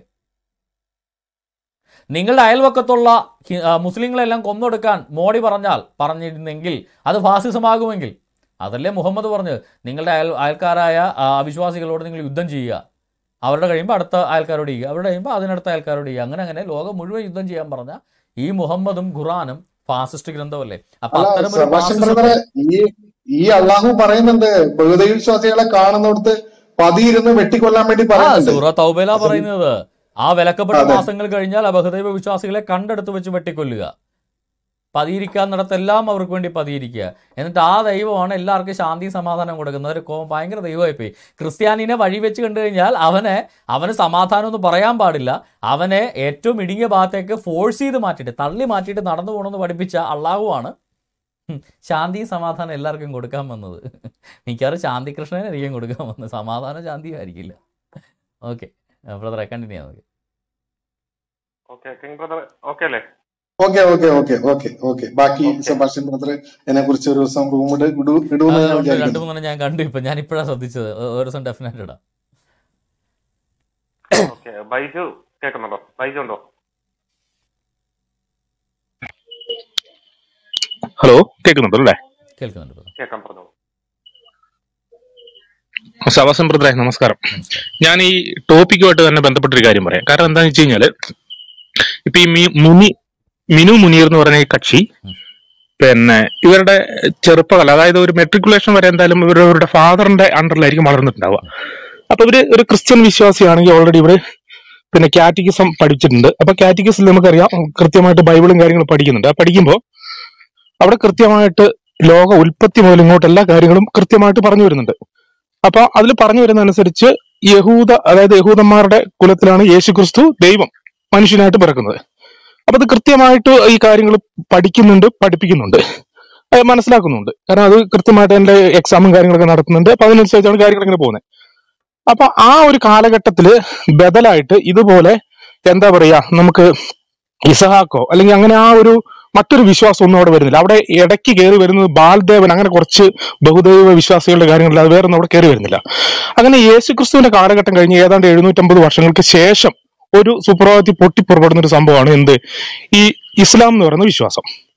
അപ്പൊ ആ ഒരു കാലഘട്ടം വരെ ഈ അള്ളാന്ന് പറഞ്ഞ ഒരു സംഭവത്തെ കുറിച്ച് ആർക്കും ഒരു ഐഡിയ ഇല്ല ഒരു പിടിയില്ല.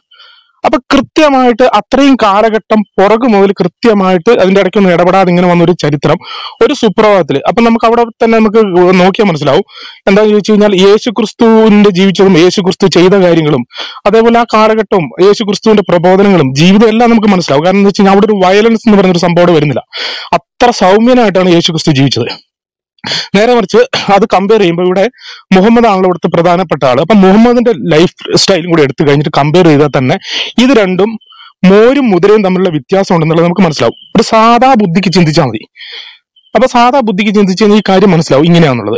അപ്പൊ കൃത്യമായിട്ടും ഈ പറയുന്ന കാര്യങ്ങൾ അതായത് കാണാത്ത കാര്യങ്ങളും അബദ്ധങ്ങളും കംപ്ലീറ്റ് മനസ്സിലാക്കി അല്ലെങ്കിൽ അത് പിന്നെ ഉള്ളി വെച്ച് ചെയ്യുന്നതും പറയുന്നതും മുഴുവൻ തെറ്റാണ് മുഴുവൻ വിഡിത്താണെന്ന് അറിഞ്ഞുകൊണ്ട് തന്നെ ഇത് ശരിക്കും ഇങ്ങോട്ടേക്ക് പുറത്തേക്ക് എക്സ്പ്രസ് ചെയ്യുന്നത് ഇവർ പെട്ടുപോയ എന്താ പറയുന്ന ഒരു ചാണാക്കുഴി കിടന്നിട്ട് കൈകൾ തടിക്കുന്നതല്ലേ? അതാണ് എനിക്ക് ചോദിക്കാനുള്ളത്. അവരുടെ വീഡിയോ ഏതെങ്കിലും ബ്രദർ പ്രോപ്പർട്ടി കണ്ടോ? അത് ഞാൻ ഇപ്പൊ ഈ അത് ആരോ എഴുതി കൊടുത്തിട്ട് വായിക്കുക വായിക്കുക ആ വീഡിയോ കണ്ടാൽ അറിയാം ഓരോ സെന്റൻസിനും കട്ട് ചെയ്യുന്നുണ്ട്. ഓരോ സെന്റൻസിനും കട്ടുണ്ട് അവിടെ. നമുക്ക് വീഡിയോ കാണുന്ന ഇപ്പം നമ്മളൊക്കെ വീഡിയോ എടുക്കാൻ പറഞ്ഞിട്ട് നാൾ കുറേ നമുക്ക് കാണാൻ അറിയാം ഓരോ സെന്റൻസിലും കട്ടുണ്ട് അതായത് ആരോ എഴുതി കൊടുത്ത് മുമ്പിൽ വെച്ചിട്ട് വായിക്കുവാണ്. എന്നിട്ട് പോലും കട്ട് ചെയ്യുക. അതായത് ഇതിന്റെ പുറകിലൊക്കെ വേറെ ആളുകളാണ് ബ്രദറെ അല്ലാതെ തലക്ക് വെളിവുള്ള ആരെങ്കിലും ഇങ്ങനെയൊക്കെ വെച്ചടിച്ചുകൊണ്ടിരിക്കും എന്തെങ്കിലും പറയുന്നതിനകത്ത് ഒരു ഇച്ചിരി ലോജിക്ക് ഒരിത്തിരി ഒരു വീഡിയോയുടെ ക്യാപ്ഷൻ ഇതാണ്. മുഹമ്മദ് വിവാഹം ഇത്രയും വിവാഹം കഴിച്ചത് എന്തുകൊണ്ട്? എന്തുകൊണ്ടാണെന്ന് ഖുറാനത്ത് അള്ളാഹു പറയുന്നുണ്ട് നിനക്ക് മറ്റുള്ളവരൊക്കെ കൂടുതൽ വിഷമം ഉള്ളതുകൊണ്ട് നിനക്ക് വിഷമമൊന്നും വരാതിരിക്കാൻ വേണ്ടി ഞാൻ നിനക്ക് കൂടുതൽ പെണ്ണുങ്ങളെ തന്നെന്ന് പുള്ളിക്ക് മാത്രം കൂടുതൽ വിഷമം വരുന്നതുകൊണ്ട് കൂടുതൽ പെണ്ണുങ്ങളെ കൊടുത്തു.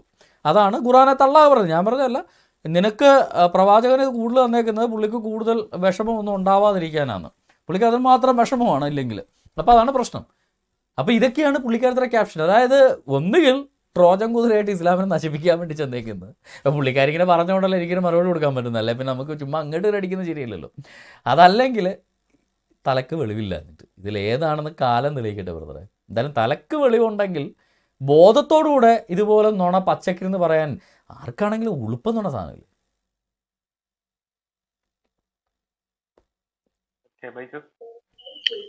ഓക്കെ താങ്ക് യു ബ്രദർ വേറെ ഒന്നും പറയാനില്ല. ഓക്കെ അടുത്ത ഓക്കെ കമ്രേഡ് ഇവിടെ ഉണ്ടോ? കമ്രേഡ് ഇവിടെ ഉണ്ടോ? കമ്രേഡ് വരുമ്പോ ഒന്ന് മൈക്ക് ബ്ലിങ്ക് ചെയ്താൽ മതി. Sam brother Sam Jose thank you brother praise the Lord the Lord. അപ്പൊ ഒരു വിഷോ ഒരു വിഷോട് കൂടി തുടങ്ങാം. ചന്ദ്രദേവനെ കാണാത്തത് കൊണ്ട് ഒരു ദിവസം കൂടെ ഫാസ്റ്റ് ചെയ്യേണ്ടി വരുന്ന ഇസ്ലാമിക സുഹൃത്തുക്കൾക്കും ചന്ദ്രദേവനെ നേരത്തെ കണ്ടതുകൊണ്ട് ഒരു ദിവസം മുൻപേ അസൂര പെരുന്നാൾ അതായത് തീറ്റ പെരുന്നാൾ ആഘോഷിക്കുന്ന മുസ്ലിം സുഹൃത്തുക്കൾക്കും രണ്ട് ദിവസം അവധി പ്രഖ്യാപിച്ച കേരള സർക്കാരിന്റെ വിശാല മനസ്കതയ്ക്ക് മുന്നിൽ തല എന്ന് പറഞ്ഞ ഒരു നന്ദി കരയറ്റിക്കൊണ്ട് നമുക്ക് തുടങ്ങാം. ഈ മിനു മുനീർ പുള്ളിക്കാരത്തി പറഞ്ഞ കാര്യം ഭയങ്കര രസകരമായിട്ട് തോന്നിയിട്ടുണ്ട്. പുള്ളിക്കാരത്തി എനിക്ക് തോന്നുന്നു ഞാൻ സമയമില്ലാത്തതുകൊണ്ട് ഞാൻ പെട്ടെന്ന് രണ്ട് രണ്ട് രണ്ട് കാര്യങ്ങൾ പറഞ്ഞിട്ട് നിർത്തിയേക്കാം ബ്രദർ ഒന്ന് ഈ ഇസ്ലാമിലെ സ്ത്രീകൾ എന്തോ വലിയ സംഭവമാണെന്ന് പറയുന്നത് പുള്ളിക്കാരത്തി എനിക്ക് തോന്നുന്നു ഇവരുടെ നിയമപുസ്തകമായിട്ടുള്ള ഫത്ഫുൽ മുഹീൻ എന്ന് പറയുന്ന പുസ്തകം വായിച്ചിട്ടില്ല എന്ന് തോന്നുന്നുണ്ട്. ചെറുതായിട്ടൊന്ന് വായിച്ചു തന്നേക്കാം പേജ് നമ്പർ നയന്റി. ശൈഖുന പറഞ്ഞ മറ്റൊരു കാര്യം ഒരു നായയോ പന്നിയോ മനുഷ്യ സ്ത്രീയെ പ്രാപിക്കുകയും അതിൻ ഫലമായി ആ സ്ത്രീ ഒരു മനുഷ്യക്കുഞ്ഞിനെ പ്രസവിക്കുകയും ചെയ്താൽ ആ കുട്ടി നജസായിരിക്കും. അതോടൊപ്പം നിസ്കാരം പോലുള്ള കർമ്മങ്ങളെല്ലാം അനുഷ്ഠിക്കാൻ അവൻ ബാധ്യസ്ഥനുമാണ്. അനിവാര്യത പരിഗണിച്ച് മാപ്പ് നൽകപ്പെടുന്നതിനാൽ ആവശ്യമായി വരുമ്പോൾ അവനെ സ്പർശിക്കാവുന്നതുമാണ്. ജമാഅത്തിനും മറ്റുമായി നനവില്ലാതെ അവന് പള്ളിയിൽ പ്രവേശിക്കാം. നിസ്കാരത്തിന് ഇമാമാവുകയും ചെയ്യാം. കാരണം അവൻ നിസ്കാരം മടക്കി നിർവഹിക്കേണ്ടവനല്ല. അപ്പൊ അതുകൊണ്ട് ഇസ്ലാം എന്ന് പറയുന്ന ഈ ഒരു ലോകത്തിലെ ഒരു എന്താ പറഞ്ഞ ഒരു ഒരു റിലീജിയൻ എന്നൊക്കെ ഇവർ പറയുന്നത് പൊളിറ്റിക്കൽ പാർട്ടി യഥാർത്ഥത്തിൽ ഇവിടെ പറയുന്നത് ഈ മുസ്ലിം സ്ത്രീകളെല്ലാം മൃഗഭോഗികളാണെന്നാണ് പറയുന്നത്. അവരുടെ ബുക്കിനകത്ത് എഴുതി വെച്ചിരിക്കുകയാണ്.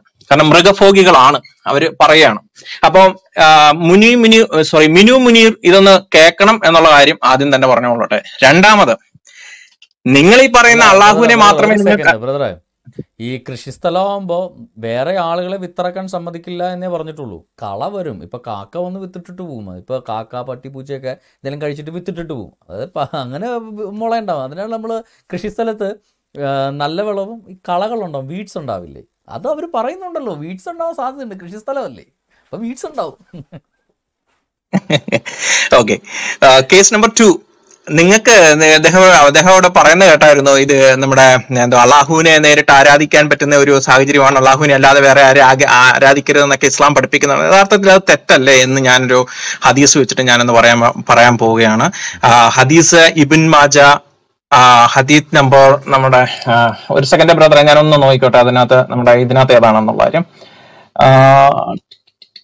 ഓക്കെ ഓക്കെ ആയിരത്തി എണ്ണൂറ്റി അൻപത്തി മൂന്ന് ഇബിൻ മാജ ആയിരത്തി എണ്ണൂറ്റി അൻപത്തി മൂന്ന് അപ്പൊ അതിനകത്ത് ഇതാണ് പറയുന്നത്.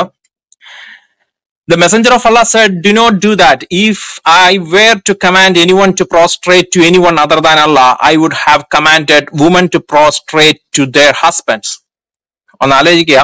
അള്ളാഹുവിനെ അല്ലാതെ മറ്റാരെയും പ്രോസ്ട്രേറ്റ് ചെയ്യാൻ പാടില്ല എന്ന് പറയുകയും പറഞ്ഞുകൊണ്ടിരിക്കുന്ന മുഹമ്മദ് പറയുകയാണ് നിങ്ങൾ സ്ത്രീകൾ യഥാർത്ഥത്തിൽ നമ്മുടെ പുരുഷന്മാരെ അതായത് അവരുടെ ഭർത്താക്കന്മാരെ പ്രോസ്ട്രേറ്റ് ചെയ്യണം. ഇതിനകത്ത് എന്താ മനസ്സിലാക്കേണ്ടത്? Man is the god after god on earth ദൈവം കഴിഞ്ഞു കഴിഞ്ഞാൽ ഭൂമിയിലെ അല്ല ബ്രദറെ ഈ മനുഷ്യനെ പ്രോസ്ട്രേറ്റ് ചെയ്യാൻ വിസമ്മതിച്ചുകൊണ്ടല്ലേ ഇങ്ങേര് ഇബിലേസിനെ ശിക്ഷിച്ചത്?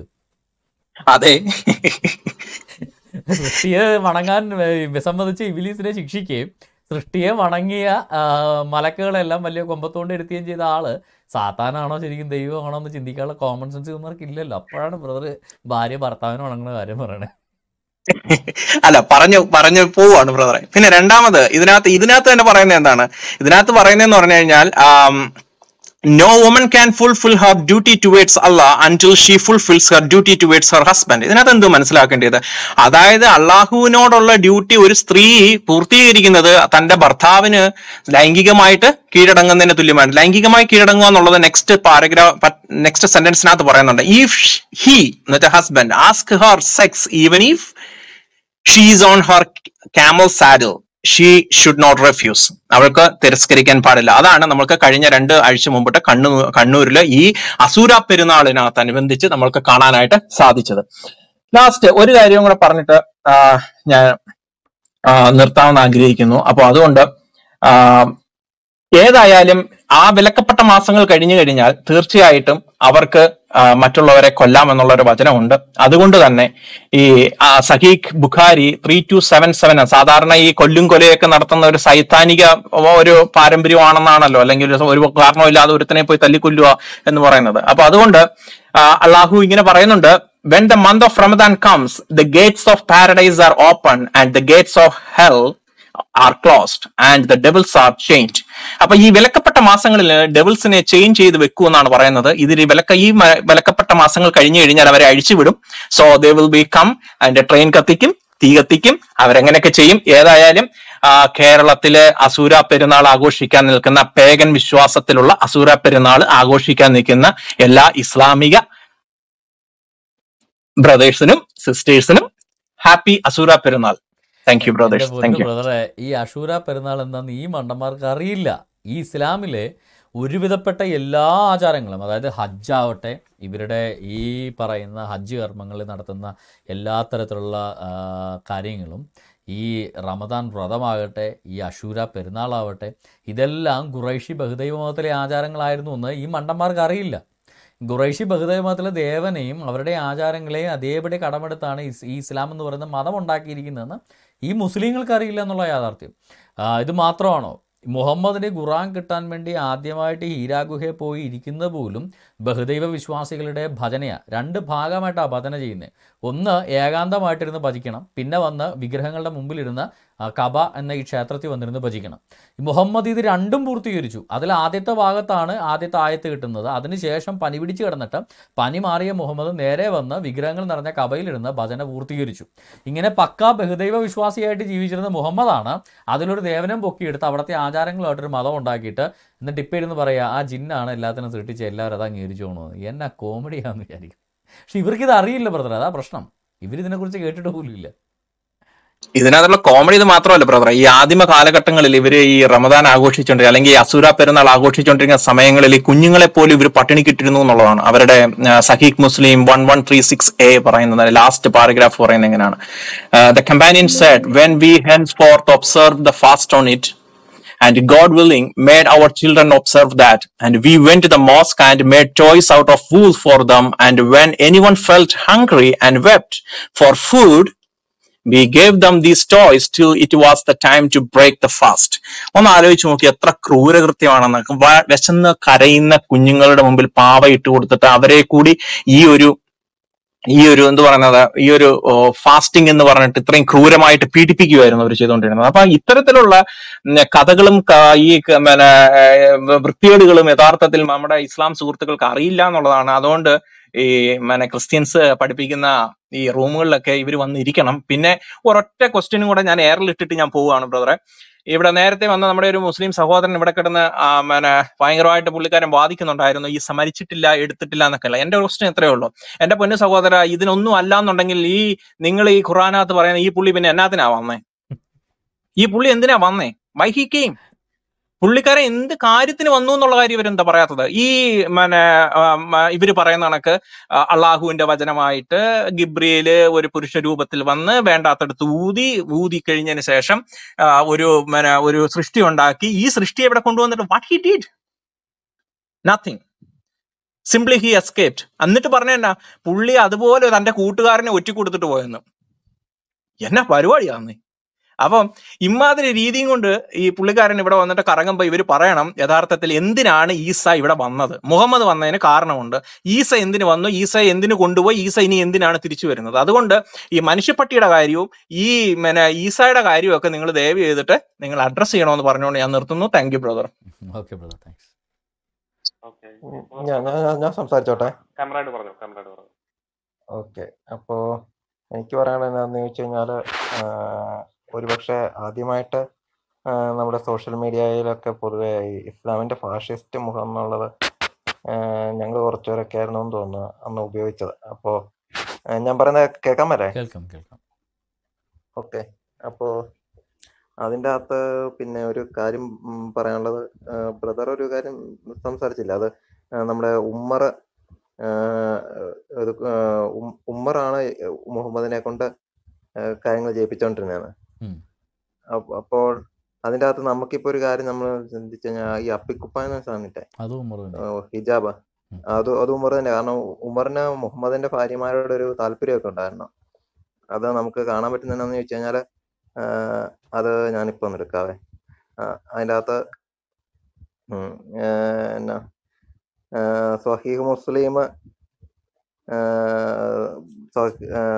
സഹീഹ് മുസ്ലിം സ്വഹീഹ് അൽ ബുഖാരി നൂറ്റി നാൽപ്പത്തി ആറ് നോക്കിക്കഴിഞ്ഞാൽ അതിന്റെ അകത്ത് അതിന്റെ അകത്ത് രാത്രിയിൽ പോകുമ്പോൾ എന്ന് പറഞ്ഞാൽ ഈ ഉമർ ഒളിഞ്ഞു നോക്കാൻ ചെന്നതുകൊണ്ടാണ് ഉമർ കാണുന്നത്. അപ്പം ഉമർ ഒരു ഒളിഞ്ഞോട്ടക്കാരനായിരുന്നു അതിൽ നിന്ന് നമുക്ക് മനസ്സിലാകും. പിന്നെ അതുപോലെ സഹി ഞാൻ ഹദീസ് പറഞ്ഞു ആവശ്യമുള്ളവർക്ക് വേണമെങ്കിൽ എഴുതിയെടുക്കും അല്ലെങ്കിൽ ഇത് പിന്നീട് വീഡിയോ ശേഷം ഈ ഭാഗത്തേക്ക് എത്തിയതിന് ശേഷം നിങ്ങൾക്ക് എഴുതിയെടുക്കുക വെക്കുക അപ്പം സഹീഹ് ബുഖാരി ഒന്ന് നാല് നൂറ്റി നാൽപ്പത്തെട്ട് പിന്നെ സ്വാഹിഹ് ബുഖാരി എട്ട് എഴുപത്തിനാല് ഇരുന്നൂറ്റമ്പത്തേഴ് സ്വാഹിഹ് മുസ്ലിം ഇരുപത്തി ആറ് അയ്യായിരത്തി മുന്നൂറ്റി തൊണ്ണൂറ്റി എട്ട് സ്വാഹിഹ് മുസ്ലിം ഇരുപത്തി ആറ് അയ്യായിരത്തി മുന്നൂറ്റി തൊണ്ണൂറ്റി ഏഴിന്റെ അകത്തൊക്കെ പറയുന്നതിന്റെ അകത്ത് മുഹമ്മദിനെ മുഹമ്മദിനെ കൊണ്ട് നിയമസ്ഥ ഉണ്ടാക്കിക്കുന്നത് ഉമറാണ്.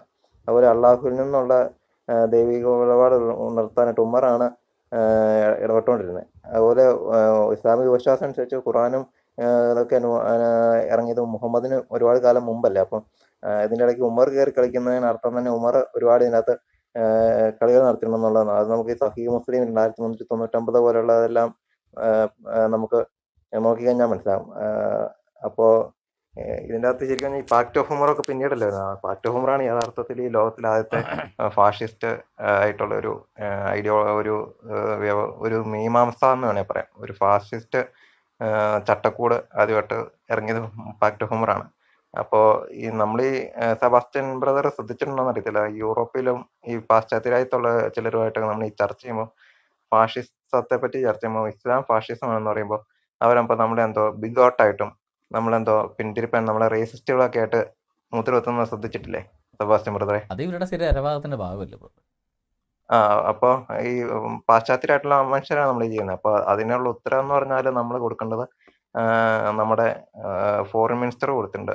യൂറോപ്പിലെ പ്രോബ്ലം വേൾഡ്സ് പ്രോബ്ലം ആകുകയും വേൾഡ്സ് പ്രോബ്ലം യൂറോപ്പിന്റെ പ്രോബ്ലം അല്ല എന്നുള്ളൊരു ചിന്താഗതി ഓർക്കണം എന്ന് പറഞ്ഞാൽ യൂറോപ്പിൽ ഫാഷിസം എന്ന് പറഞ്ഞൊരു ഐഡിയോളജി അവർ ആദ്യമായിട്ട് ഹിറ്റ്ലർ തേരോട്ടം നടത്തിയപ്പം അതിന്റെ യാതന അനുഭവിച്ചതുകൊണ്ട് അവരതിനെ ഫാഷിസം എന്നൊക്കെ വിളിച്ച് ബ്രിട്ടാനിക്കാരൊക്കെ അവർ അതിന്റെ ഡെഫിനേഷനൊക്കെ കൊടുത്തു. പക്ഷേ അതിനും നൂറ്റാണ്ടുകൾ മുമ്പ് തന്നെ ഈ പൗരസ്ത്യ ദേശത്തുള്ള പാവം മനുഷ്യർ അനുഭവിച്ചപ്പോഴും ഈ അർമേനിയൻ കൂട്ടക്കൊല നടന്നപ്പോഴൊന്നും ഇവരൊന്നും ഒരു അക്ഷരം പോലും മിണ്ടില്ല സെബാസ്റ്റ്യൻ ബ്രദർ അർമേനിയൻ കൂട്ടക്കൊലയെ പറ്റി ഒരു എപ്പിസോഡ് ചെയ്തിട്ടില്ലെന്നാ തോന്നുന്നത് അപ്പോൾ അതിനെപ്പറ്റി ഒരു എപ്പിസോഡ് ചെയ്യാമോ? അത് ഒന്ന് ചെയ്യാമോ? ചെയ്യാം ഒരു ഓക്കെ. അപ്പൊ ഈ അർമേനിയൻ കൂട്ടക്കൊലയിൽ നിന്നാണ് ജനോസൈഡ് എന്ന് പറഞ്ഞൊരു പദം തന്നെ ഉണ്ടാകുന്നത്. അപ്പൊ ഈ അർമേനിയൻ കൂട്ടക്കൊലയെ ഉത്തരിച്ചുകൊണ്ടാണ് ഹിറ്റ്ലർ പ്രസംഗം തുടങ്ങുന്നത്. അർമേനിയൻ കൂട്ടക്കൊല എന്ത് ഇപ്പം ലോകം സൈലന്റ് ആയിരുന്നു. അതുപോലെ തന്നെ നമ്മളും ചെയ്യുമ്പോഴും സൈലന്റ് ആയിരിക്കും എന്ന് പറഞ്ഞുകൊണ്ടാണ് ചെയ്യുന്നത്. എന്ന് പറഞ്ഞാൽ ഹിറ്റ്ലർക്ക് ഈ പ്രചോദനം കിട്ടിയത് ഈ തുർക്കിയിൽ നിന്നൊക്കെ. തുർക്കി ഹിറ്റ്ലറുടെ ഒരു സപ്പോർട്ടേഴ്സ് ഒക്കെയാണ് അന്ന്. അപ്പൊ എന്ന് പറഞ്ഞാൽ ഈ പൗരസ്ത്യ ദേശക്കാർ ഇത് അനുഭവിച്ചപ്പോൾ യൂറോപ്പിനൊന്നും ഒരു വേദന ഇല്ലായിരുന്നു. യൂറോപ്പ് ഹിറ്റ്ലറുടെ ഫാഷിസം അനുഭവിച്ചപ്പോൾ അതിന് ഫാഷിസം എന്നൊക്കെ പേരിട്ട് വിളിക്കാൻ തുടങ്ങി. അപ്പോൾ ആ ഒരു മാന മാനം നമ്മൾ അവരോടുമായിട്ട് ചർച്ച ചെയ്യുമ്പോൾ പറഞ്ഞു കൊടുക്കാനായിട്ട് ഒരു അറിവിന് വേണ്ടി പറഞ്ഞതേ ഉള്ളൂ പിന്നെ വേറൊരു കാര്യം എന്ന് പറഞ്ഞാൽ ഈ ഖത്തർ വേൾഡ് കപ്പിൽ ഒരുപാട് ശ്രദ്ധിച്ചിട്ടുണ്ടോ നടത്തില്ല ചില ഒരു പക്ഷേ ഒരുപാട് ഈ ലവ് ജിഹാദ് പോലത്തെ സംഭവങ്ങളൊക്കെ നടന്നിട്ടുണ്ടാകുന്ന എനിക്ക് സംശയമുണ്ട്. അതിന് ഞാനൊരു ഒരു സെബസ്റ്റ്യൻ ബ്രദറിന്റെ യാഹു ഗൂഗിൾ മെയിൽ അതിന്റെ അകത്ത് ഏതെങ്കിലും ഞാൻ ഞാൻ അതിന്റെ കാര്യങ്ങൾ ഞാൻ മെയിൽ ചെയ്യട്ടെ? ഒരു ഒരു വാർത്ത വന്നത്. നമ്മുടെ കേരളത്തിൽ ഒരു റഷ്യൻ യുവതി വന്ന് ഒരു പെട്ടുപോയ ഒരു ഒരു കാര്യമാണ്. അപ്പൊ അതിന് പിന്നെ പിന്നെ വേറൊരു വിഷയമുണ്ട്. അത് നമ്മുടെ അത് ഞാനിപ്പോൾ പൊതുവായിട്ട് പറഞ്ഞില്ല സെബാസ്റ്റ്യൻ ബ്രദറിന് മെയിലിനകത്ത് തന്നെ വിട്ടേക്കാം. അപ്പോൾ ഞാൻ ഒന്ന് മെയിൽ അയച്ചിട്ടുണ്ടായിരുന്നു. ഞാൻ എന്തായാലും ഒന്നുകൂടെ ഇപ്പ- തന്നെ ഒന്നുകൂടെ അയക്കണോ ഇപ്പൊ ചെക്ക് ചെയ്യാൻ ചെയ് ഇപ്പൊ ചെക്ക് ചെയ്യാൻ പറ്റുമോ ഇപ്പം ബുദ്ധിമുട്ടാണ് ബ്രദറെ ഞാൻ ചെക്ക് ചെയ്തോളാം. ആ അപ്പോൾ അപ്പൊ ഞാൻ അയച്ചിട്ടേക്കാം. അപ്പൊ അതെന്ന് പറഞ്ഞാൽ അതൊരു പ്രത്യേക വിഭാഗത്തെ ബാധിക്കുന്ന ഒരു വിഷയമൊക്കെ. അപ്പൊ അത് സെബാസ്റ്റ്യൻ ബ്രദർ നമ്മുടെ പതിവിന് വിരുദ്ധമായിട്ട് മുല്ലപ്പെരിയാർ വിഷയമൊക്കെ എടുത്തല്ലേ എന്ന് പറയുന്നത് ഈ വിഷയത്തെ പറ്റി ഒരു എപ്പിസോഡ് ചെയ്യണമെന്ന് ആഗ്രഹമുണ്ട്. അപ്പം അതും ഒന്ന് പരിഗണിക്കണം. അത് ഞാൻ ഇതിന്റെ കൂടെ വിട്ടേക്കാം. പിന്നെ വേറെ കാര്യം എന്ന് പറഞ്ഞാൽ ഇവർ ഇവർ ശരിക്കും പറഞ്ഞാൽ നമ്മൾ ഈ പ്രതിരോധത്തിലാക്കാണ്ട് പറഞ്ഞതെന്ന് വെച്ച് കഴിഞ്ഞാൽ ഈ ക്രിസ്തുവിന്റെ ദൈവത്വ മനുഷ്യത്വം. ശരിക്കും ക്രിസ്തുവിന്റെ ദൈവത്വ മനുഷ്യത്വം ഉള്ളതുകൊണ്ടാണ് ശരിക്കും ക്രിസ്തു കരഞ്ഞ് പ്രാർത്ഥിക്കുക ചെയ്തത്. ക്രിസ്തുവിനെ മനുഷ്യനാണെന്നാണ് പ്രാർത്ഥിച്ചതെന്നാണ് നമ്മൾ പറഞ്ഞു കൊടുക്കുന്നത്. അപ്പോൾ അത് നമ്മൾ ഈ നൂറ്റാണ്ടുകൾ മുമ്പ് തന്നെ നമ്മുടെ ഈ പൗരസ്ത്യ അസുറിയൻ ക്രിസ്ത്യാനികൾ പറഞ്ഞിട്ടുണ്ട്. സഹദീനന്മാർ ലാലാഹൂസ വൽനസൂസ ഇല്ല ദിലാപ്പുലാക എന്ന് പറഞ്ഞുകൊണ്ട് പറഞ്ഞിട്ടുണ്ട്. മിഷിയായുടെ പൂർണ ദൈവത്വത്തെ മനുഷ്യത്വത്തെ ഞങ്ങൾ ആരാധിക്കുന്നു എന്ന് പറഞ്ഞാൽ ആ ആ ദൈവം ഉയർത്തെഴുന്നേറ്റ് പോയി. പക്ഷെ മനുഷ്യൻ മനുഷ്യന്റെ ആ മനുഷ്യനാണ് ശരിക്കും പാപത്തെ പ്രതി മനുഷ്യർക്കൊണ്ട് മരിച്ചത്. ദൈവമാണ് ദൈവ പൊന്നു ബ്രദറെ അത് പൗരസ്ത്യ ആളുകളുടെ എന്തെങ്കിലും വിശ്വാസമായിരിക്കും. ബൈബിളിൽ നിന്ന് അതിനൊരു കോട്ട് ബ്രദറിനുണ്ടോ കാര്യം എന്താ പറയുക നമ്മൾ ഓരോ സഭയുടെയും വിശ്വാസങ്ങൾ ഇവിടെ പറയാൻ നിന്ന് കഴിഞ്ഞാൽ അത് നമുക്ക് എന്താ പറയാ പല കോംപ്ലിക്കേഷനും ഉണ്ടാവും അതുകൊണ്ട് പ്ലീസ് കോട്ട് ഫ്രം ബൈബിൾ അല്ല ബൈബിളിൽ തന്നെ പറയുന്നുണ്ടല്ലോ അത് ദൈവം ഈശോ ഏഹ് ജഡത്തോടു കൂടി തന്നെ ഉയർത്തെഴുന്നേറ്റ് പോയെന്നാ. യേശു ക്രിസ്തു കൃത്യമായി അവൻ ഉയർത്തെഴുന്നേറ്റു. അവൻ സ്വർഗാരോഹണം ചെയ്തു. അവൻ രൂപാന്തര ശരീരത്തിലായിരുന്നു മനുഷ്യരത്തിലല്ലായിരുന്നു ഉയർത്തെഴുന്നേച്ചോ അവൻ സ്വർഗാരോഹണം ചെയ്തു. ഇത് വളരെ കൃത്യമായിട്ട് ബൈബിളിൽ പറയുന്നുണ്ട്.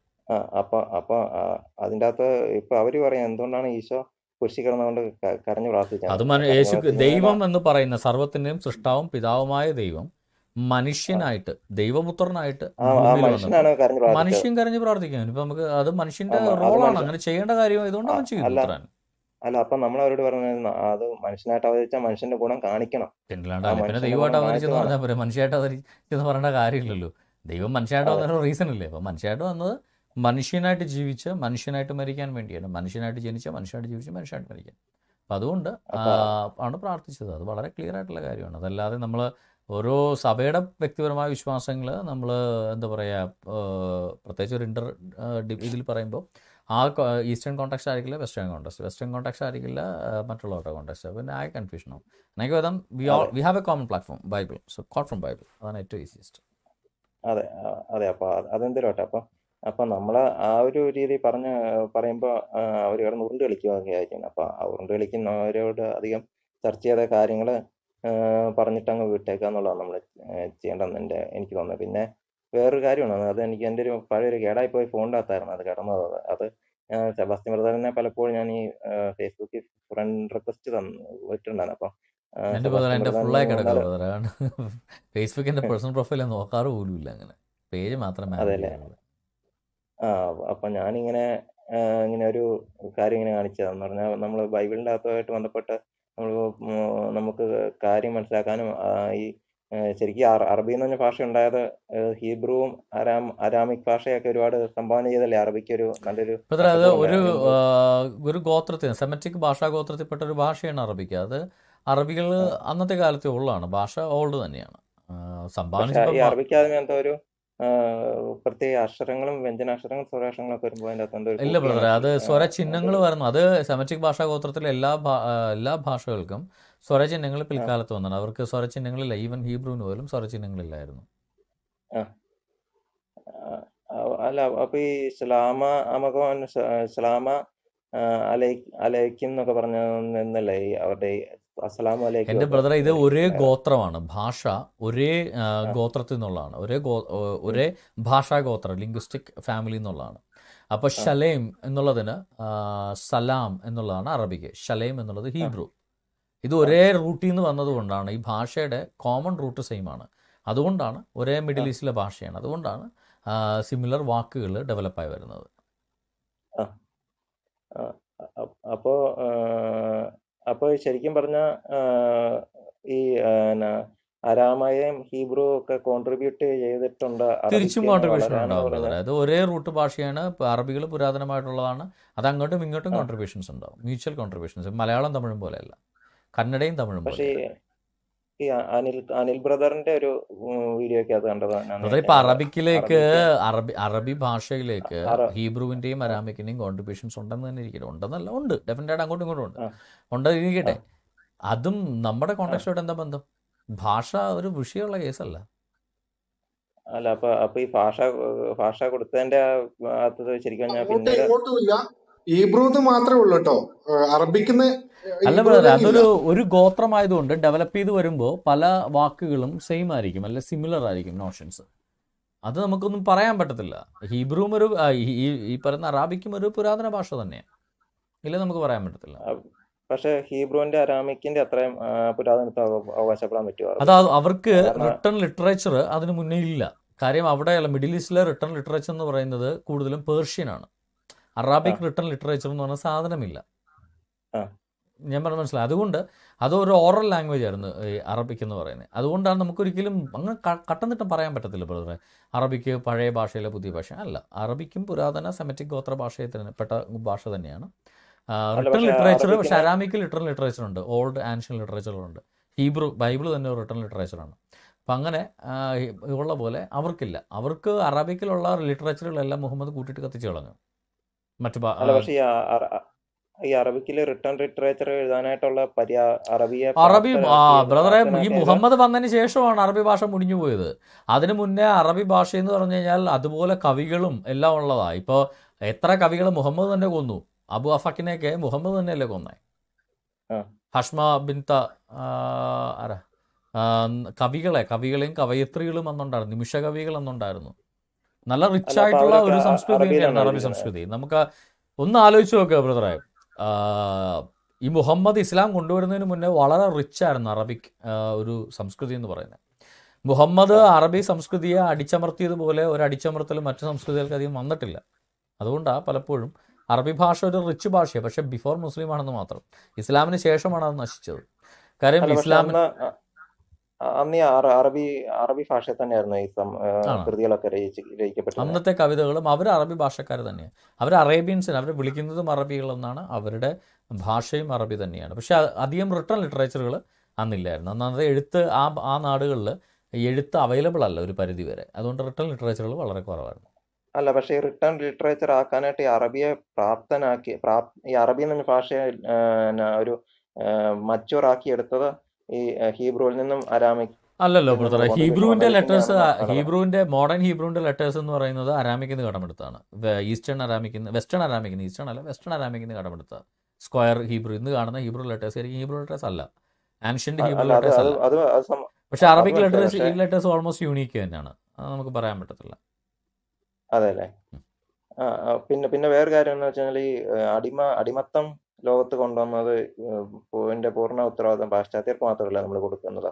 പക്ഷേ അല്ല അത് ബ്രദർ അങ്ങനെ നമ്മൾ പറയുന്നില്ല കാര്യം. ആ കാലഘട്ടത്തിൽ ആ, കാലഘട്ടത്തിൽ അടിമത്തം അറബികളല്ലേ പഠിപ്പിച്ച പാശ്ചാത്യ ഈ അടിമത്തം മുഹമ്മദിന്റെ കാലത്തോണ്ട് അതിന് മുന്നേ ഉണ്ട് ബിബ്ലിക്കൽ ഉത്തരപ്രദേശ് ബിബ്ലിക്കൽ കോൺടാക്സിലും ഈ പറയുന്ന അടിമത്തം ഇല്ല അബ്രഹാമിന് അടിമകളില്ലായിരുന്നു.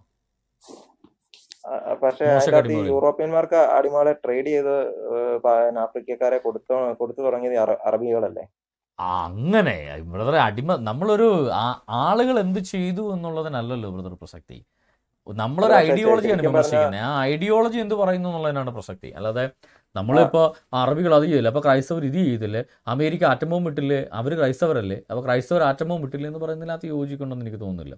അല്ല പക്ഷേ ശരിക്കും പറഞ്ഞാൽ അടിമത്തത്തിന്റെ പൂർണ ഉത്തരവാദിത്തം ഉം, പാശ്ചാത്യർക്ക് കൊടുക്കുക അടിമത്തം എന്ന് പറയുന്നത് പാശ്ചാത്യർ ഉണ്ടാകുന്നതിന് മുന്നേ ഉള്ളതാണ് അടിമത്തം. പിന്നെ അതിന്റെ ഉത്തരവാദിത്തം അടിമ ആൾക്ക് കൊടുക്കേണ്ട കാര്യമില്ലല്ലോ. അടിമത്തത്തിന്റെ ഫിലോസഫിക്കൽ ബാക്ക്ഗ്രൗണ്ട് ഉണ്ടാക്കിയല്ല. ഒരു ഒരു ഫണ്ടമെന്റൽ റെസ്പോൺസിബിലിറ്റി നിരീശ്വരവാദികൾക്കുണ്ട്. യൂറോപ്യൻ അടിമത്തത്തിന്റെ ഒരു ഫിലോസഫിക്കൽ ബാക്ക്ഗ്രൗണ്ട് ഉണ്ടാക്കി നിരീശ്വരവാദികളാണ് ആഫ്രിക്കക്കാർ മനുഷ്യരല്ല. അവർ നിന്ന് പരിണമിച്ച് വരുന്നതേ ഉള്ളൂ.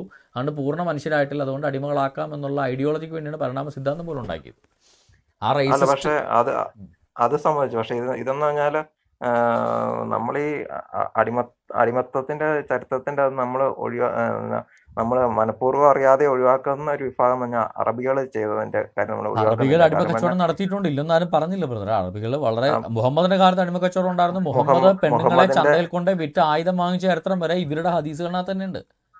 ഇവരുടെ മുഹമ്മദ് അതും ഇവരുടെ ഹദീസിനകത്തുണ്ട്. കറുത്തവരെ മുഹമ്മദ് ആക്ഷേപിക്കുന്നതും കറുത്ത വർഗക്കാരനെ സാത്താനെ പോലെ ഇരിക്കുന്നതെന്ന് പറയുന്നതും ആടിന്റെ മുലക്കണ്ണ് പോലെയാണ് അവന്റെ മോന്തായം എന്ന് പറയുന്നതൊക്കെ എല്ലാം ഇതിനകത്തുണ്ട്. ഇതൊന്നും ആരും ഡിനൈ ചെയ്യുന്നില്ല. പക്ഷേ അറബികളാണ് അടിമത്തം കണ്ടുപിടിച്ചതെന്നൊക്കെ പറഞ്ഞാൽ വിശ്വസിക്കാൻ പറ്റില്ല. അല്ല അല്ല അറബികൾ യൂറോപ്യന്മാർക്ക് അത് കൊണ്ടുപോയി ഈ യൂറോപ്യൻസ് ഒരു സംസ്കാരമായിട്ട് ഉണ്ടാകുന്നതിന് മുന്നേ അടിമത്തമുണ്ട്. യൂറോപ്യൻ സംസ്കാരം എന്ന് പറയുന്നത് അല്ല. ഉണ്ടായിരുന്നതാണ് അവരുടെ സിവിലൈസേഷൻ അതിന് മുന്നേ അടിമകൾ അടിമത്തമുണ്ട്. അല്ല അത് സംബന്ധിച്ച് പക്ഷെ. ബ്രോ ഒന്ന് കൺക്ലൂഡ് ചെയ്യണേ. ആൾക്കാർ ഒത്തിരി പേരുണ്ട് ഓക്കെ എന്നാ എന്നാ ഞാൻ ഞാൻ അതിനെപ്പറ്റി ഒരു ഇതെല്ലാം മെയിലിനകത്ത് ഞാൻ ഉൾപ്പെടുത്താം. അതിന് ശേഷം എന്നാ ബ്രദർ അതിനൊന്ന് റിപ്ലൈ എത്തുന്ന ഓക്കെ അപ്പൊ എന്നാ ബ്രദർ. ഓക്കെ അപ്പൊ താങ്ക് യു എന്നാ ഞാൻ ഞാൻ തുടരുന്നുണ്ട്. കാരണം ഇടയ്ക്ക് സംസാരിക്കണമെങ്കിൽ അത് തീരുന്ന സമയത്ത് വല്ല ഇടയ്ക്ക് ബൈക്ക് വല്ലതും വിളിക്കണേ okay. Okay okay okay okay. Okay. Sebastian brother ഒരു കാര്യം ബ്രദർ അറിഞ്ഞോന്ന് അറിഞ്ഞൂടാ. ഈ മാസം ഇരുപത്തിനാലാം തീയതി നമ്മൾ അർമേനിയൻ കൂട്ടക്കൊല എന്നാണ് ലോകമെമ്പാടും അറിയപ്പെടുന്നത്. അമേരിക്കൻ ഗവൺമെന്റ് ജോ ബൈഡൻ സർക്കാർ അതിനെ ക്രൈസ്തവ വംശഹത്യയാണെന്ന് നൂറ്റിയാറാമത്തെ വാർഷികത്തിൽ പ്രഖ്യാപിക്കാൻ പോവുകയാണ്. ഓക്കെ നല്ല കാര്യം ബ്രദർ. ഞാൻ അറിഞ്ഞില്ലായിരുന്നു. മറ്റൊരു കാര്യം കൂടെ ഞാൻ ഞാൻ പെട്ടെന്ന് ഒന്ന് പറയാം. നമ്മുടെ മൂന്ന് പേരോട് ഒന്ന് കഴിഞ്ഞിട്ട് സമയം ഉണ്ടെങ്കിൽ വരാം ഗിബോർ ഗിബോർ ബ്രദറെ. Okay thank you Sebastian praise the Lord Praise the Lord, brother. ഓ, വ- വളരെ നാളുകളായിട്ട് നമ്മൾ അങ്ങോട്ടും ഇങ്ങോട്ടും ഫോളോ ചെയ്തിട്ടുണ്ട് സംസാരിക്കാൻ ഒരു അവസരം ലഭിച്ചത് വളരെ സന്തോഷം. ഇപ്പൊ സെബാസ്റ്റ്യൻ ബ്രദർ ഈ മിനു മുനീറിനെ കുറിച്ച് സംസാ ഇപ്പോൾ ഒരു അനലിറ്റിക്കൽ ആയിട്ടുള്ള ഒരു കാര്യം പറഞ്ഞു. എനിക്ക് തോന്നുന്നു രണ്ടാമത്തെ പ്രാവശ്യം തോന്നുന്നു. ഞാൻ ഇസ്ലാം മതത്തിൽ ഏറ്റവും കൂടുതൽ ശ്രദ്ധിച്ചു എന്തോ സെബാസ്റ്റ്യൻ ബ്രദർ എന്തോ പറഞ്ഞേ? അല്ല നേരത്തെ ഞങ്ങൾ തമ്മിലൊരു ഡിബേറ്റ് ഞാൻ ഇസ്ലാം വിഷയത്തിലേക്ക് വരുന്ന തുടക്കകാലത്ത് ഒരു ഡിബേറ്റ് നടന്നിട്ടുണ്ട് അവരുമായിട്ട്. ഓർമ്മയുണ്ട് ഓർമ്മയുണ്ട്. അയ്യോ എനിക്ക് സത്യം പറഞ്ഞ വളരെ തുടക്കം. ഞാൻ എനിക്ക് കാര്യമായിട്ടൊന്നും അറിയത്തില്ല. ഞാൻ പഠിച്ചു തുടങ്ങുന്നുണ്ടായിരുന്നു. ആ പക്ഷെ മിനു മുനീറിന്റെ കാര്യം അതിലേറെ കഷ്ടമാ അന്ന് എന്ത് ചന്ദ്രനി പോയ കാര്യം അവിടെ വാങ്കുവിളി കേട്ട കാര്യം ഏതാണ്ടൊക്കെ ആയിരുന്നല്ലോ അന്ന് സംസാരിച്ചത് ഞാൻ ഞാൻ ഈ പറഞ്ഞു വരുന്നത് ഞാൻ ഈ പ്രത്യേക ഈ വർഷങ്ങളായിട്ട് ഈ ക്രിസ്തീയ വിശ്വാസത്തിൽ നിന്ന് ഇസ്ലാമിൽ പോയ പലരെയും ഞാൻ ശ്രദ്ധിച്ചിട്ടുണ്ട്. അതേപോലെ തന്നെ സെയിം ടൈം ഇസ്ലാം മതത്തിൽ നിന്നും ക്രിസ്തീയ വിശ്വാസത്തിലേക്ക് വന്നവരെ കുറിച്ച് വളരെ ഡീപ്പായിട്ട് ക്രോസ് ചെക്ക് ചെയ്തിട്ടുണ്ട്. അവരോട് സംസാരിച്ചിട്ടുണ്ട്. അത് പാകാസ് പാകിസ്ഥാനിൽ നിന്നുള്ളവർ നമ്മുടെ ക്ലബ് ഹൗസിലൊക്കെ ഇഷ്ടംപോലെ വരുന്ന ആഡം സീക്കറിനെ പോലുള്ളവരും ഈജിപ്തിലുള്ളവരും. പക്ഷെ അവരുടെ വചനത്തിലുള്ള ഉറപ്പും അവരുടെ ആ വചനം പ്രഘോഷിക്കാനുള്ളതും ഇസ്ലാമിനെ വളരെ കൃത്യമായിട്ട് റെഫ്യൂട്ട് ചെയ്യാനുള്ള അവരുടെ കപ്പാസിറ്റിയും നേരെ മറിച്ച് ഇസ്ലാം മതത്തിൽ നിന്നും ക്രിസ്തു മതത്തിൽ നിന്നും ഇസ്ലാമിലേക്ക് പോയവര് ഒരു കറക്റ്റ് ആയിട്ടൊരു ദാവ അല്ലെങ്കിൽ കറക്റ്റ് ആയിട്ടൊരു പ്രീച്ചിങ് അവർക്ക് ചെയ്യാൻ കഴിയുന്നതായിട്ട് ഞാൻ ആരെയും കണ്ടിട്ടില്ല. അത് യൂസഫ് എസ്റ്റസിനെ നോക്കിയാലും അതേപോലെ തന്നെ മുഹമ്മദ് ഈസയെ നോക്കിയാലും അതേപോലെ മിനു മുനീറിനെ ഞാൻ ഞാൻ ലിസ്റ്റിലേ കൂട്ടുന്നില്ല. I just don't count her because ആ ഒരു സ്റ്റാൻഡേർഡ് ഒന്നും ഇല്ല. ഇതിന്റെ ഇത്രയും വലിയ പരാജയം പക്ഷെ ഇവരെ ഉപയോഗിക്കുന്നത് ഇവർ ഇവരുടെ കുറെ പേരെ കബളിപ്പിക്കാനും ഇസ്ലാം മതം ഏതാണ്ട് വലിയ ഏതാണ്ട് സംഭവം കാണിക്കാനും അല്ല ഇത് ഇതിന്റെ ഒരു പ്രൊപ്പഗണ്ട പോലല്ലേ ഉള്ളൂ. അല്ലെങ്കിൽ ബ്രദറിന് എന്ത് തോന്നുന്നത് ബ്രദർ ഇത് പക്ക. ബ്രദർ പറഞ്ഞാൽ പ്രൊപ്പഗണ്ട. അതുകൊണ്ട് തന്നെയാണ് തുടക്കത്തിൽ തന്നെ ഞാൻ നല്ലൊരു ഡോസ് കൊടുത്ത് അത് ആ ഒരു പ്രൊപ്പഗണ്ടയാണെന്ന് മനസ്സിലാക്കിക്കൊണ്ട് തന്നെ. കാര്യം ഒരു academically she don't deserve an answer കാര്യം പുള്ളിക്കാരത്തി ഒരു അക്കാഡമിക് പ്രസന്റേഷനേ അല്ല. അക്കാഡമിക് നിലവാരവും ഇല്ല. പക്ഷേ ഒരു പ്രൊപ്പഗണ്ട അതിന്റെ പുറകിലുണ്ട് എന്ന് കൃത്യമായ സംശയം എനിക്ക് ഉണ്ടായിരുന്നുകൊണ്ടാണ് നല്ലൊരു മറുപടി തന്നെ ഞാൻ അത് ലൈവ് നടത്തി കൊടുക്കാൻ ഞാൻ അല്ലെങ്കിൽ ഞാൻ ആദ്യം വിചാരിച്ചതൊക്കെ ഒരു just professional hello hello sound break ഇപ്പൊ കേൾക്കാം. ഓക്കെ അല്ല ഒരു പ്രൊപ്പഗണ്ടയാണെന്ന് എനിക്ക് വ്യക്തമായൊരു ബോധ്യം ഉണ്ടായിരുന്നത് കൊണ്ടാണ് ഞാൻ ശരിക്കും ഒരു ലൈവ് തന്നെ അതിനുവേണ്ടി വെക്കാം എന്ന് വിചാരിച്ചത്. കാര്യം പെട്ടെന്ന് ഒരു ദിവസം സ്റ്റാർട്ട് ചെയ്തതാണ്. അപ്പോൾ അതിന് പുറകെ ഒരു റീസൺ കാണുമല്ലോ. അതും ഇങ്ങനെ ഒരു മാതിരി വെള്ളപൂശലെന്ന് വെച്ച് കഴിഞ്ഞാൽ സാധാരണ ഉത്താതുമാർ പോലും പൂശാത്ത വെള്ളം എടുത്താണ് പൂശുന്നത് അപ്പോൾ അതിന്റെ പുറകിൽ കൃത്യമായ അജണ്ട ഉണ്ടാവും. ആ അജണ്ടകളെ തുടക്കം തന്നെ നമ്മൾ റിഫ്യൂട്ട് ചെയ്തില്ലെങ്കിൽ അത് പിന്നെ നമുക്ക് കുറേ ആയി കഴിയുമ്പോൾ നമുക്ക് എല്ലാത്തിനും മറുപടി പറയാൻ സമയം എടുക്കും അതുകൊണ്ടാണ് ഞാൻ തുടക്കത്തിൽ തന്നെ അങ്ങ് കൊടുക്കാമെന്ന് വെച്ചത്. ഇസ്ലാം ഉണ്ടല്ലോ. വളരെയധികം തകർച്ചയെ നേരിട്ടുകൊണ്ടിരിക്കുന്ന ഒരു സമയമാണ് അവർ ചിന്തിച്ചതിലും അപ്പുറം ഈ സോഷ്യൽ മീഡിയയും ക്രിസ്ത്യൻ അപ്പോളജറ്റിക് പല ലാംഗ്വേജിലും പല പ്ലേസിലുള്ളവരും അതേപോലെ തന്നെ സെയിം വെയിറ്റേജിൽ ഇസ്ലാമിൽ നിന്നും ക്രിസ്തീയ വിശ്വാസത്തിൽ വന്ന നൂറുകണക്കിന് ആൾക്കാർ വളരെ ആപ്റ്റ് ആയിട്ടുള്ള മറുപടികൾ ലോകമെമ്പാടും പല രീതിയിൽ പല ഭാഷകളിൽ കൊടുക്കുന്നുണ്ട്.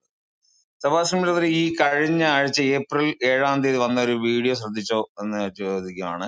ഒരു ബറേൽവി ഉസ്താദ് പാകിസ്ഥാനിൽ ലൈവ് ചാനലിൽ the most of the people are literally crying ആയിരുന്നു. ഭയങ്കരമായിട്ട് കരയുകയായിരുന്നു. അവരുടെ ഒരു ഇന്റലിജൻസ് റിപ്പോർട്ട് വന്നത് നാല് ലക്ഷത്തോളം ആൾക്കാര് മതം വിട്ടു. അത് ഈ സോഷ്യൽ മീഡിയ അക്കൗണ്ടിനെ വെച്ചിട്ട് ഉള്ള ഒരു ഇതും നൂറ്റി പത്തൊമ്പത് പേരെ അറസ്റ്റ് ചെയ്ത് അതിൽ ഏതാണ്ട് പന്ത്രണ്ടോ പതിമൂന്നോ പേരെ തൂക്കിക്കൊല്ലാനായിട്ട് വിധിച്ചതിനെ കുറിച്ച് അതിന്റെ ഡിസ്കഷൻ ഒക്കെ നടന്നുകൊണ്ടിരിക്കുമ്പോ ഒരു ഉസ്താദ് കരഞ്ഞു ഉസ്താദ് കരയുന്നു അവിടെ ടി വി പാനലിൽ ഇരിക്കുന്ന ഷിയ മൗലവി കരയുന്നു ഒരു വല്ലാത്തൊരു അറ്റ്മോസ്ഫിയർ ആയിരുന്നു ഏപ്രിൽ സെവൻത്തിൽ ഈ ലോകമെമ്പാടും ഇസ്ലാം വളരെയധികം തകർച്ച നേരിട്ടുകൊണ്ടിരിക്കുകയാണ് പക്ഷെ ഇവർ ഇവിടെ വന്ന് ഏത് സമയത്ത് പറയുമ്പോഴും ഇവർ പറയുന്ന ഇസ്ലാം ഭയങ്കരമായിട്ട് വളർന്നുകൊണ്ടിരിക്കുകയാണ്. സഭാഷ്മിന്റെ ആ ഒരു വ്യൂ എന്ന് പറയുന്നത്. ബ്രദറെ ഇസ്ലാം വളർന്നുകൊണ്ടിരിക്കുന്നു എന്ന് പറയുന്നത് ഒരു ഫ്രോഡാണ് അതിന്റെ കാരണം ഇവർ ഇസ്ലാമിക രാജ്യത്തെ എന്റയർ സിറ്റിസൺസിനെ മുസ്ലിംസ് ആയിട്ടാണ് കണക്കാക്കുന്നത്. ഇസ്ലാമിക രാജ്യത്ത് മുസ്ലിംസ് അല്ല എന്ന് ഒഫീഷ്യലി ഡിക്ലെയർ ചെയ്യുന്ന സിറ്റിസൺസിന്റെ എണ്ണം ഇല്ല. അങ്ങനെ ഡിക്ലെയർ ചെയ്യാനുള്ള സ്കോപ്പ് അവിടെ അറിയത്തില്ല പിതാവ് മുസ്ലിമാണോ? അവൻ മുസ്ലിമാണ് no matter who the mother is അപ്പം അതുകൊണ്ട് തന്നെ മുസ്ലിങ്ങളുടെ എണ്ണം ഇവർ പ്രൊപ്പഗേറ്റ് ചെയ്യുന്നത് ഈ- ജനിച്ചു വീഴുന്ന സകല പിള്ളേരെയും മുസ്ലിമായിട്ട് കണക്കാക്കിയാണ്. അതിൽ എത്രയോ ശതമാനം നല്ലൊരു ശതമാനം തന്നെ ഇസ്ലാം മതം വിട്ട് യുക്തിവാദികളാകുന്നുണ്ട്. ഒരു നൈസ് ഗുഡ് പെർസെന്റേജ് പെന്തക്കോസ് പോലുള്ള ന്യൂ ജനറേഷൻ ക്രിസ്ത്യൻ വിഭാഗങ്ങളിലേക്ക് പോകുന്നുണ്ട്. ട്രഡീഷണൽ ക്രിസ്ത്യാനിറ്റിയിലേക്ക് പോകുന്നവർ വളരെ കുറവാണ്. പക്ഷേ ക്രിസ്ത്യാനികളായിട്ട് മാറുന്ന ഒരു നല്ലൊരു ശതമാനമുണ്ട്. കുറേ പേര് യുക്തിവാദികളുമായിട്ട് നിൽക്കുന്നുണ്ട്. കുറേ പേര് ചുമ്മാ മതം ഉപേക്ഷിച്ച് ഒന്നുമില്ലാതെയും നിൽക്കുന്നുണ്ട്. പക്ഷെ ഇവരെല്ലാം നിയമപരമായ കണക്കിൽ ഇവരെല്ലാം ഇസ്ലാം മതസ്ഥരായിട്ടാണ് കണക്കാക്കപ്പെടുന്നത്. അതുകൊണ്ടാണ് ഇവർ ഇസ്ലാം വളരുന്നു ഇസ്ലാം വളരുന്നു എന്ന് തള്ളുന്നത്. ഇവർക്ക് അന്തസ്സോടെ ഇസ്ലാം വളരുന്നു എന്ന് തള്ളി മറിക്കണമെങ്കിൽ ഇവർ ഇസ്ലാം മതം ത്തിൽ നിന്ന് അപ്പോസ്റ്റേറ്റ് ആകുന്നതിന് മുർത്തതാവുന്നതിന് മതം വിടുന്നതിന് ഒരു കുഴപ്പമില്ല എന്ന് രാജ്യത്ത് നിയമങ്ങൾ ഉണ്ടാക്കണം. കൃത്യമായ നിയമമുണ്ട് ഇസ്ലാമിക രാഷ്ട്രങ്ങൾ ഇസ്ലാം മതം വിട്ടാൽ കൊല്ലുക അല്ല തടവിലാക്കപ്പെടുക. ജോലിയെല്ലാം എടുത്തു കളയും. ഗവൺമെന്റ് ജോലിയെല്ലാം നഷ്ടപ്പെടും. അവരെ പിടിച്ച് ജയിലിലിടുകയോ കൊല്ലുകയോ ചെയ്യും. അതാണ് എല്ലാ ഇസ്ലാം മതരാണ് നമുക്കൊന്നും ദുബായൊക്കെ എന്ത് നല്ല ഡീസന്റ് രാഷ്ട്രമാണ് ഒരാളും ഇസ്ലാം മതം ഉപേക്ഷിച്ച് മുർത്തതായ എന്നൊരു ദുബായ് സിറ്റിസൺ പറഞ്ഞു നോക്കുക അപ്പോൾ അറിയാം. അവരുടെ കൃത്യമായ അവർക്ക് ക്രിമിനൽ ലോ ഉണ്ട്. ഇസ്ലാം മതത്തിൽ നിന്ന് ഒരാൾ ഉപേക്ഷിച്ച് മറ്റൊരു മതം സ്വീകരിച്ചു കഴിഞ്ഞാൽ അയാളെ മറ്റു മതം സ്വീകരിക്കുന്ന ക്ലർജി ആരാണോ അയാളെയും ശിക്ഷിക്കും. ഈ മതം മാറിയ ആളെയും ശിക്ഷിക്കും. അതുകൊണ്ട് തന്നെ ആരും ഡിക്ലെയർ ചെയ്യാറില്ല. അപ്പോൾ ഇന്ന് കാണുന്ന മൊത്തം മുസ്ലിങ്ങളുടെ ഒരു ഒരു ഫോർട്ടി പെർസെന്റ് എങ്കിലും മിനിമം കുറച്ചേ കണക്കാക്കാൻ പറ്റുള്ളൂ. എത്ര പേര് മതം മാറുന്നു എന്നുള്ള കണക്ക് അവർ പുറത്തു വിട്ടിട്ടില്ല. എന്നാൽ എവിടെയെങ്കിലും ഒരു ക്രിസ്ത്യാനി കാശിന് വേണ്ടി ഇസ്ലാം മതം സ്വീകരിച്ചാൽ ഒരു പെണ്ണിന് വേണ്ടി ഇസ്ലാം മതം സ്വീകരിച്ചാൽ അത് വേണ്ട കാഷത്തിൽ യൂട്യൂബ് ലൈവായിട്ട് ഇവർ കൊണ്ടു നടക്കുകയും ചെയ്യും. അതുകൊണ്ട് ഇവരൊരുക്കുന്ന ഒരു ഫോൾസ് ചിന്തയാണ്. ഇനി കേരളത്തിൽ തന്നെ എത്രായിരം ആളുകൾ ഇസ്ലാം മതം വിട്ടിട്ടുണ്ട്? ഇതെല്ലാം പത്രത്തിൽ വന്നിട്ടുണ്ടോ? ഇല്ല. കേരളത്തിൽ ഈ മുസ്ലിം പേരുള്ള എല്ലാവരും മുസ്ലിമായിട്ടാണ് കൊ- ചുരുക്കം ചിലർ മുസ്ലിം അല്ല എന്ന് സ്വയം പ്രഖ്യാപിച്ചുകൊണ്ട് മുന്നോട്ട് വന്നിങ്ങനെ വരലെണ്ണാന്ന് കുറച്ച് പേരാ. ബാക്കി എല്ലാവരും മുസ്ലിമായിട്ടാണ് എണ്ണുന്നത് പക്ഷെ അവർ മുസ്ലിങ്ങളാണ്. അവർ മുസ്ലിങ്ങളല്ല. അവർ ഇസ്ലാം മതം വിട്ടിട്ട് നാൾ കുറേ. അപ്പോൾ അങ്ങനെയാണ് ഇവർ ഇസ്ലാം മതം വളർന്നു വളർന്നു വളർന്നു എന്നുള്ളൊരു ഒരു ഫേക്ക് ഒരു സ്റ്റോറി ഇവർ ക്രിയേറ്റ് ചെയ്യുന്നത്. ദാറ്റ്സ് എ ഫേക്ക് ഇസ്ലാം മതം വളരുകയല്ല തളരുകയാണ്. പക്ഷെ അവരുടെ പൊളിറ്റിക്കൽ സ്ട്രെങ്ത് കൂടുകയാണ്. അതിലെന്ന് ഞാൻ പറയുന്നത്. അവരുടെ ജിയോ പൊളിറ്റിക്കലി അവരുടെ സ്ട്രെങ്ത് കൂടിക്കൊണ്ടിരിക്കുക ഓക്കെ. ബ്രദർ കഴിഞ്ഞായിരുന്നോ? കഴിഞ്ഞു ഡാൻ ബ്രദർ. ഡാൻ. കേക്കാവോ? കേക്കാവോ? കേൾക്കാം ബ്രദർ പറഞ്ഞോളൂ ഹലോ. ആ നമസ്കാരം സെബാസ്റ്റ്യൻ നമസ്കാരം നമ്മൾ പണ്ടും സംസാരിച്ചിട്ടുണ്ടായിരുന്നു. ഞാൻ ഈ മുനീർ മിനു മുനീറിനെ കുറിച്ചൊന്നും പറയാനല്ല. കാരണം ഈ മുസ്ലിം മതത്തിലോട്ട് സ്വീകരിച്ചവരുടെ സംസാര രീതി കേൾക്കുമ്പോഴേ അറിയാം. അവർ പറയുന്നതും പ്രവർത്തിക്കുന്നതായിട്ട് യാതൊരു ബന്ധമില്ലാത്ത കാര്യമാണ്. ഇപ്പൊ പറഞ്ഞ ലാസ്റ്റ് പറഞ്ഞ ഒരു കാര്യത്തിൽ ഇപ്പം ഇസ്ലാം വളരുന്നു എന്നുള്ള കാര്യത്തിലാണ് എനിക്ക് സംസാരിക്കാനുള്ളത്. ഞാനിപ്പോ പറഞ്ഞു വെച്ചാൽ നമ്മുടെ ഇവിടെ സ്കോട്ട്ലൻഡിലെ ഇപ്പം യൂസഫ് എന്ന് പറഞ്ഞ പുള്ളി പ്രസന്റ് പ്രൈം മിനിസ്റ്റർ ആയി കഴിഞ്ഞപ്പോഴേക്കും പുള്ളിക്കാരൻ ഇങ്ങനെ മുസ്ലിമായിട്ട് നിസ്കരിക്കുന്ന കാര്യങ്ങളൊക്കെയാണ് ഇപ്പൊ ഇവിടുത്തെ ഫേസ്ബുക്കിൽ ഇപ്പൊ ഇവിടുത്തെ ഉള്ള ഫേസ്ബുക്കിൽ ഫേസ്ബുക്കിലെല്ലാം നിറഞ്ഞിരിക്കുന്നത്. അല്ലാതെ ഒരു ഒരു പുതിയൊരു പ്രസിഡന്റ് വന്നതായിട്ടല്ല അവരുടെ ഒരു ഫസ്റ്റ് സ്റ്റെപ്പ് എന്ന നിലയിൽ അവരൊരു മുസ്ലിം കൺട്രി എന്ന നിലയിൽ ആക്കിയാണ് ഇപ്പം സ്കോട്ട്ലൻഡും യു കെയും തമ്മിൽ സ്പ്ലിറ്റ് ചെയ്യാനുള്ള ഒരു പരിപാടിയില്ല. അപ്പൊ അതുകൊണ്ട് ഇപ്പം നമ്മൾ ഋഷി വന്നപ്പോൾ പോലും ഒരു ഹിന്ദു പ്രൈം മിനിസ്റ്റർ ആയി എന്നല്ലാതെ അവർക്ക് അവർക്കൊരു അജണ്ട ഉണ്ടെന്നൊന്നുമല്ല പക്ഷെ ഇപ്പൊ ഇവിടെ ഒരു സ്കോട്ട്ലൻഡിലെ പുള്ളി പ്രൈം മിനിസ്റ്റർ ആയപ്പോഴേക്കും ഇവർക്കൊരു അജണ്ട പോലെ. അതായത് ഇപ്പം അവരുടെ ഒരു ഫസ്റ്റ് സ്റ്റെപ്പ് എന്ന നിലയിൽ അവിടെ പ്രൈം മിനിസ്റ്റർ ആയി. ഇപ്പൊ അവിടെ മുസ്ലിംസിന്റെ ഒരു ഒഴുക്കായിരിക്കും. അത് സെപ്പറേറ്റ് ആക്കും. അതൊരു മുസ്ലിം കൺട്രി ആകും എന്ന രീതിയിലുള്ള ഒരു സംസാര രീതികളാണ് ഇവിടെ നടക്കുന്നത്. ഇവിടെ ആൾക്കാരുടെ ഫേസ്ബുക്ക് പോസ്റ്റുകളും പിന്നെ അങ്ങനത്തെ കുറെ വീഡിയോസ് ഒക്കെ വരുന്നുണ്ട്. പുള്ളി നിസ്കരിക്കുന്ന വീഡിയോസും അങ്ങനത്തെ കുറച്ച് സാധനങ്ങളൊക്കെ വരുന്നുണ്ട്. പിന്നെ അത് അതൊരു നമുക്കൊരു പേടിക്കുന്ന ഇവിടെയുള്ള ആൾക്കാരെ സംബന്ധിച്ച് പേടിപ്പിക്കുന്ന ഒരു കാര്യം. അപ്പൊ അതുപോലെ ഒരു സംഭവം എനിക്ക് റീസെന്റ് എനിക്കൊരു കഴിഞ്ഞ കഴിഞ്ഞ ദിവസം പെരുന്നാളിന്റെ അന്ന് അതായത് ഈ മുസ്ലിംസിന്റെ റമദാന്റെ സമയത്ത് എന്റെ വൈഫിനോട് വർക്ക് ചെയ്തുകൊണ്ടിരിക്കുന്ന ഒരു പെൺകുട്ടിയുണ്ട്. പുള്ളിക്കാരി എനിക്ക് നിറാനിയാണ്. അപ്പൊ പുള്ളിക്കാരി ഒരു മുസ്ലിമാണ്. പക്ഷെ ഇവർ വർഷങ്ങളായിട്ട് ഇവിടെ താമസിക്കുന്നവരാണ്. അപ്പം അവർ ഈ മതം വിട്ടവരാണ്. ആക്ച്വലി അവർക്ക് മതമൊന്നുമില്ല. പുള്ളിക്കാരി ഇവിടുത്തെ ഡ്രസ്സുകളും അവിടുത്തെ ഡ്രസ് കോഡുകളൊക്കെയാണ് ഇടുന്നത്. അപ്പം പുള്ളിക്കാരി ഹിജാബ് ഇടാറില്ല. പക്ഷെ ഈ വൈഫ് വർക്ക് ചെയ്യുന്ന സ്ഥലം എന്ന് പറഞ്ഞാൽ ഇച്ചിരി മുസ്ലിംസിന്റെ ഏരിയയാണ് ഇവിടുത്തെ ഒരു ഈസ്റ്റാം എന്ന് പറഞ്ഞ ഒരു സ്ഥലത്താണ്. അപ്പം അവിടെ മൊത്തം ഈ മുസ്ലിംസിന്റെ ഏരിയ അപ്പൊ അവിടുത്തെ ഹോസ്പിറ്റലിലായിരുന്നു പുള്ളിക്കാരി വർക്ക് ചെയ്തോണ്ടിരുന്നത് അപ്പൊ ആ പുള്ളിക്കാരിയുടെ പേര് മുസ്ലിം ആണെന്ന് അറിഞ്ഞതോടുകൂടി അവിടെയുള്ള മുസ്ലിംസ് എല്ലാം കൂടെ ഈ പുള്ളിക്ക് എതിരായിട്ട് പരാതി കൊടുക്കാൻ തുടങ്ങി. അപ്പം സെബാസ്റ്റ്യൻ ബ്രദറിന് അറിയാമല്ലോ. ഇവിടെ റിപ്പോർട്ട് വന്നിട്ടുണ്ടെങ്കിൽ ഇൻവെസ്റ്റിഗേഷൻ ഇൻവെസ്റ്റിഗേഷൻ തുടങ്ങുമല്ലോ. അപ്പൊ അങ്ങനെ തുടങ്ങുമ്പോഴേക്കും ഒരുപാട് കംപ്ലൈന്റ് വന്നപ്പോഴേക്കും പുള്ളിക്കാരിക്ക് എതിരായിട്ട് കുറെ എൻക്വയറീസ് വന്നിട്ടുണ്ട്. അപ്പൊ അതും എല്ലാം വന്നു കഴിഞ്ഞപ്പോഴേക്കും പുള്ളിക്കാരി ആകെ ഭയങ്കര പ്രോബ്ലത്തിലായി അപ്പൊ പുള്ളിക്കാരി ഞാൻ മനസ്സിലാക്കി എടുത്തു കഴിഞ്ഞപ്പം ഈ മുസ്ലിംസ് ആൾക്കാർ തന്നെയാണ്. അപ്പൊ അവിടെ ആൾക്കാർ സംസാരിച്ചു. നീ തിരിച്ച് മുസ്ലിം ആയില്ല എന്നുണ്ടെങ്കിൽ ഇനിയും കേസ് കൊടുക്കുമെന്ന് പറഞ്ഞു. അവസാനം പുള്ളിക്കാരി ഇപ്പൊ തട്ടിട്ടുകൊണ്ടാണ് വന്നത്. ലാസ്റ്റ് പുള്ളിക്കാരി റിസൈൻ ചെയ്തു. ഇവിടുന്ന് റിസൈൻ ചെയ്തിട്ട് പുള്ളിക്കാരി തട്ടൊക്കെ ഇട്ടുണ്ടോ ലാസ്റ്റ് ദിവസം വന്നോണ്ടിരുന്നത് അപ്പൊ അതുപോലെ ഇവർ ഇപ്പം എക്സ് മുസ്ലിംസിനെ അല്ലെങ്കിൽ മുസ്ലിം അല്ലാത്തവരെല്ലാം ഇങ്ങനെ ടാർഗറ്റ് ചെയ്യാൻ തുടങ്ങി കഴിഞ്ഞാലും ഇവരുടെ എണ്ണം കുറയത്തില്ലല്ലോ. കാരണം വിശ്വാസം ഇല്ലാത്തവരെല്ലാം ഇതിലായിട്ട് ഇവരിനെ ഒരു അടിച്ചേൽപ്പിച്ച് ഇവിടെ മതത്തിൽ നിർത്തിക്കുമല്ലേ ഇപ്പൊ നമ്മൾ ക്രിസ്ത്യാനിറ്റി ഇപ്പൊ എനിക്ക് മതം വേണ്ടെന്ന് പറഞ്ഞാൽ ഇറങ്ങിപ്പോയാൽ ആരും എന്നെ ഫോളോ ചെയ്യാനോ അല്ലെങ്കിൽ വീട്ടുകാർ പോലും ചോദിക്കാൻ പറ്റത്തില്ല. പക്ഷെ ഇത് അങ്ങനെയല്ല. ഇവരിപ്പോ പുറകെ നടന്ന് ഒരു ഒരു ട്രാപ്പ് ചെയ്യുമല്ലേ ട്രാപ്പ് എന്ന് വെച്ചാൽ ഇവരുടെ കോൺസെപ്റ്റിൽ അപ്പൻ മുസ്ലിം ആണോ? അവൻ ആരാണെന്നൊന്നുമല്ല. അപ്പൻ മുസ്ലിം ആണോ? മക്കൾ മുസ്ലിമാണ് അവരും ഇസ്ലാം മതം വിടുന്നു വിടുന്നു ഒന്നും അവർക്ക് അറിയേണ്ട കാര്യമില്ല. അവരും മുസ്ലിമാണ് മുസ്ലിമായിട്ട് ജീവിച്ചിരിക്കണം. ശരീരത്തെ നിയമത്തിന് അടിയിലായിരിക്കണം അവൻ. നോ മാറ്റർ വാട്ട് അതാണ് ഇവരുടെ കാഴ്ചപ്പാട്. അതുകൊണ്ടാണ് ഇവന്മാർ ഇസ്ലാമിന്റെ എണ്ണം അങ്ങ് ഇങ്ങനെ പ്രൊജക്റ്റ് ചെയ്യുന്നത്. ശരിക്കും ഇവന്മാരുടെ എണ്ണം ആക്ച്വലി എടുത്തു കഴിഞ്ഞാൽ എത്ര പേര് കാണുന്ന ഈ സൗദിയുടെ ക്രൗൺ പ്രിൻസ് പോലും ഉണ്ടാവുമെന്ന് എനിക്ക് സംശയമാണ് പക്ഷെ എന്നാലും അവർ ആ മീൻസ് അവർ അവരുടെ എണ്ണം കുറയ്ക്കാതിരിക്കാൻ വേണ്ടി അവർ ചെയ്യാൻ പറ്റുന്ന മാക്സിമം അവർ ചെയ്യുന്നുണ്ട്. പക്ഷെ മറ്റുള്ളവരുടെ ഇതിപ്പം ഇപ്പം ഒരു പ്രോബ്ലം എന്ന് വെച്ച് കഴിഞ്ഞാൽ ഇപ്പം നാളെ നമ്മളെ നമുക്കെതിരായിട്ട് ഇവർ ടാർഗറ്റ് ചെയ്ത് ഇതുപോലെ ആക്രമിക്കത്തില്ലേ? അതിനകത്ത് അതിനകത്ത് ഒന്നും പേടിക്കുന്ന ബ്രദറെ. എപ്പ ഉണ്ടായെന്ന് ചോദിച്ചാൽ മതി. കാര്യം ഇവർ ഒരു രാജ്യത്ത് ഇവരൊരു സ്ട്രോങ് ഹോൾഡ് ആയിക്കഴിഞ്ഞാൽ ഇവർ പിന്നെ ഭയപ്പെടുത്തി നടത്തും നമ്മൾ യു കെയിൽ എത്ര കേസുകളാണ് സ്കോട്ട്ലൻഡിലും യു കെയിലും മീൻസ് ഇംഗ്ലണ്ടിലും ആയിട്ട് വന്നേക്കുന്നത് ടീച്ചേഴ്സിനെ പേടിപ്പിക്കുന്നത് എത്ര കേസുകൾ എത്ര ടീച്ചേഴ്സ് പോലീസ് പ്രൊട്ടക്ഷൻ നടക്കുന്നുണ്ടെന്ന് അറിയോ? സ്വന്തം വീട്ടിൽ കയറാൻ പറ്റാതെ. കഴിഞ്ഞിടക്ക് ഉണ്ടായിരുന്ന ഒരു ഇൻസിഡന്റ് ഇതൊക്കെ ഇവരുടെ ഭയപ്പെടും അപ്പൊ പിന്നെ വേറെ ആരും ഇസ്ലാമിനൊന്നും പറയത്തില്ല. അതാണ് ഇവരുടെ ഒരു നമ്പർ എന്ന് പറയുന്നത്. പിന്നെ വേറെ ആരും മിണ്ടത്തില്ലല്ലോ. പറഞ്ഞവർ മുഴുവൻ പോലീസ് പ്രൊട്ടക്ഷനിലും അവരുടെ നടക്കുമ്പോൾ പിന്നെ ആരെങ്കിലും അങ്ങനത്തെ റിസ്ക് എടുക്കുക എല്ലാവർക്കും ലൈഫ് എന്ന് പറഞ്ഞ സംഭവം ഉണ്ടല്ലോ. ജീവിക്കണ്ടേ. അവർക്ക് മക്കളില്ലേ ഭാര്യയില്ലേ കുടുംബമില്ലേ അവർക്കൊക്കെ ജീവിക്കണ്ടേ. അപ്പം അങ്ങനെ ഉള്ള ഒരു റഷ് ഇവന്മാർ അങ്ങനെ ഒരു പാനിക് ക്രിയേറ്റ് ചെയ്യുകയാണ് അങ്ങനെ ഒരു പാനിക്കാണ് ഇവരുടെ വിജയം എന്ന് പറയുന്നത്.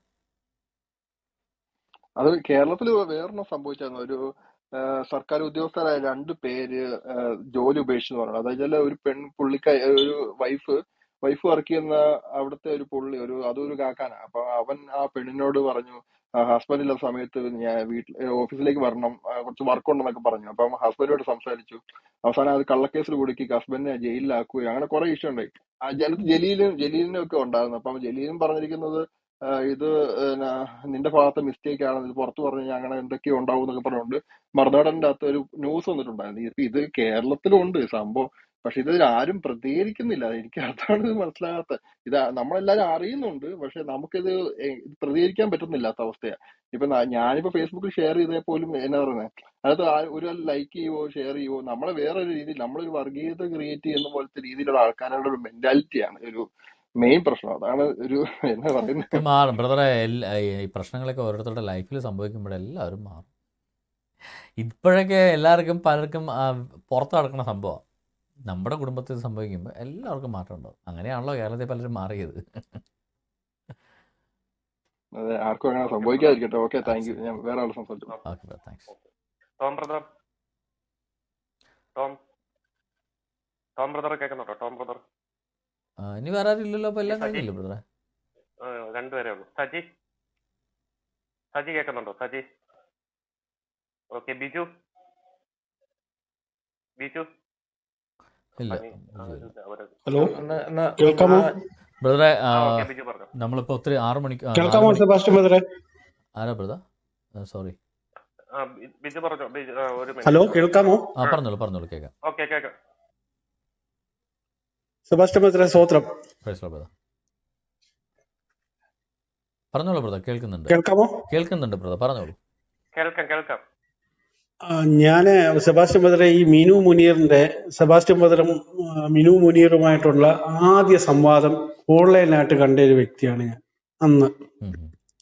അന്ന് സെബാസ്റ്റ്യൻ ബദർ മിനു മുനീറിനോട് ചോദിച്ച ചോദ്യം ഇപ്പോഴും എനിക്ക് കാണാപ്പാടമായിട്ട് അറിയാം അന്ന് നിങ്ങൾ തമ്മിലുള്ള സംഭാഷണ സംവാദത്തിൽ അവർ ഒരിക്കൽ പോലും ക്രിസ്ത്യാനിറ്റിയെ കുറിച്ചുള്ള ഒരു കാര്യം മുസ്ലിമിനെ കുറിച്ചുള്ള ചോദ്യങ്ങൾ ചോദിക്കുമ്പോൾ ഇസ്ലാമിനെ കുറിച്ചുള്ള ചോദ്യങ്ങൾ ചോദിക്കുമ്പോൾ അവർ അത് കേൾക്കാത്ത ഭാവത്തിൽ ക്രിസ്ത്യാനിറ്റിയെ കുറ്റം പറഞ്ഞുകൊണ്ടിരിക്കുകയായിരുന്നു.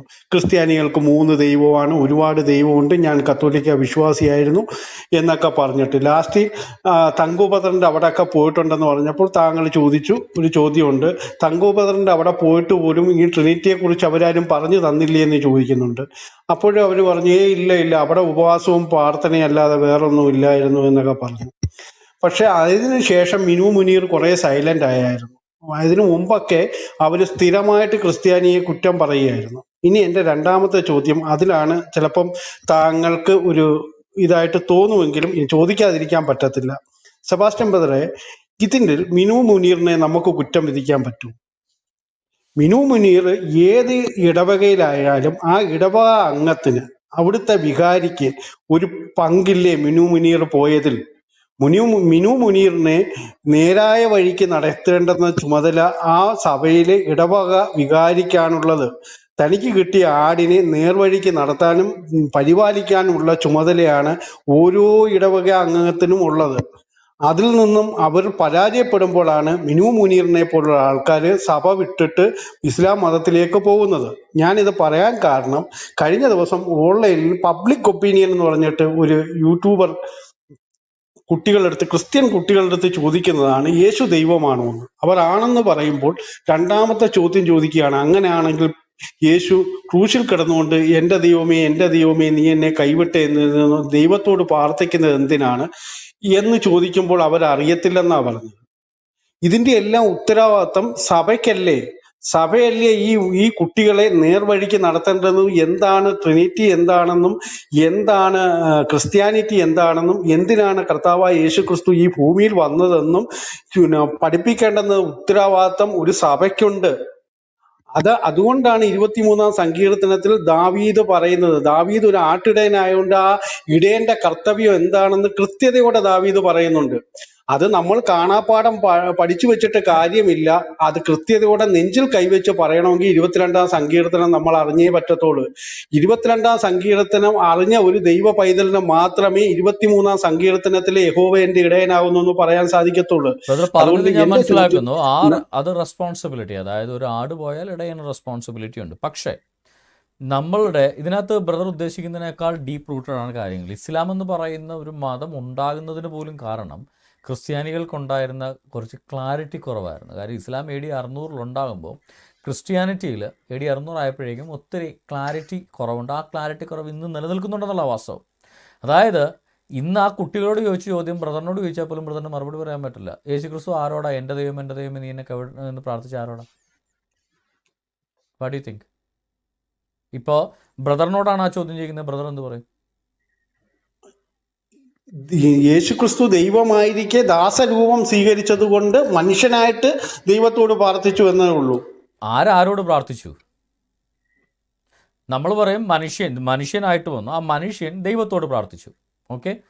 ഈ ഇത് ബ്രദർ നമ്മുടെ ചർച്ചിന് അങ്ങനെ പറയാൻ പറ്റില്ല. ചർച്ചിനൊരു ഒഫീഷ്യൽ തിയോളജി ഉണ്ട് അത് ട്രിനിറ്റിയാണ്. ട്രിനിറ്റി വെച്ചിട്ട് ബ്രദർ എന്നത് പറഞ്ഞു?